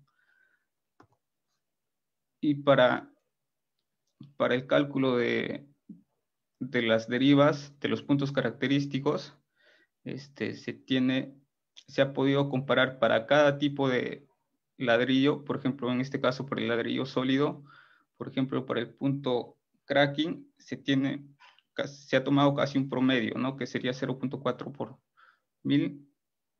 Para el punto de fluencia también un promedio que sería de 0.87 por mil. Pero para el punto máximo de la curva de capacidad, se toma una curva, ¿no? Que sería de este tipo, la verde, que tendría un, valor máximo de 5.5 por mil para esfuerzos axiales menores a 0.3 megapascales y esfuerzos mínimos, digo, deformaciones mínimas de 3.5 por mil para esfuerzos axiales mayores a 0.45 megapascales. Y de la misma forma se tiene este desplazamientos para el estado último del muro. Igual para el ladrillo tubular este, se tiene similares desplazamientos, obviamente que son menores a las del ladrillo tubular. Por ejemplo, aquí se tiene un desplazamiento máximo o una deriva máxima de 3.5 para el estado máximo, ¿no? para el punto máximo del muro. Y un desplazamiento último de 5 por mil para el estado último. En cambio, para el ladrillo 18, quincón 18 huecos, se ha tomado promedios para los drifts de cada, para cada punto característico de, la curva de capacidad. Que nos da, por ejemplo, para el punto máximo, un valor de 5.4 por mil, que es muy cercana a la que nos da la norma de E070. Luego lo que se ha hecho es calibrar cada uno de los muros antes mencionados, este, con los factores, a las formas histeréticas que nos da el modelo tetralineal. Y los mejores factores que calibran a estas curvas de capacidad son los que se muestran en estas tablas.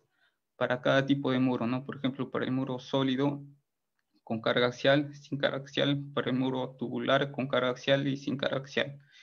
Y de la misma forma para el muro reforzados en dos caras y una cara. Para, proponer la metodología para calcular los mejores parámetros que nos darían este, el amortiguamiento efectivo y el factor de reducción de respuesta, se ha hecho análisis tiempo-historia con sismos representativos del Perú en suelos S1 y considerando el modelo tetralineal y, y el factor, la forma histerética tetralineal. Y se ha hecho en total 9.744 análisis tiempo-historia hasta, hasta el momento. Entonces, para calcular el amortiguamiento efectivo, se ha considerado que la respuesta en desplazamientos y en aceleración del análisis no lineal tiempo-historia sea igual a la respuesta que nos da un sistema de un grado de libertad, pero para un análisis tiempo-historia lineal equivalente con un periodo secante y con un amortiguamiento efectivo que, que pase justo por esa respuesta, ¿no? Con un amortiguamiento, con una, claro, con un espectro de demanda que pase por este punto. Entonces, se ha calibrado para cada, para cada uno de los factores antes vistos, para cada uno de estos factores, para A1, A2, que son este, los factores que definen la curva de capacidad. Por ejemplo, el A1 es la pendiente después de la fisuración, el A2 la pendiente después de la fluencia y el A3 la pendiente en el rango último. Entonces, para cada uno de esos parámetros y para cada uno de los parámetros ¿ves? que definen la curva histerética, se ha obtenido valores de M0, lambda y M2. Y aquí están los resultados. Este, por ejemplo, para el parámetro M0 se ha identificado que solamente depende del parámetro A1 y esta sería su ecuación. El parámetro lambda, en cambio, depende de los parámetros A1, A2, B0 y B1 y el mejor ajuste que se ha podido obtener es, sería esta ecuación de acá. De la misma forma para el parámetro M2 se, se ha identificado que depende del parámetro A1 y A2. Y esta sería su ecuación. Y obviamente como M2 es una pendiente, debe ser mayor a cero para mantener la estabilidad. Y para el caso del factor de reducción de la respuesta del espectro, se ha obtenido este, los mejores factores que correlacionan uh, con el análisis tiempo-historia y el análisis, claro, el análisis tiempo-historia no lineal con el análisis lineal equivalente. Este, los mejores factores que ajustan esto sería este C1, el C2 de aquí y el C3.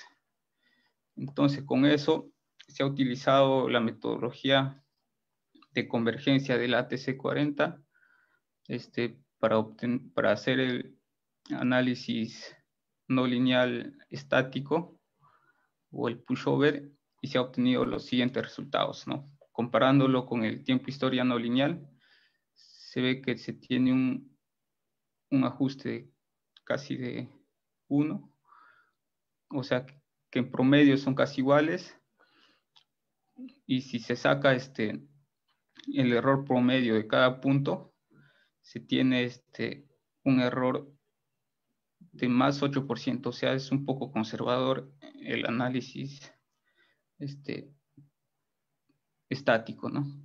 Y una desviación estándar del 30%. Además, si es que estos, si estos valores se lo plasman en un histograma, se tiene que el 70% de los valores están entre el menos 20% y el 20% de, de resultados. Ya.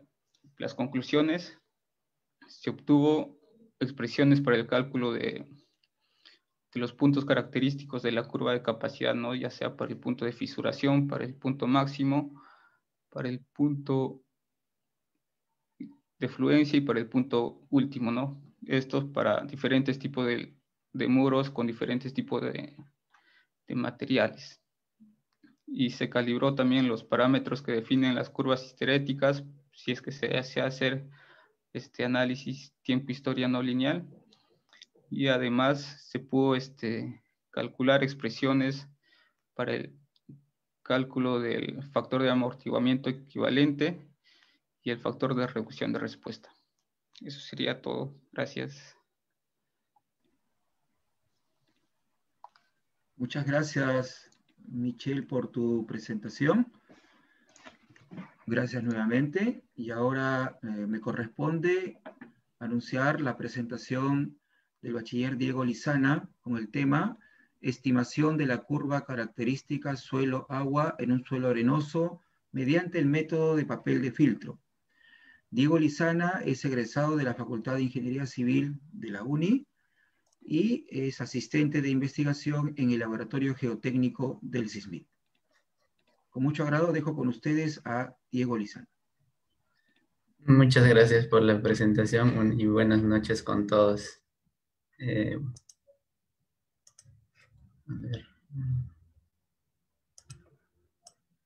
bueno, eh, justamente como en la introducción que se me hizo, este, actualmente venimos desarrollando una investigación. Bueno, esto está en etapa preliminar, está en pleno curso. Bueno, el título de la investigación es Estimación de la curva característica suelo-agua en un suelo arenoso mediante el método del papel filtro.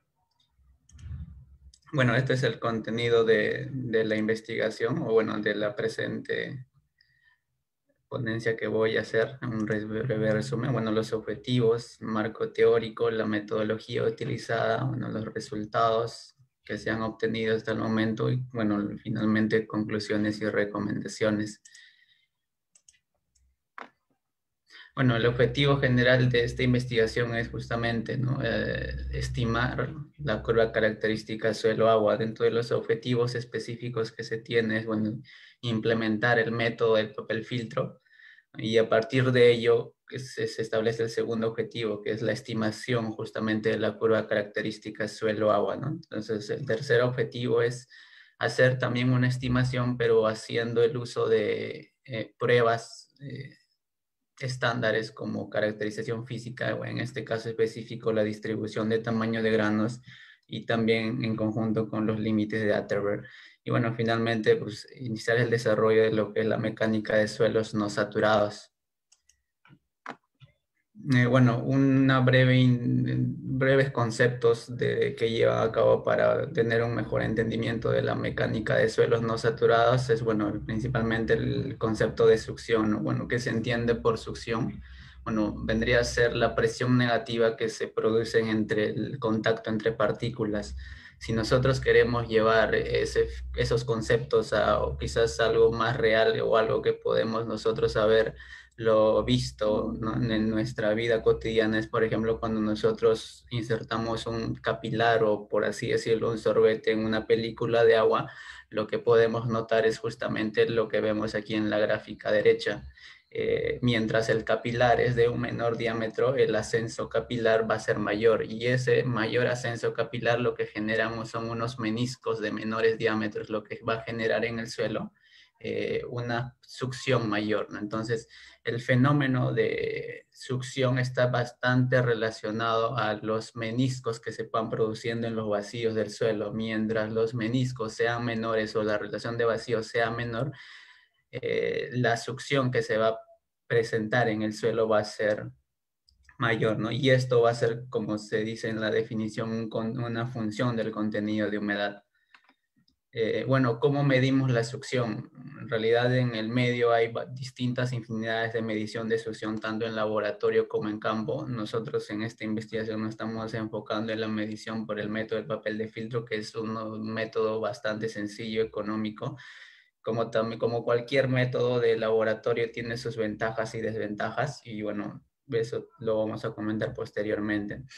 Eh, bueno, el método del papel filtro es un método indirecto, no, no mide la succión de manera directa del suelo, sino de manera indirecta mediante un proceso de calibración que lleva el, papel de filtro. Si mm, lo comparamos con otras eh, pruebas de laboratorio que nos permite medir de succión, bueno, eh, este es bastante económico y entonces eso, esa es la principal creo, diferencia porque hemos decidido hacer en esta investigación con este método. ¿no? Bueno, ahí en la tabla resumen se puede ver otros métodos, por ejemplo, los tensiómetros, que son equipos que me permiten determinar succión del suelo en campo, ¿no? Y bueno, y más abajo hay otros, otros equipos que también son usados. Eh, bueno, ¿qué es la curva característica? Como se puede ver en la imagen, es una gráfica tipo S invertida que me determina o me correlaciona la succión del suelo bajo un contenido de humedad dado. Entonces, nosotros sabemos que la mecánica de suelos clásica siempre se, o se ha venido estudiando en condiciones saturadas. Entonces, esta curva característica lo que me va a permitir hacer una estimación de las propiedades del suelo en su condición no saturada, que es lo que predomina mayormente en la realidad, en lo que nosotros podemos ver. Entonces, esta curva característica me va a servir en conjunto con los parámetros de, la mecánica de suelos saturadas para que estos me puedan hacer una predicción de otras propiedades del suelo, como es la resistencia al corte, la compresibilidad e incluso la conductividad hidráulica, siguiendo este enfoque de suelo no saturado. Como podemos ver aquí en la imagen, esta es una forma típica de una curva característica principalmente está conformada por tres zonas, la zona de efecto de borde, la zona de transición y la zona residual.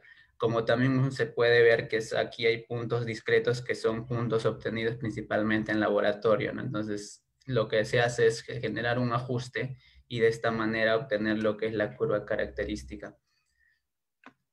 Eh, bueno, hay principalmente cuatro maneras de determinar esta curva característica. Eh, el primer o el más utilizado, no el más utilizado, pero el más recomendado es haciendo mediciones en laboratorio de contenido de humedad versus succión. Para eso se necesita equipos mm, caros y bastantes especiales no hay en el medio eh, bueno, hasta donde tengo entendido, solamente un laboratorio que cuenta con este equipamiento aquí en el Perú, de ahí no hay otro laboratorio. Otro método que se utiliza para determinar esta curva característica es a través de haciendo predicciones de la distribución de tamaño de granos o curva granulométrica como lo conocemos nosotros, ¿no? Otra forma es, bueno, haciendo usos de parámetros que se encuentran correlacionados a la curva granulométrica y también de los límites de Atterberg, ¿no? Eh, que es justamente lo que vamos a ver ahora. Bueno, y finalmente creo que el método más brusco, menos menos confiable es, bueno, de una base de datos típicos de curvas características que ya se han hecho en suelos anteriormente, ¿no? Entonces, nosotros en esta investigación estamos, estamos utilizando este método y también de manera no completa, porque no hacemos mediciones directas de succión, sino mediciones indirectas, se puede decir que estamos dentro de, esta, de este otro modo de determinar la curva característica. Bueno, la aplicación ya se lo había comentado, este, la, principal aplicación de la curva característica se, hace en conjunto con las propiedades de suelos saturados. Entonces, la curva característica en conjunto con las propiedades de suelos saturados, que podría ser eh, de resistencia al corte, de compresibilidad, de conductividad o incluso flujo de agua o almacenamiento, esto en conjunto con esta gráfica o curva característica lo que hace es predecir el comportamiento del suelo, ¿no? sea como cualquiera de las propiedades anteriormente que he mencionado. Eh, bueno, como lo había comentado, eh, en laboratorio nosotros determinamos puntos discretos que van a formarme la curva y en la literatura hay distintos autores que han planteado un modo de ajuste de estos puntos. Y bueno, nosotros en esta investigación nos hemos basado principalmente con tres autores que son los más influyentes y más reconocidos en el tema de, la mecánica de suelos no saturados. Bueno, la primera es de Brooke and Corey, el otro es Van Gunstein y finalmente la de Fred Lungshin, que son el, este último que es el tiene, que tiene mayor vigencia en lo que es la mecánica de suelos no saturados. Eh, bueno, el procedimiento que seguimos a cabo en laboratorio es este, básicamente el siguiente. Nosotros lo que hacemos es una muestra de suelo, lo, reconstituimos a una densidad relativa ya predeterminada. En este material lo que hacemos determinamos sus propiedades índices como granulometría, límites en caso lo tenga. En este caso hemos trabajado con un suelo arenoso donde no presenta, se determinó la gradación pero no presentaba límites. Se reconstituyó de ahí lo que prosigue es colocar tres filtros en, la cara superior, en la, la parte superior del espécimen reconstituido, justamente porque los filtros extremos van a, van a trabajar de protección con el filtro central, que es lo que realmente importa. Entonces, una vez que se han instalado los papeles filtros, se coloca una segunda estrato, se podría decir de capa a una densidad relativa dada, y finalmente se coloca en suspensión dos papeles filtros que me van a determinar la succión del suelo. ¿no? Esto de acá me determina la succión total y los papeles de filtro en la parte intermedia me van a determinar lo que es la succión mátrica, que es la que está relacionada al contenido de humedad.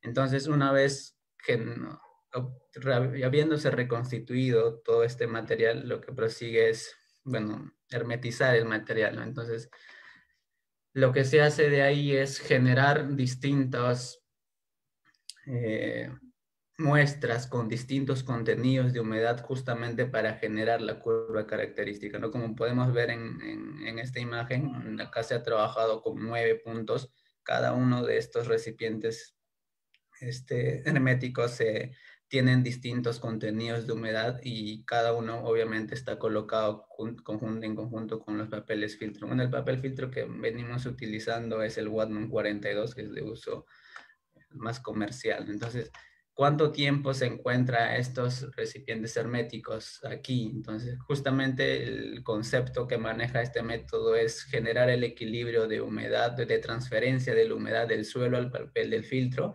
en el caso de los filtros que se encuentran en la parte central y en el caso de los filtros que se encuentran en suspensión desde la humedad transferida del ambiente hacia los papeles filtros. Entonces esto está aproximadamente entre sus 7 y 14 días, mínimo son 7 días, y lo que también se recomienda es que haya un control de temperatura. Nosotros en este caso usamos un termigrómetro y se recomienda que la variación de temperatura durante todo el tiempo que va a estar almacenado no debe variar de los más o menos un grado centígrados.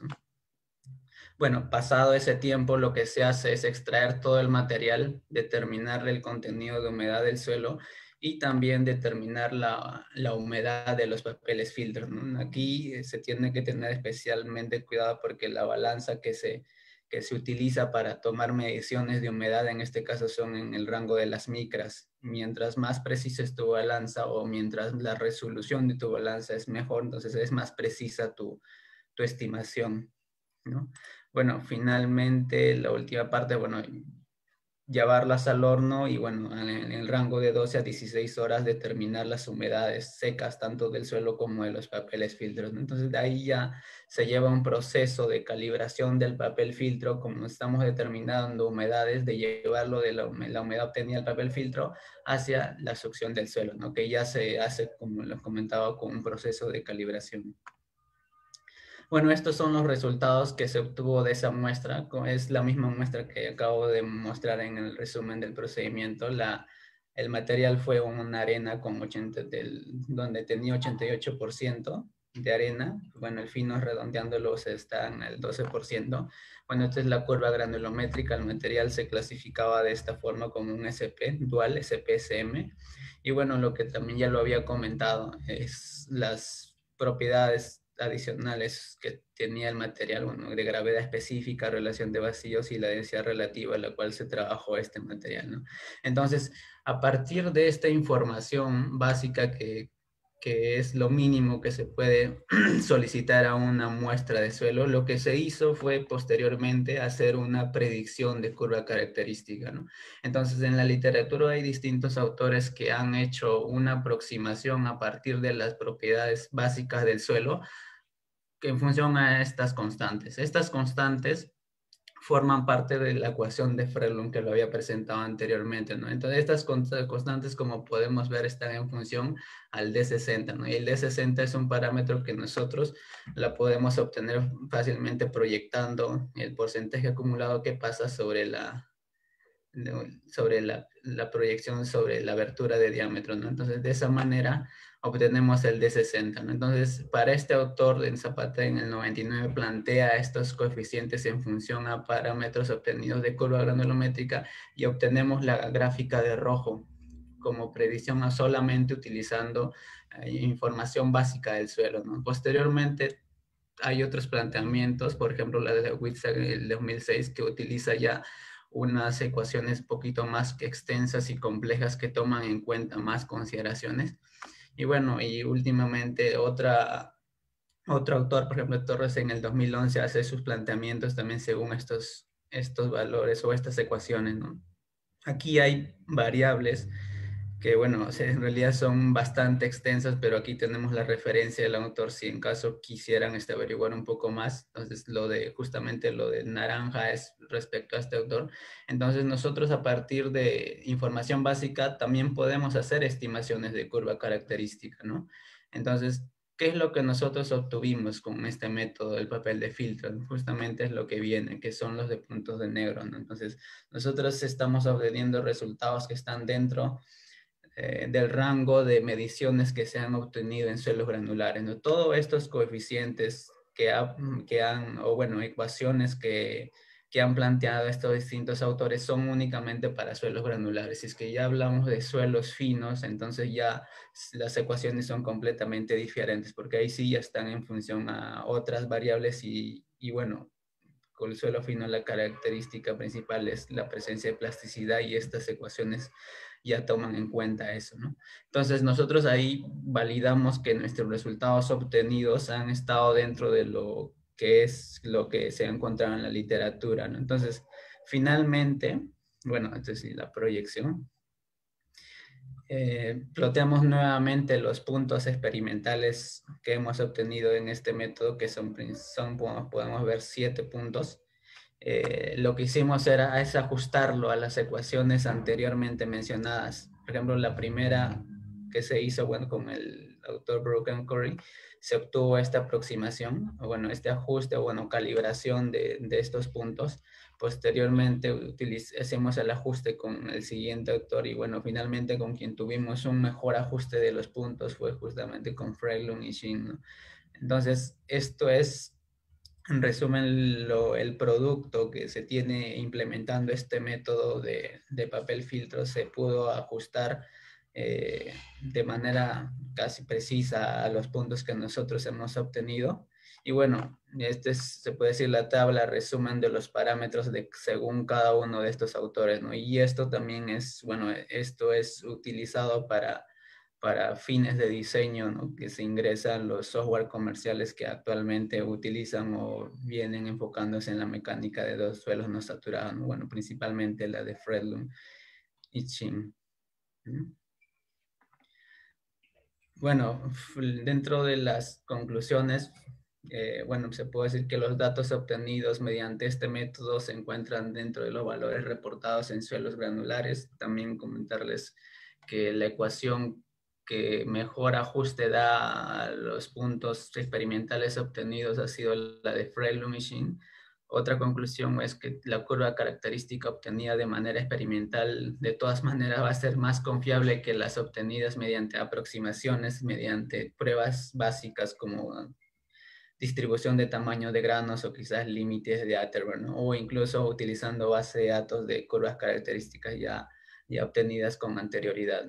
Bueno, la última conclusión es bueno, que el método del papel de filtro es una prueba indirecta, como lo había comentado, de succión del suelo que permite obtener un amplio rango de succión.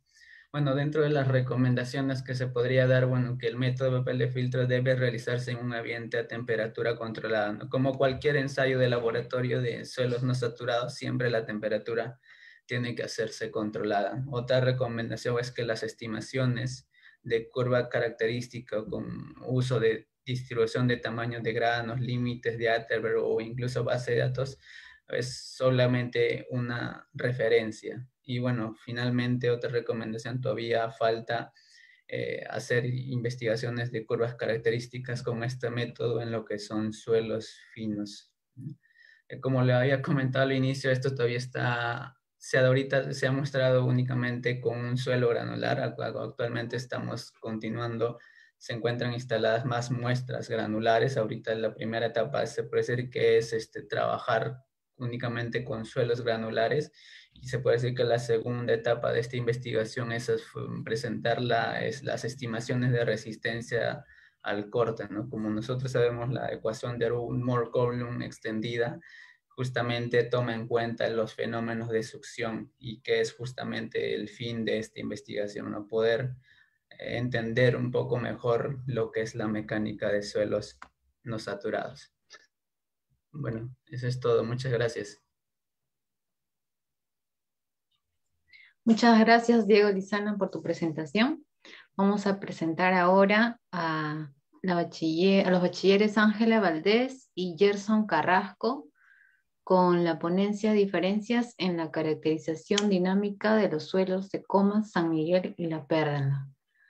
Eh, actualmente ellos eh, son asistentes de investigación del, del CISMIT, del Departamento de Planeamiento.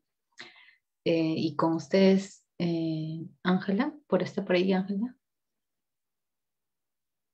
¿O Gerson?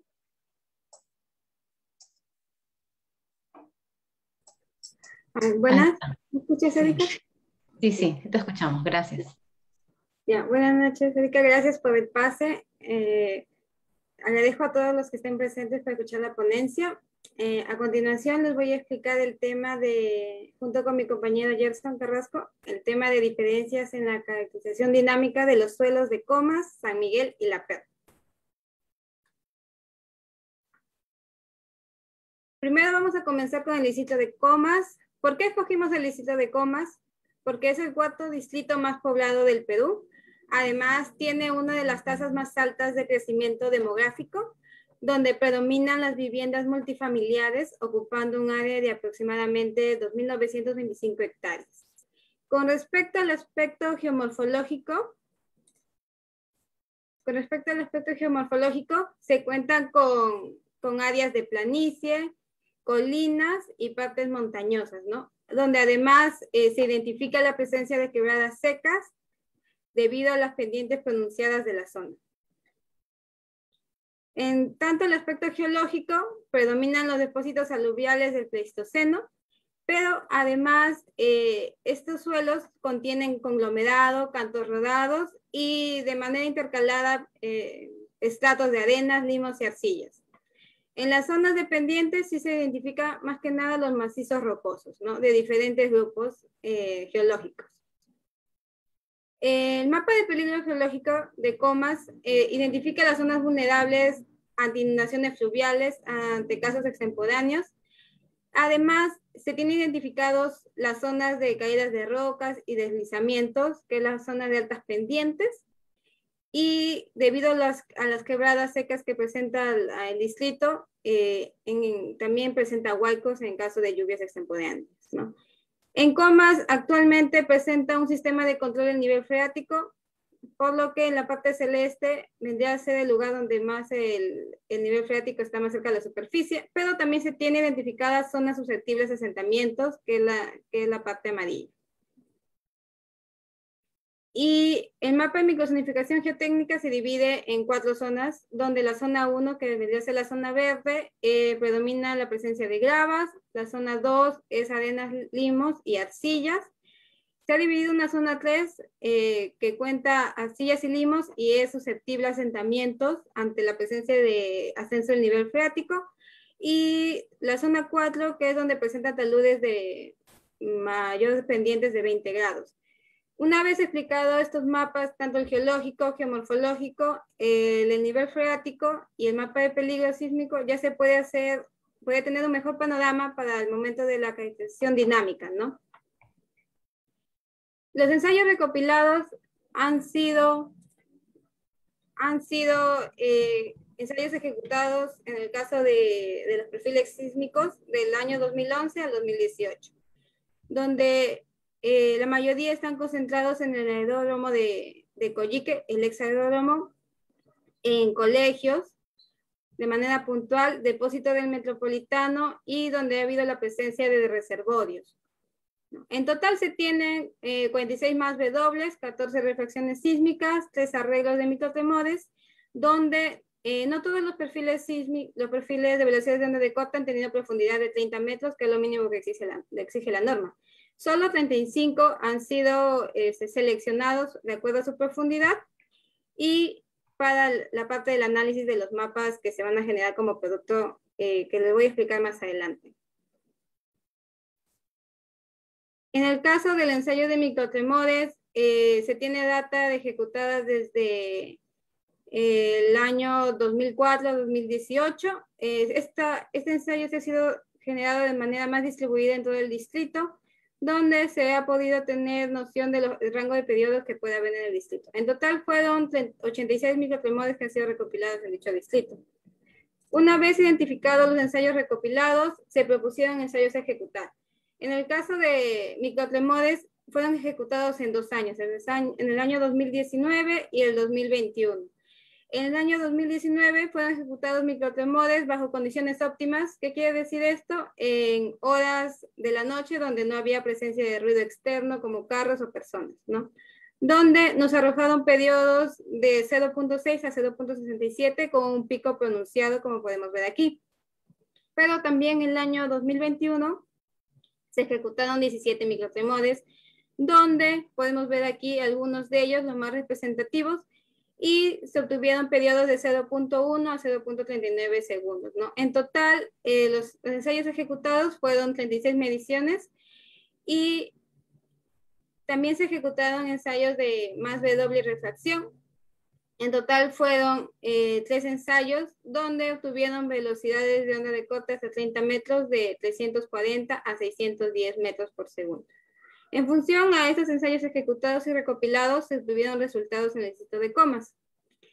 Eh, por ejemplo, aquí podemos ver un mapa de periodos fundamentales donde cada punto indica el periodo que se ha generado en ese HDB y en función a estos valores de periodos fundamentales se generó el mapa de isoperiodos.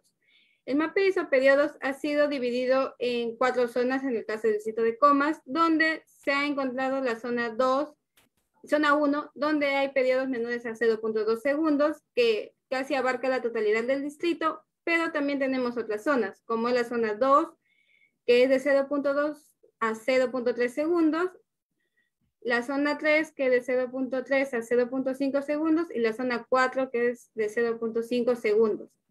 Eh, dentro de la zona 4, cabe recalcar que se ha, habido la presencia en el aeródromo de, de Coyique, donde actualmente se viene generando la construcción de condominios, donde va a haber alta densidad poblacional.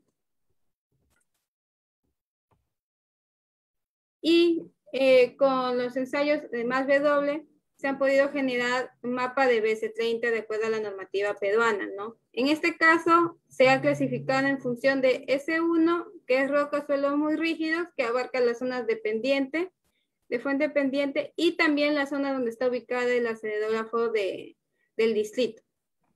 Y además se tiene identificado el S2, que son suelos intermedios de 180 a 500 metros por segundo, que ubica gran variedad de la planicie, donde sabemos que tenemos identificado la presencia de gravas y de suelos arenosos, limosos y arcillosos, ¿no? Luego hicimos una comparación eh, del mapa BC30, pero ahora eh, tomando en consideración los rangos proporcionados por la norma estadounidense, que en este caso sería la AC 716, donde se identificaron eh, suelos de tipo B, C, y, D. el suelo de tipo B, más que nada, fue en la parte de fuertes pendientes, que es la roca, donde hay velocidades de 150 a 1500 metros por segundo. Eh, a diferencia de la roca blanda, el tipo C, donde es roca blanda, suelos muy densos, ¿no? De 360 a 750 metros por segundo. Y suelo rígido, se identificó en las zonas más, cerca, más cerca al río, en la, parte de donde está el Parque Zonal Sinchirroca y la zona sur del distrito, ¿no? donde se identificaron velocidades entre 180 a 360 metros por segundo. A continuación, mi compañero Gerson me ha explicado un poco acerca de la Perla y San Miguel.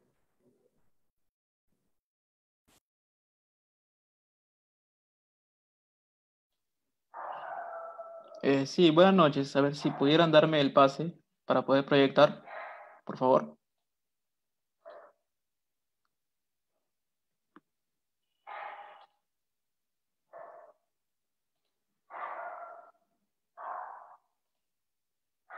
Bien, buenas noches con todos. Eh, mi nombre es Gerson Carrasco. Y bueno, pues eh, voy a continuar con la exposición. En este caso, pues yo voy a continuar con la Perla y San Miguel. Eh, no sin antes agradecer a la doctora Diana Calderón y al doctor Carlos por su apoyo constante a, esta investigación. Eh, bueno, pues eh, empecemos por delimitar el área de estudio. en este caso, pues San Miguel y La Perla son dos distritos que se encuentran muy, son continuos. Y bueno, pues se ha delimitado de la manera pues como se puede observar acá. ahora, se han recortado ciertas zonas que, bueno, este, donde no se han realizado ensayos porque ya pertenecen este, eh, a la propiedad privada, como puede ser este, eh, el Parque de las Leyendas, y esta parte también donde no se han realizado ensayos. Eh, bueno, pues en el lado izquierdo se puede notar pues, el mapa geológico. casi todo, bueno, bueno, casi todo el distrito es, es, una planicie, ¿no? Una llanura aluvial. bueno, y esto está explicado porque eh, a lo largo pues, de la historia geológica del río Rímac, este ha ido trasladándose eh, de sur a norte hasta llegar a la posición que tiene ahora y ha ido dejando pues este material aluvial. Eh, si nosotros excavamos en esta parte de San Miguel, vamos a encontrar pues material, bueno, acá se puede ver también. Vamos a encontrar acá material arenoso en la parte superficial y en la parte ya más profunda vamos a encontrar pues grava un material mucho más rígido. Eh, en el lado derecho vamos a encontrar pues el mapa de, peligros geológicos. Eh, bueno, básicamente los dos distritos no presentan un riesgo muy alto, perdón, un peligro muy alto eh, por tratarse de una planicie. Pero ya en el lado, mm, digamos, cerca ya al Callao, existe un peligro muy alto por presencia de un posible escenario de tsunami.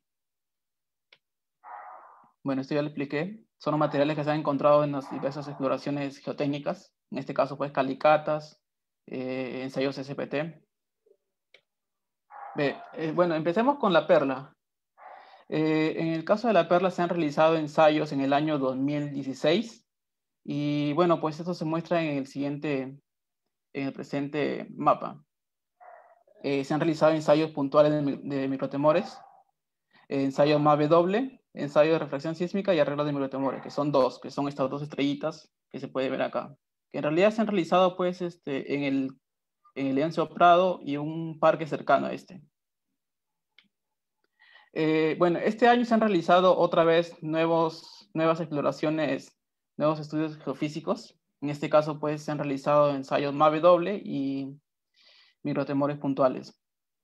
Se han realizado, pues, en esta, en esta vez, eh, son siete, seis ensayos seis ensayos MAVE doble y de refracción sísmica se ha realizado uno. En este caso se ha realizado un ensayo de refracción sísmica porque eh, no hay muchas áreas verdes o digamos un terreno donde se pueda realizar pues, este ensayo. En cambio, en el caso de MAVE doble se puede realizar eh, sobre la pista o sobre concreto. Eh, bueno, estos son los perfiles que se han obtenido por, por el ensayo de, de refracción sísmica. En este caso, pues las velocidades han llegado hasta un rango de 700 a 800 metros por segundo. Eh, bueno, acá estos son los resultados obtenidos por el ensayo MAVE En este caso son perfiles de velocidad dentro del corte. Y bueno, pues son seis en este caso. Más o menos sus, valores de BC30, que son eh, el promedio de la velocidad de onda de corte a unos 30 metros, eh, oscilan ¿no? entre 300, 350 y en este caso, pues, a ver, Sí, más o menos entre 370 por ahí. Eh, bueno, se puede observar acá un cuadro comparativo entre los perfiles eh, resultantes, ¿no? Como les dije, ¿no? Más o menos su, velocidad oscila entre 300, 300, eh, bueno, perdón, este, en este caso pues casi 600, pero si hacemos un promedio, o sea, el BC30 va a oscilar más o menos entre 370, 350 por ahí. Eh, bueno, estos resultados se plotearon en puntos. Eh, en este caso, pues como yo les dije, eh, a ver, acá se tienen, ah, ya, bueno, acá se, se, se anexaron ya los, los ensayos ejecutados en el año 2016, como les dije anteriormente, y pues se juntaron con los del año 2021 y se tuvieron estos valores puntuales de BS30. Bueno, pues como le había mencionado, también se realizaron ensayos de microtemores puntuales y en este caso se realizaron siete ensayos. Bueno, son algunas fotografías que se pudieron tomar en el ensayo.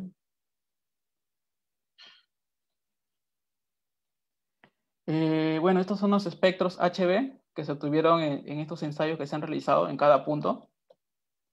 Y bueno, eh, estos son los valores puntuales ya de manera conjunta, con los recopilados en el año 2016 y los ejecutados en el año 2021. Eh, en el lado en el lado oeste, casi ya como yendo para Callao, se pueden observar unos valores de 0.20, 0.22 incluso. Pero ya si nosotros vamos, vamos este, hacia el este, hacia el sureste, mejor dicho, ya estos valores van a ir disminuyendo. Por ejemplo, acá podemos ver un 0.15, acá un 0.10, 0.13. Y bueno, acá se puede apreciar los arreglos de microtemores. Como yo lo había mencionado, son dos que se realizaron en el Colegio Lencio Prado y un parque cercano. Bueno, estos son los resultados que se obtuvieron pues, este, tras el procesamiento de estos arreglos. Eh, más o menos llega a una profundidad de 300 metros, a una velocidad de 220 eh, aproximadamente. Eh, bueno, vamos a ver el caso de San Miguel. También se realizaron ensayos recopilados pues, este, en el año 2015 y bueno, pues de igual manera, se realizaron ensayos puntuales de microtemores, ensayo MAVE doble, ensayo de refracción sísmica y de arreglo de microtemores. En este caso, pues, eh, se realizaron cuatro arreglos de microtemores. Eh, acá podemos ver uno, eh, por acá hay otro, acá hay otro más. Y el otro me parece que está... Mm, a ver, Acá está, acá hay uno, en este parque. Bueno, estos son los ensayos que se, realizaron pues en este año 2021, más o menos en el mes de mayo, junio, por ahí. Eh, son seis ensayos MAVE con tres ensayos de refracción sísmica. Bueno, estos son los resultados que se obtuvieron tras el procesamiento de, los ensayos de refracción sísmica. En este caso, pues las velocidades son mucho mayores, como yo lo había mencionado anteriormente. Conforme vamos yendo hacia el sureste, las velocidades van a ir aumentando, se va haciendo mucho más rígida la zona. Eh, en este caso, pues vamos a observar incluso velocidades mayores ya a, 900, 1000. Eh, estos son los resultados del, eh, procesamiento del, de los MAVE doble. En este caso, pues también, de igual manera, los, los, valores son mucho mayores. Bueno, este es un cuadro comparativo, pues, que, en donde se pueden visualizar este, estos perfiles de velocidad de corte. Eh, acá se muestran ya de manera conjunta, o sea, los recopilados más los ejecutados, eh, los valores de BC30. Eh, bueno, también se realizaron ensayos de microtemores. En este caso se realizaron ocho ensayos distribuidos a lo largo de todo el distrito. Esos son los espectros HB que se obtuvieron pues tras el procesamiento de estos. Y bueno, acá hay algo interesante también porque podemos observar acá picos, por ejemplo, en el M1. Ah, no se puede ver mi. Ya en el M1 podemos encontrar, digamos, un primer pico que nos dice, ¿no? Que más o menos su, su valor de periodo vendría a ser entre 0.11 o 0.12. Pero acá también podemos ver este otro pico que más o menos oscila entre, ver, 7, entre 0.7 aproximadamente. Y bueno, esto se va a explicar un poco más adelante, pero sí es algo interesante. Eh, bueno, también se bueno, acá se puede mostrar ya los, valores puntuales de los periodos, conjuntamente los recopilados más los ejecutados. Eh, como yo les había mencionado anteriormente, son cuatro arreglos de microtemores que se hicieron en ese año, en el año 2016. Y estos son los perfiles que se obtuvieron del, procesamiento de estos cuatro. En este caso, pues, este, se recopilaron dos, dos perfiles de uno de, de la doctora Selena XB y otro fue realizado por el compañero Brandon Pastor. Bueno, ya si nosotros este, analizamos ya de manera conjunta estos, estos ya resultados, eh, acá podemos ver en el lado izquierdo ya los, los, los, valores puntuales de los periodos. Y en el lado derecho ya, digamos, haciendo un, un este, eh, una interpolación, vamos a obtener este mapa, en donde la zona de color eh, verde es una zona 1, o sea, una zona donde los periodos son menores a, a 0,20. En el caso de la zona amarilla, ya los periodos son mayores a, se encuentran entre 0,20 y, 0,30 segundos. O sea, se podría decir que es un suelo un poco más, eh, mucho más blando, a diferencia de la zona 1, que es un suelo un poco más rígido. Eh, bueno, como yo había mencionado anteriormente, se, se plotearon los, los, valores de BC30 en el mapa, eh, que se puede mostrar pues acá en el lado izquierdo ya de manera conjunta. Y en el lado derecho, pues, Mediante la interpolación se pudo, obtener este mapa en función a los valores de BC30, pero siguiendo la clasificación de la norma peruana. Eh, en este caso, pues, se, encontró que hubo un suelo tipo S2 y S1. En este caso, pues, el, S2, que es este de acá en naranja, presenta, pues, este, velocidades entre 180 a 500 metros por segundo. En cambio, en el tipo de suelo S1, ya las velocidades son mayores, se encuentran velocidades entre 500 a 1500 metros por segundo. O sea, esta zona vendría a ser una zona más rígida. Eh, pero, ¿qué pasa si seguimos este, la normativa ACE? Eh, vamos a encontrar un mapa ya distinto, un poco más, digamos, conservador, porque eh, acá podemos encontrar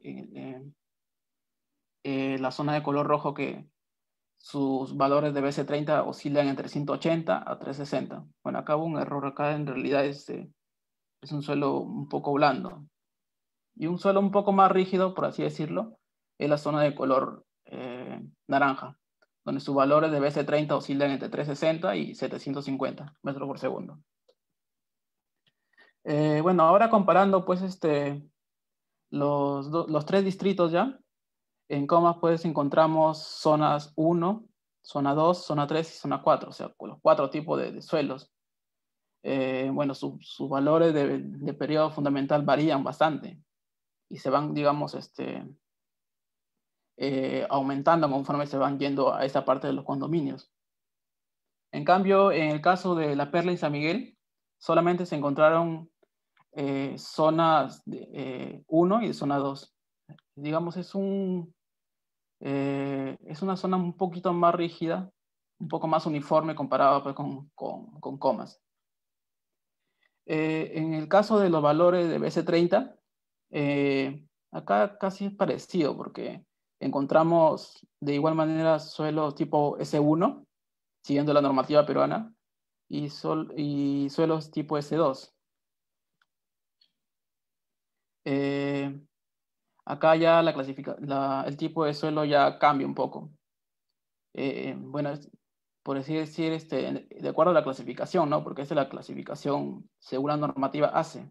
Acá eh, como que es un poco más conservadora porque acá se pueden encontrar tres tipos de suelos y acá solamente dos. Eh, bien, como conclusión final, el distrito de Comas presenta suelos tipo B, C y D. bueno, si vamos acá eh, siguiendo la normativa, la normativa ACE, vamos a encontrar tres tipos de suelos. En cambio, en San Miguel solamente vamos a encontrar dos tipos de suelo, que es el C y D. Eh, en el caso de la normativa peruana vamos a encontrar solamente dos. Se, se puede decir que esta de acá es, esta clasificación es un poco más conservadora que la normativa peruana. Eh, la otra conclusión es que el parámetro fundamental del suelo permite detectar fuertes impedancias a mayores profundidades, a diferencia del BC30 que no permite caracterizar el suelo a mayor profundidad.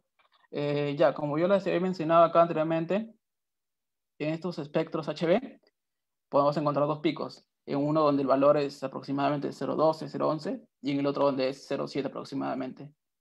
Eh, ¿Qué quiere decir? Que acá se han encontrado pues, este, eh, varios autores consideran que estos picos se deben a una fuerte impedancia, o sea, un cambio fuerte de material. Digamos, de un material blando va a pasar a un material mucho más rígido. Entonces, este, este microtemor sí lo puede detectar. Pero, ¿qué pasa con, con el BC30? En algunos casos, pues no representa muy bien porque solamente llega hasta los 30 metros. No, te, no te da más información acerca de lo que hay abajo de este suelo.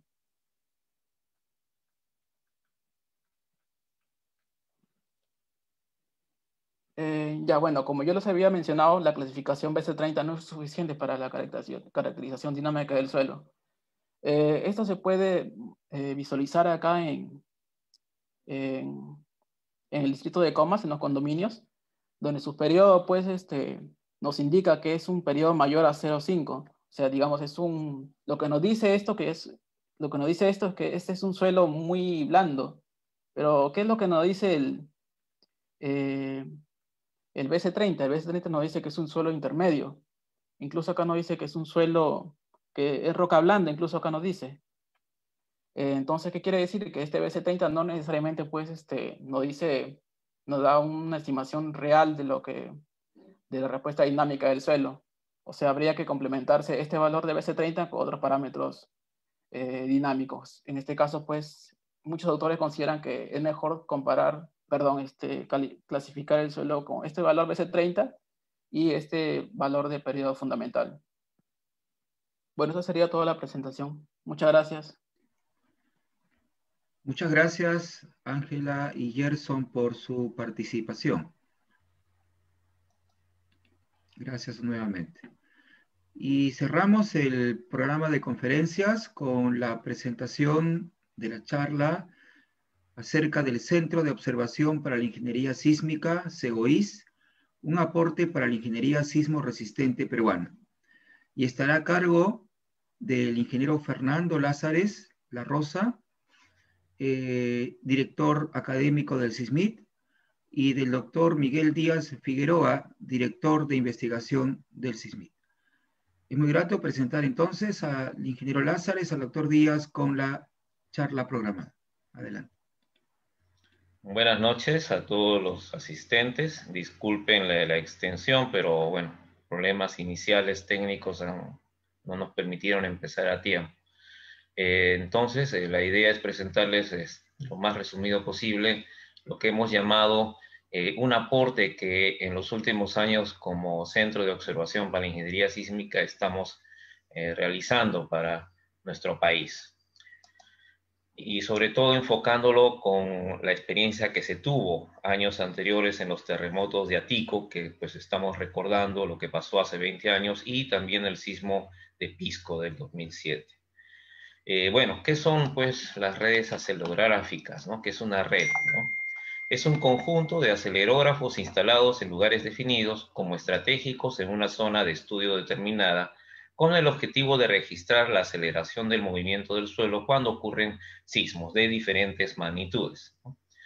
Eh, presento casualmente lo que es la zonificación de suelos de Ciudad de México y miren la cantidad de, de, registros, que, perdón, de estaciones que aportan importantes registros dependiendo del tipo de suelo, se distribuye como se indica en el concepto estratégicamente los acelerógrafos para pues conocer la respuesta del suelo. Y de esto también ya nos habló en detalle en la charla que tuvimos con eh, el doctor Armando Cuellar y el ingeniero Alas sobre lo que es el sistema de alerta mexicano.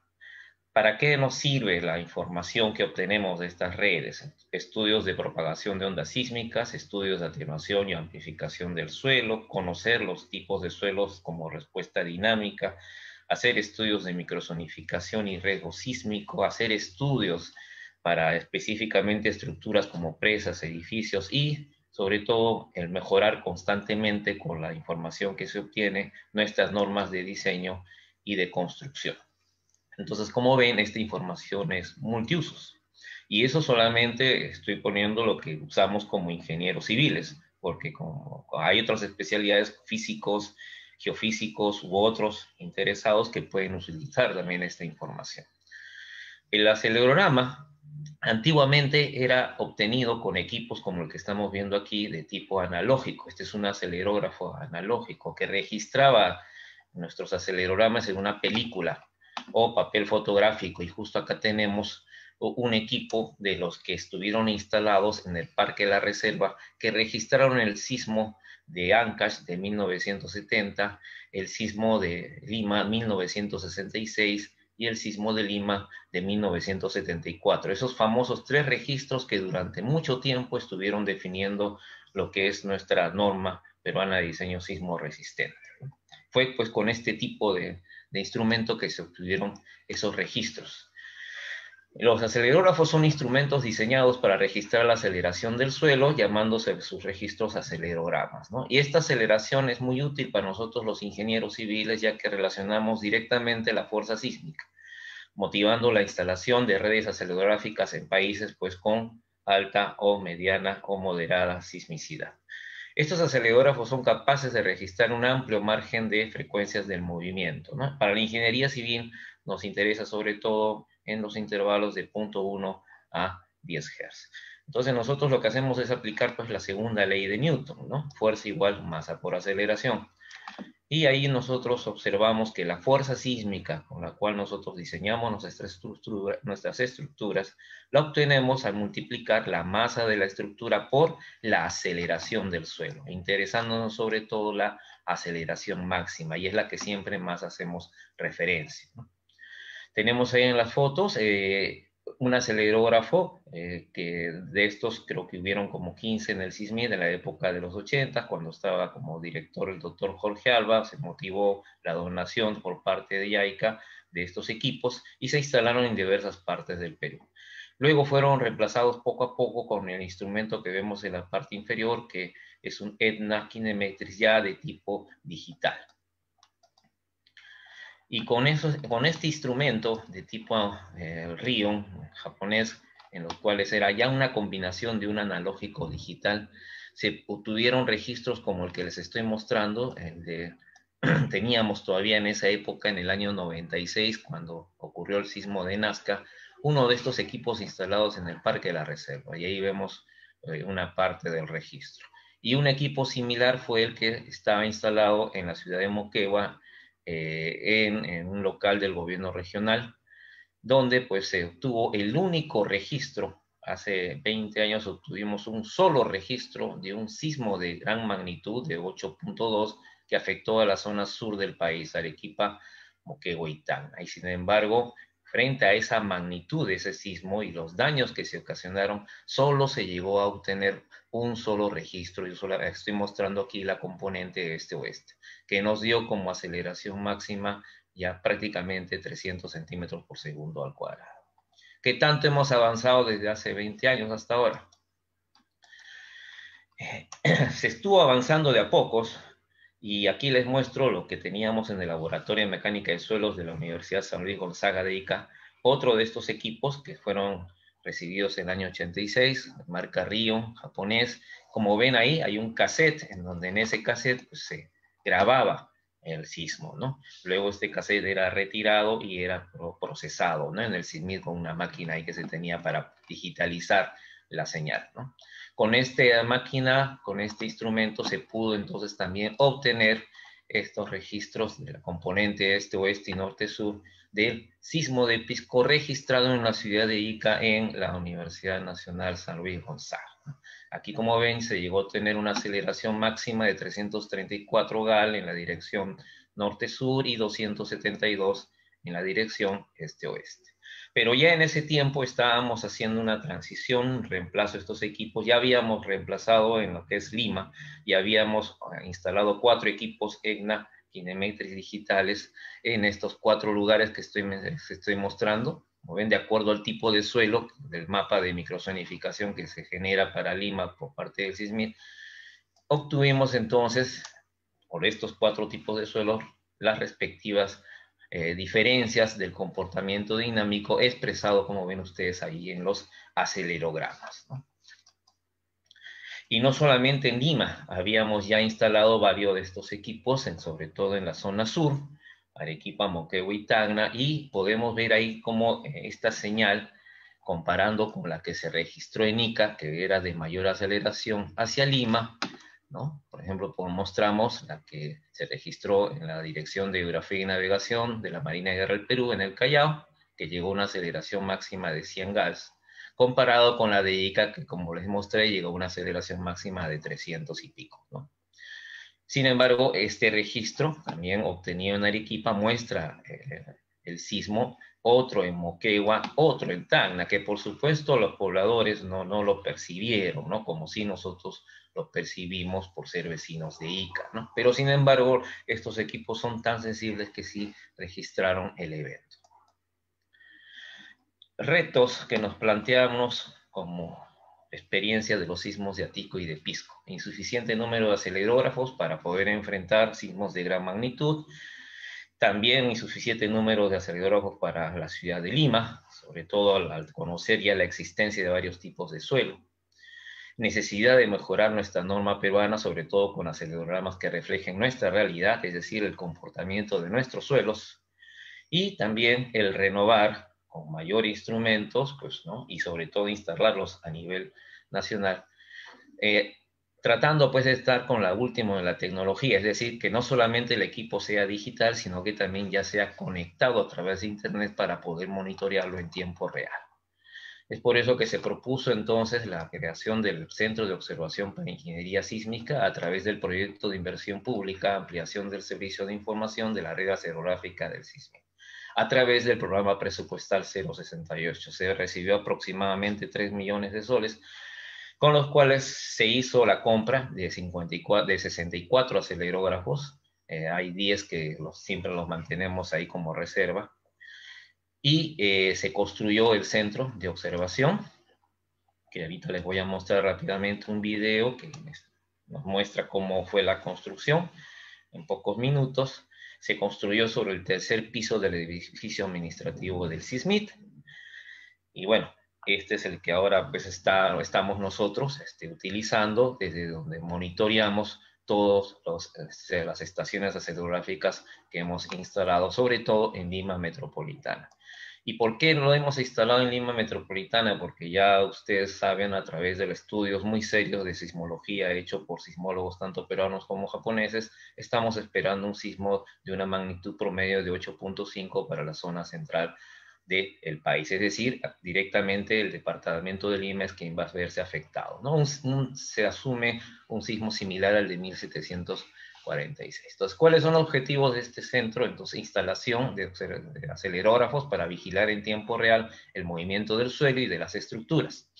Crear una base de datos de acelerogramas para que sean usados en caracterizar el movimiento sísmico del suelo, sobre todo empleando los parámetros de nuestra norma peruana de diseño sismo resistente, contribuyendo con su mejoramiento y actualización brindar soporte para estudios universitarios. Pueden ingresar a nuestra página web docentes y estudiantes a nivel nacional interesados en trabajar con registros de hacer con acelerogramas. Esto sirve sobre todo también para hacer muchas tesis y desarrollos pues a nivel nacional e internacional. También tenemos pedidos y siempre consultas de investigadores del extranjero sobre nuestros registros. Y continuar eh, con el ajuste de los mapas de microsonificación sísmica que ustedes han visto en presentaciones anteriores, estamos avanzando para los diferentes distritos de nuestra capital. Eh, nuestro centro de observación está compuesto por tres redes, la red de acelerógrafos para la observación del movimiento del suelo, que se llama red ASIS, que les voy a presentar algunas vistas. Luego el doctor Miguel Díaz les va a presentar, sobre la red de acelerómetros para el monitoreo de la respuesta sísmica de edificaciones y su salud estructural, conocido como REMODET. Y también tenemos una red de monitoreo del movimiento de la corteza terrestre, que se le hemos denominado REDCOT. Este es el equipo que ahora estamos usando, modelos RESTEC 130 SMA, de un registro continuo, de un muestreo de 200 muestras por segundo, con conexión permanente a Internet, y a través de Internet estamos siempre monitoreando en tiempo real el funcionamiento del equipo. Por supuesto, es un equipo triaxial. Este es un resumen de cómo funciona nuestra red. Eh, utiliza estos acelerógrafos, los cuales se conectan a través del protocolo TCP-UDP. Dicho protocolo involucra solamente el envío de datos al servidor en el SysMIT, que está habilitado para tal fin. Las señales son enviadas por cada sensor utilizando la red de Internet interna de cada institución, donde está instalada en paquetes continuos en tiempo real. Entonces, todo va a nuestro servidor que tenemos en el Centro de Observación para la Ingeniería Sísmica. Este es actualmente el número que tenemos de equipos instalados, 35 en diferentes partes de, Lima y sobre todo agradeciendo el apoyo y la colaboración de las instituciones. Cuesta mucho que las instituciones se interesen y apoyen eh, esta labor. ¿no? Eh, sobre todo agradecer a las facultades de ingeniería civil que después siendo conscientes de que esto es muy importante para nuestro país, nos han dado pues un espacio donde se puede instalar estos equipos, tanto universidades nacionales como privadas. Este es un mapa en donde presentamos la distribución, de donde se ubican estos equipos, de acuerdo al mapa de microzonificación. Como ven, tratamos de abarcar los diferentes tipos de suelos. En un convenio que tenemos con Sensico, eh, hemos instalado 11 equipos eh, aquí solamente estoy mostrando cinco, no, ya no pude actualizar esta vista. Y los equipos que ellos usan son de tipo Basalt y también Obsidian, de la eh, empresa Kinemetrics. Y esta es la página web al cual los invito a ingresar para que puedan ustedes este, obtener los registros, eh, por ejemplo, los, registros del sismo que tuvimos hace dos días, del 22 de junio, ya están ahí disponibles para todos aquellos que, que deseen, pues, hacer algún tipo de investigación con esos registros. Y bien, para finalizar mi parte, mostrarles una parte del, reporte. El reporte está puesto en nuestra página web y ya dentro de unas horas vamos a hacer una actualización porque hemos obtenido más información. Eh, este informe lo hemos emitido aproximadamente a las dos horas, entre las dos y las dos horas y media. ¿no? Eh, ya se pudo completar el informe y a través de internet eh, distribuirlo a, muchos este, interesados que siempre nos piden la información, a toda una lista que tenemos de interesados y también inmediatamente se puso en nuestra página web y en redes sociales. Este informe fue elaborado, como la mayoría de los informes, por el doctor Carlos González, Luis Moya, el bachiller Kevin Huerta, el ingeniero Julián Palacios, el bachiller Italo Inocente y un servidor. ¿no? Bien, entonces simplemente la, magnitud del evento, como ya conocemos, fue de 6. Y eh, respecto aquí del epicentro, como ven, hay una distancia epicentral eh, hacia la ciudad de Lima, la cual hemos podido caracterizar frente a esa distancia epicentral, cómo ha sido la respuesta de los diferentes tipos de suelo. Aquí solamente estoy mostrando, por supuesto, por falta de tiempo y espacio, eh, tres registros, los de forma completa los encuentran en nuestra página web en el informe. Y simplemente pongo el de mayor aceleración que obtuvimos, que es en la Municipalidad Distrital de Independencia, con un valor de 207.85 centímetros por segundo al cuadrado. Un valor intermedio, el que se registró en la Municipalidad de Ancón, de 145.41 centímetros por segundo al cuadrado. Y el menor valor que obtuvimos en esta componente, también este oeste, fue el, que se encuentra en Carmen de la Legua, en un colegio, eh, ahorita no me acuerdo el nombre, pero ahí se registró eh, menos 34.18. Bueno, en valor absoluto 34.18. Y esto es muy interesante, ¿por qué? Porque si revisamos nuestros informes anteriores, revisamos nuestros registros anteriores, todos ellos pues corresponden a, aceleraciones generadas por sismos de magnitud 4, 4.5 y algún que otro evento por ahí de 5, ¿no? Me refiero a los que han estado pues afectando a la ciudad de Lima, ¿no? Han habido otros eventos de mayor magnitud, pero no tan cercanos a Lima, ¿no? Pero este sí fue un evento, digamos, cercano a la ciudad de Lima, ¿no? Y, y tenemos pues este, estos valores de aceleración muy interesantes. No estoy incluyendo, por supuesto, el que mencionó el doctor Alba en su presentación anterior, porque ese registro es, es administrado por la red de la, de la unidad de posgrado de la facultad, ¿no? Que, en los que también se puede acceder ¿no? a su página y ya también bajar esa información. ¿no? Ese, ese registro obtuvo 200, algo más de 220, no, no tengo ahorita el exacto. ¿no?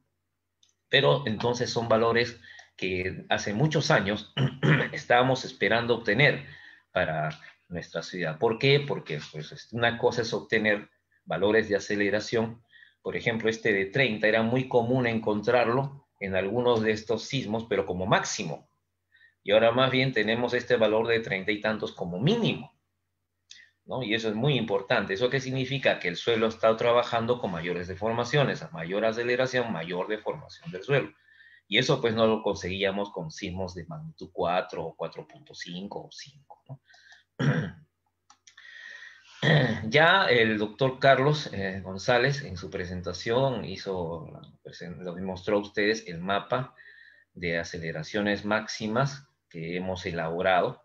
Ya él hizo la explicación, no voy a entrar en detalle, pero sí quiero recalcar que este mapa eh, ha tenido un mayor detalle, una mayor afinación, gracias a que se tiene ahorita a disposición registros obtenidos por la red acelerográfica del, eh, de, la, de la unidad de posgrado de la Facultad de Ingeniería Civil, en convenio con el Colegio de Ingenieros, del Perú, pues administran esa red.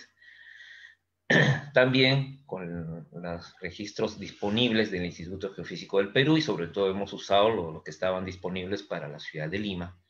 Y también el registro que ha obtenido la estación de la Pontificia Universidad Católica del Perú. Y estoy mostrando ahí en la tabla eh, los eh, archivos que se han utilizado y los valores de aceleración máxima que se han generado ¿no? en estos registros. Y gracias a esa disposición, a esa abertura, a, ese compartir de la información que nosotros también, por supuesto, realizamos, es que se ha podido establecer este mapa. El mapa que se ha hecho en base a estos valores de aceleración máxima que estoy mostrando, como ven ahí, los de color azul corresponden a las estaciones del SISMIT, los de color amarillo a los de la unidad de posgrado de la Facultad de Ingeniería Civil en convenio con el Colegio de Ingenieros del Perú, los del IGP en color verde y el que corresponde a la Universidad Católica. Entonces, gracias a esta disposición de los registros y a la obtención de estas aceleraciones máximas que no corresponden, como ya lo explicó el doctor Carlos González, a la aceleración máxima por componente, ¿no? Sino a una aceleración máxima como vector en el tiempo. Entonces se ha podido entonces elaborar el siguiente mapa. que podríamos decir, pues es un primer mapa que se obtiene para la ciudad de Lima, para un sismo importante, gracias a registros de aceleración. O sea, no es un mapa de intensidad que se hacen, que se elaboran cuando pues ocurre un terremoto, vamos a evaluar daños y mostramos un mapa de intensidades de los daños que se han evaluado. Este es un mapa de intensidad instrumental, es decir, nos está diciendo cómo ha sido el movimiento sísmico del suelo, cómo se ha movido en tal zona de Lima comparada con la otra zona de Lima. Y los colores que ustedes ven que ahí se está reflejando nos indican pues claramente que es la zona sur de Lima la que ha tenido una mayor concentración de los mayores valores de movimiento del suelo, llegando pues en promedio a aceleraciones entre 210 y 230 centímetros por segundo al cuadrado. ¿A eso por qué? Porque pues el epicentro está al sur de Lima, estaba en Mala. Y la zona norte nos ha mostrado también ciertos valores importantes de aceleración entre más o menos 150 a 130 centímetros por segundo al cuadrado, raspando por ahí los 170. Lo interesante, vean ustedes, y es lo que hemos estado viendo alrededor de, de, todos estos días a través de los canales de televisión, que en las zonas de laderas de los distritos, como Comas, Caraballo, San Juan de Lurigancho, y también en la zona, por supuesto, pero ahí está bien notorio, pues, la intensidad, ¿no? San Juan de Miraflores, este, Villa María del Triunfo, perdón, este, Villa El Salvador, Villa María del Triunfo, ¿no?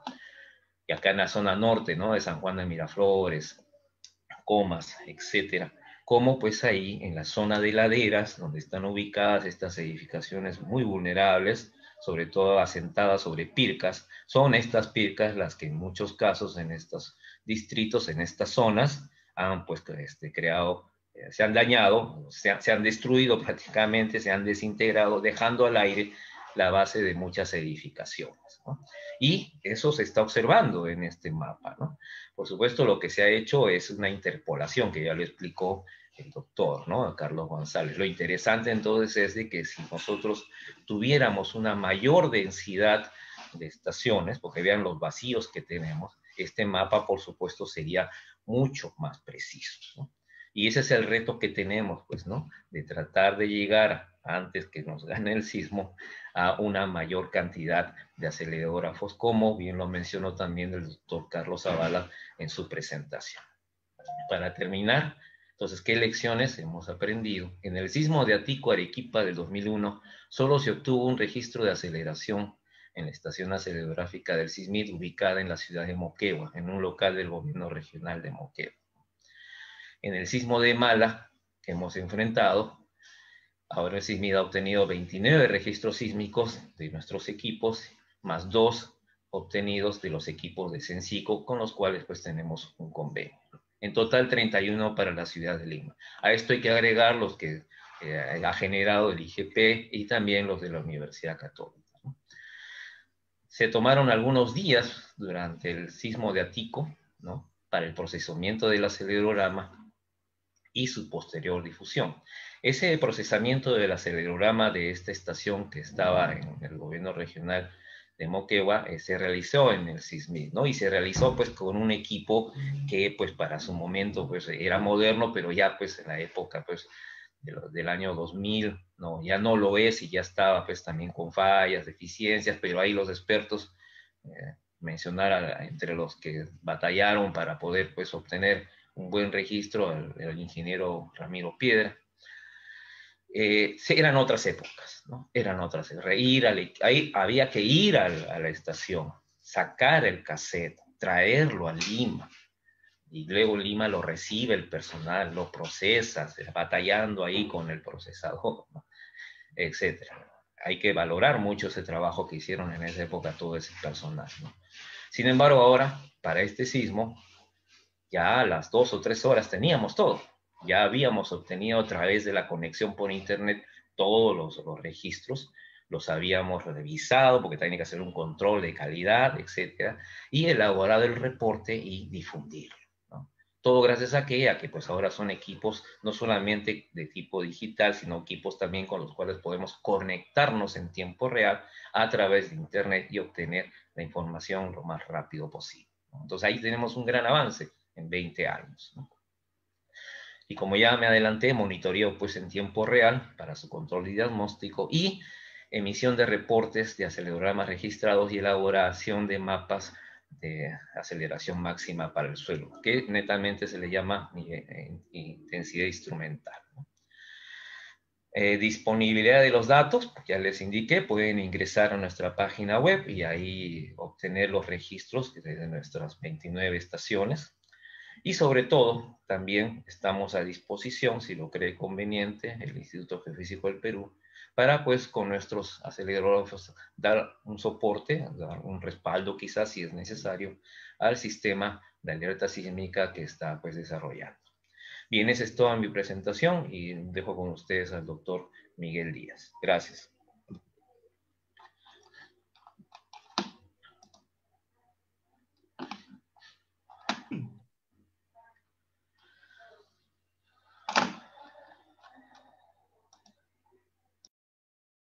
¿Cómo están? Buenas noches. Gracias, ingeniero Lazares, por, la presentación.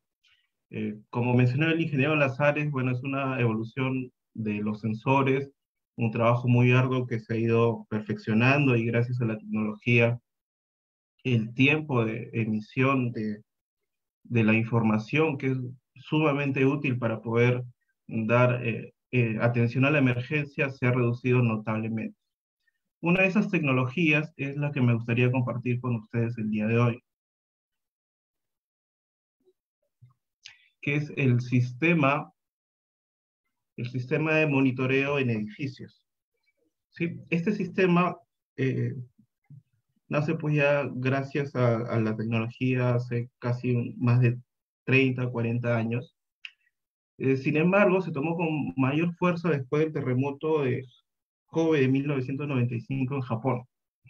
Eh, si bien es cierto, en Japón antes de ese año había sensores a estaciones acelerométricas, no solo en suelos, sino en edificios, eh, como producto del análisis de la información post-evento, se dieron cuenta que algunos diagnósticos, no solamente del comportamiento del suelo, sino del edificio, eh, no eran representativos de lo que realmente había ocurrido. Entonces hubo una revisión muy grande de los modelos matemáticos, eh, métodos de integración numérica, entre otros.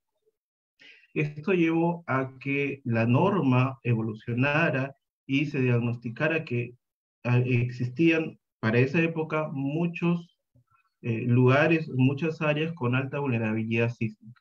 Entonces, el gobierno de Japón, en conjunto con sus profesionales, eh, colaboradores, como estudiantes de ingeniería, entre otros, eh, lograron desarrollar muchas técnicas basadas en, muchos ensayos. Tal es así que mejoraron notablemente la norma sismoresistente y el sismo, por ejemplo, el 2011, el Tohoku evidenció pues que eh, sirvió de mucho este, esta introducción de las redes acelerométricas de suelo y edificios.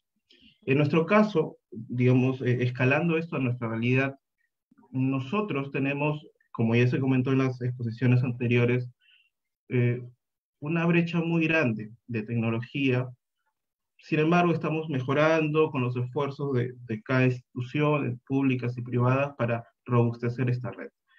Eh, por ejemplo, si ocurriera un terremoto, la cantidad de personas profesionales eh, involucrados o capacitados para evaluar estructuras, inclusive los estudiantes e inclusive los postulantes a ingeniería o carreras relacionadas a estos tópicos no alcanzarían para evaluar las estructuras después de un evento sísmico severo como se espera en las zonas de Lima y en la zona sur como estándar en el país, ¿no? Entonces hay una necesidad muy, pero muy grande de implementar sensores para poder eh, no solamente eh, dar una atención oportuna a la respuesta, sino diagnosticar post-evento cuál es el nivel de daño en los edificios.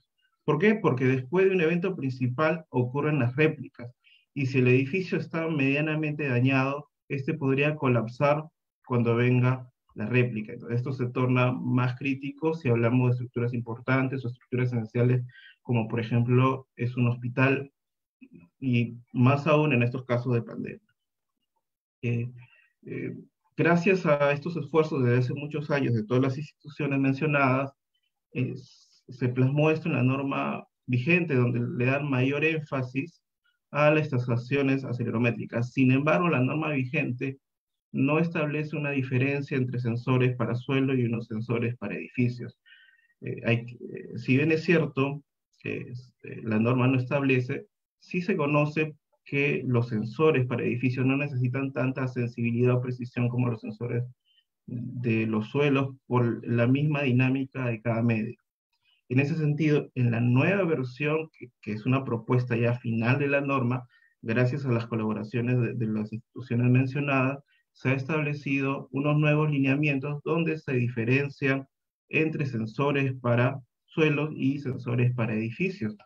Pues, eh, por ejemplo, los costos de los sensores necesarios para poder observar de una manera adecuada los edificios están a lo mucho o cuestan a lo mucho el 10% de lo que costaría un sensor para suelo, ¿no? Para cumplir los objetivos, por ejemplo, de determinar epicentros o, o estimar los mapas de intensidad.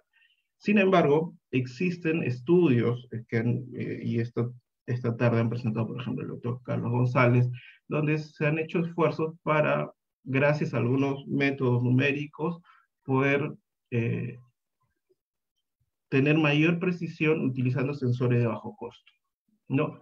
Sin embargo, para limitar, eh, si bien es cierto son de bajo costo, pero para limitar, eh, digamos, sensores de mala calidad, lo que se está estableciendo son una, un análisis, o perdón, un énfasis en la calidad del sensor para que éste pueda, pues, no solamente funcionar un año, dos años, sino diez años o más. En nuestros edificios en el país ya tenemos una red eh, medianamente densa, especialmente en la zona 4, en Lima, concentrados en Lima, pero también ya eh, hemos instalado en la zona 3 y estamos firmando convenios para instalar, por ejemplo, en Sencico, para instalar en el norte del país y también para instalar en la central nuclear de Huarangal, ¿no? Eh, eh, tenemos un sistema de monitoreo en tiempo real, podemos sacar la data eh, en cualquier momento, pero también gracias al Internet de las Cosas, eh, los disparadores que miden el terremoto nos pueden enviar a correo electrónico o, al sistema o a cualquier dispositivo que uno desee el registro ¿no? del edificio y gracias al trabajo que se ha venido haciendo en los últimos años podemos dar eh, la respuesta y el nivel de daño en tiempo cuasi real. ¿no? Estos son los edificios o los principales edificios monitoreados. Es el edificio del Hospital Edgardo Rebagliati, el bloque A, el bloque que está más pegado a la avenida Salaberry. Tiene cinco sensores en la base, a mediana altura y en el techo. Tenemos en nuestra universidad, la Universidad Nacional de Ingeniería, en nuestro pabellón central, un icono para nuestra universidad, y eh, un edificio aislado en la facultad, un edificio recientemente construido. ¿no? Ese, ese esquema del edificio es cuando la estructura tenía cuatro pisos, sin embargo ahora la estructura ya es de ocho pisos, entonces ahí hemos hecho un análisis interesante que me gustaría compartir con ustedes más adelante o en otra oportunidad, de cómo las propiedades dinámicas han ido cambiando conforme se ha ido construyendo y muy en especial en un sistema aislado, ¿no? Como es esta edificación. Sí, básicamente el proceso de análisis que empleamos es eh, tener el sensor en la base sobre la cimentación, al costado de la cimentación sobre el suelo para medir el movimiento en la base en términos de la aceleración. Con esa aceleración construir los espectros de respuesta que pueden estar al 5, 6, 7%, eso lo determinamos luego. Y además con los sistemas, perdón, con los sensores que tenemos en la estructura, gracias a la dinámica estructural podemos tener modelos de masa concentrada, no solamente en términos de aceleración, sino gracias a la transformada de Wavelet podemos eh, hacer un correcto filtrado y tener en términos de velocidad y desplazamiento para poder medir el nivel de daño de manera mucho más adecuada y mucho más aproximada. Entonces, lo que podemos hacer es tener una curva de capacidad o un espectro de capacidad, compararla con la curva real que, con, perdón, con la curva de demanda que es medida desde la base y según la variación del factor de amortiguamiento equivalente poder decir, o perdón, poder determinar, porque no, no se aproxima, se determina a través del observado cuál ha sido el nivel de daño. Y gracias pues a los niveles o umbrales o límites de distorsiones que ya manejamos, gracias a los estudios experimentales que se han desarrollado, decir si tiene nivel de daño o no, si es leve, moderado, extensivo o nulo, y poder también, gracias a que la estructura viene siendo estudiada ya con sismos preliminares o sismos previos de mediana o baja intensidad, cómo es el comportamiento dinámico del resto de las estructuras y poder tener un conocimiento mucho mejor de lo que ha pasado en la estructura. Las observaciones sísmicas, eh, gracias a la sistematización de, y automatización de la información, se puede programar los reportes para que salgan inmediatamente. Sin embargo, siempre se hace una revisión de lo que se debe enviar y ustedes han podido ver, ¿no? A, primeras horas de la mañana el informe, el informe de lo que ha pasado en los edificios, ¿no? Que está compartido a través de redes sociales y en la página de SISMIT. Acá voy a mostrarles un caso especial, la, observación, sísmica en el Hospital Revaliati, es, eh, ¿no? Eh, se ha ido midiendo, este es un trabajo que se ha construido gracias a, a Ricardo Quisper. ¿no? Entonces, lo que se ha medido es a través de algunas técnicas, mm, por ejemplo, las transformadas de Fourier, o también el, los modelos o análisis modales eh, operacionales, el periodo predominante de la, estructura en relación a cada eh, aceleración o cómo ha ido evolucionando de acuerdo al tiempo. Recordar que cuando ocurren sismos no ocurre en un mismo hipocentro, ¿no? existen diferentes lugares donde ocurren y tienen asociado diferentes características, como por ejemplo profundidad, directividad, entre otros. Y lo que es importante observar que tenemos diferentes periodos, no porque haya un error de aproximación, sino porque los periodos están en relación al, al movimiento, a la excitación que tiene la estructura. No, si bien es cierto, nosotros hemos aprendido o aprendemos en la universidad el periodo predominante de la estructura, pero recordar que este periodo predominante se calcula bajo condiciones no amortiguadas y vibración libre, que es totalmente ideal. La estructura no vibra libremente, hay una excitación de por medio y la estructura es amortiguada. Entonces, por eso es la variación de los periodos. Los periodos pueden cambiar cuando hay mucha masa, cuando hay poca masa, cuando hay calor, cuando hay frío, cuando hay humedad. Entonces, pero esa variación, como ustedes observan, no es mucha. Sin embargo, si ocurriera un evento sísmico severo y degradaría las rigideces de los elementos estructurales, esto se vería reflejado en un incremento del periodo, ¿no? Igual acá lo he hecho en función al tiempo, como ven, lo que ha cambiado disminuye y luego aumenta esto debido a los cambios de estaciones, eh, cuando está en términos del tiempo. ¿Sí? Por otro lado, gracias a, los análisis tipo OMA, se puede analizar cuáles son las eh, formas de los modos predominantes en cada dirección de análisis, no solamente del primer modo, sino del segundo modo y los modos que influencian o que están influenciando la respuesta sísmica, ¿no? Gracias a estas formas modales es posible reproducir la respuesta sísmica en aquellos lugares donde no se han colocado sensores y poder robustecer la información que se tiene sobre la respuesta sísmica después de un sismo real. Esto cuando la estructura no ha tenido daños y cuando la estructura podría tener daños, ¿no? Afortunadamente el sismo que ocurrió ayer no desencadenó un daño en la estructura, ¿no? Y no, afortunadamente no tenemos mucho que mostrar, mucho nivel de daño. Sin embargo, sin embargo, lo que hemos hecho para este ejemplo, que es el edificio aislado de, la Facultad de Ingeniería Civil, es hacer respuestas sintéticas, es decir, inducir sismos, eh, sismos eh, virtuales ¿no? en un modelo matemático que está correctamente calibrado. Ahora les voy a mostrar para ver qué podría pasar y si los algoritmos que hemos desarrollado van a funcionar cuando venga el sismo que estamos esperando. ¿no? Esta es la edificación aislada. Eh, este trabajo es eh, se ha hecho gracias a Joseph Jaramillo, ¿no? Este es el primer, eh, el punto de partida para calibración del modelo.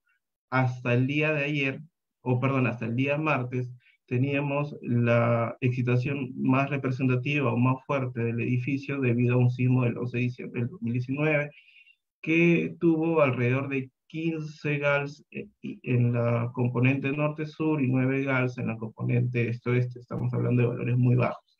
Es decir, la estructura se iba a comportar elásticamente y incluso los dispositivos de aislamiento no iban a trabajar porque era una aceleración muy baja y no iba a ocasionar una fuerza inercial importante que active, digamos, los, los aisladores. ¿no? Lo que podemos observar en esta diapositiva, lo que podemos observar en esta diapositiva es el trabajo que se ha hecho con, el, con la observación real, que es, que es lo que está acá a la derecha, se ha podido descomponer la respuesta en rangos. ¿no? Imagínense que podemos descomponer no en, no en series de Fourier, sino en una serie de ondículas que se llaman wavelet. Entonces, cada rango o cada descomposición se va a poder analizar si influye o no en la respuesta sísmica, porque puede deberse pues, a un ruido o, o, algún otro tipo de factor. Entonces, se descompone y esto se hace automáticamente. Y por otro lado tenemos los análisis que se han hecho, digamos, gracias a las simulaciones y lo que podemos observar que para este tipo de excitación coinciden, coinciden muy bien los valores observados con los valores del modelo matemático. Entonces, gracias a esta observación, gracias a, esta comparación, podemos decir que eh, la edificación está calibrada al menos en el rango elástico. ¿sí? Entonces, eh, acá vemos la descomposición por la transformada de Fourier. Si bien es cierto, nosotros damos respuesta en desplazamiento, pero el desplazamiento no se mide. Si bien es cierto, la aceleración nos da una fuerza, pero eh, desde el punto de vista de evaluación de daños, el parámetro de control para medir generalmente es el desplazamiento o distorsión. En ese sentido, descomponemos en rangos, ¿no? Cada, cada registro de cada sensor en cada canal y lo que hacemos es analizar cuáles son los rangos más importantes o que influyen en la respuesta. En este caso, podemos ver que son estos. Entonces, lo que hacemos, identificamos, por ejemplo, es el, tenemos 10 rangos o 13 rangos, identificamos los rangos predominantes y lo que hacemos, lo integramos. Una vez que integramos estos rangos, podemos tener el desplazamiento, la velocidad y poder medir la respuesta o el nivel de daño. Eh, como vemos acá es una comparación entre la respuesta observada y la respuesta de los modelos matemáticos. Y lo que vemos es que son muy compatibles y está muy bien. Una vez explicada esta técnica, lo que hacemos es, para cada entrepiso, poder tener las curvas histeréticas. Y como vemos acá, todos son unas líneas. ¿Qué quiere decir? Que se ha comportado elásticamente, no solamente los aisladores, como ven, una línea muy marcada, sino los demás, los demás pisos. ¿Qué quiere decir esto? Que no ha habido daño, ¿no? Si hubiese habido daño, nosotros podríamos identificar no solamente el nivel de daño, sino el nivel de disipación de energía mediante el área dentro de las curvas. Esta es una respuesta observada, no es una respuesta simulada. Lo mismo se hizo para el, eh, el evento que ocurrió ayer. Encontramos, por ejemplo, aceleraciones en la base para la componente norte, sur, 50 GALS, este-oeste, 40 GALS, y la vertical alrededor de 27 GALS. Son aceleraciones muy bajas que obviamente no iban a hacer incursionar a la estructura en el ramo inelástico, no solamente porque están bien diseñadas por los profesores de la universidad, sino pues que son aceleraciones muy, muy, muy bajas. Entonces, para poner a prueba esta edificación, lo que hicimos fue lo siguiente.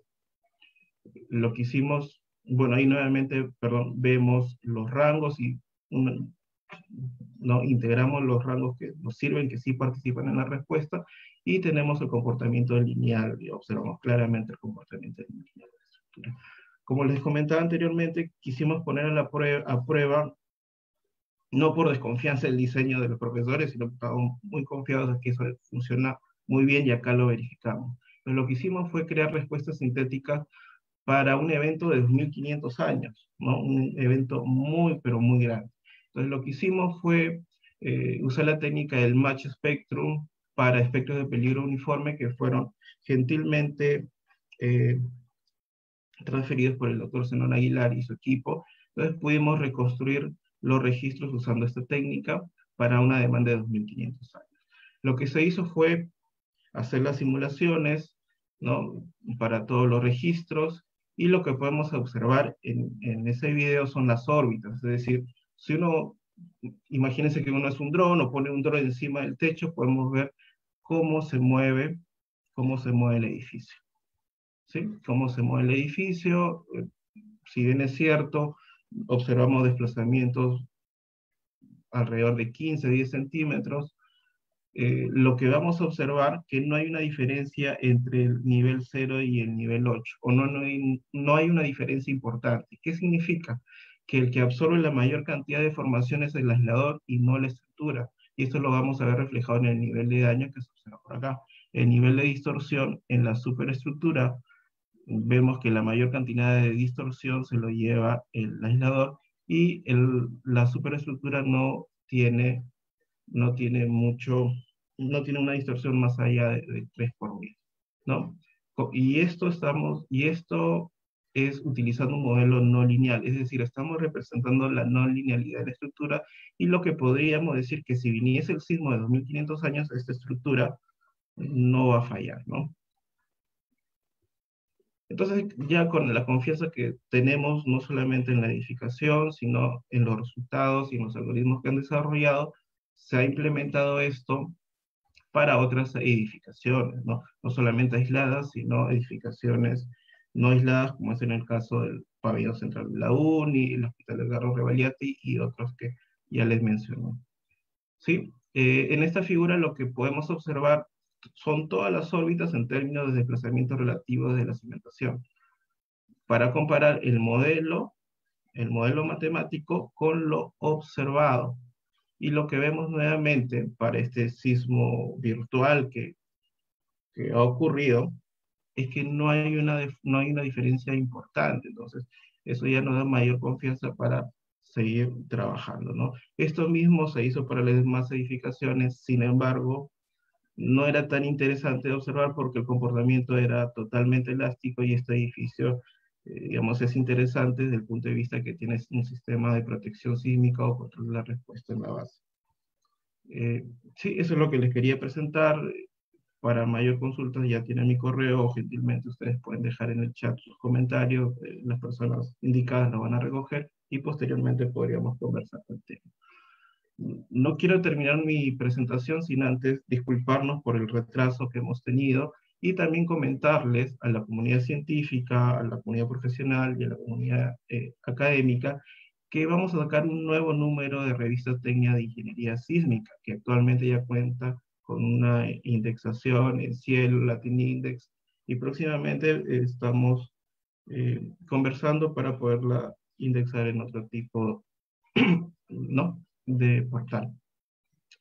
Las líneas de, de investigación que vamos a abrir van a ser, por ejemplo, técnicas experimentales para estructuras y soluciones en suelos, reparación, evaluación y reforzamiento de estructuras, el sistema de protección sísmica, diseño y evaluación de, ¿no? para ingeniería sísmica, monitoreo de estructuras, eh, evaluación del riesgo multipeligro en zonas urbanas y zonas rurales, y lo que últimamente se ha venido desarrollando, por ejemplo, han visto la presentación del doctor Moya, del doctor Carlos González, de los estudiantes de la ingeniera, perdón, de la doctora Calderón, del doctor Carlos González, estamos ya implementando inteligencia artificial en la ingeniería sísmica. Si escucharon más temprano, también comenté, escucharon al doctor Zavala, que hay un gran proyecto que vamos a iniciar este año gracias a la cooperación con Japón, donde toda la base de datos va a ser implementada la gran base de datos que tenemos eh, para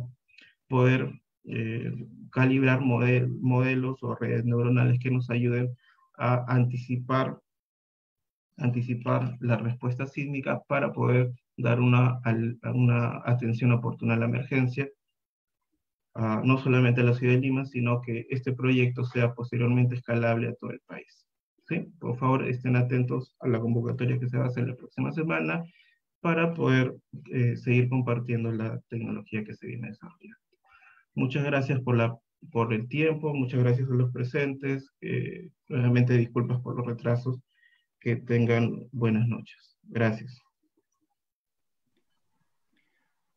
Muchas gracias, doctor Díaz. Muchas gracias, ingeniero Lázares, por la presentación. Y ahora voy a tener el gusto de presentar nuevamente al doctor Carlos Zavala, director del CIMIT, para que nos brinde sus palabras de cierre al Simposio Nacional de Prevención de Desastres. Doctor Zavala. Muy buenas noches con todos. Espero que hayan pasado una bonita tarde de ciencia. Eh, hemos aprendido bastante escuchando a todos los expositores.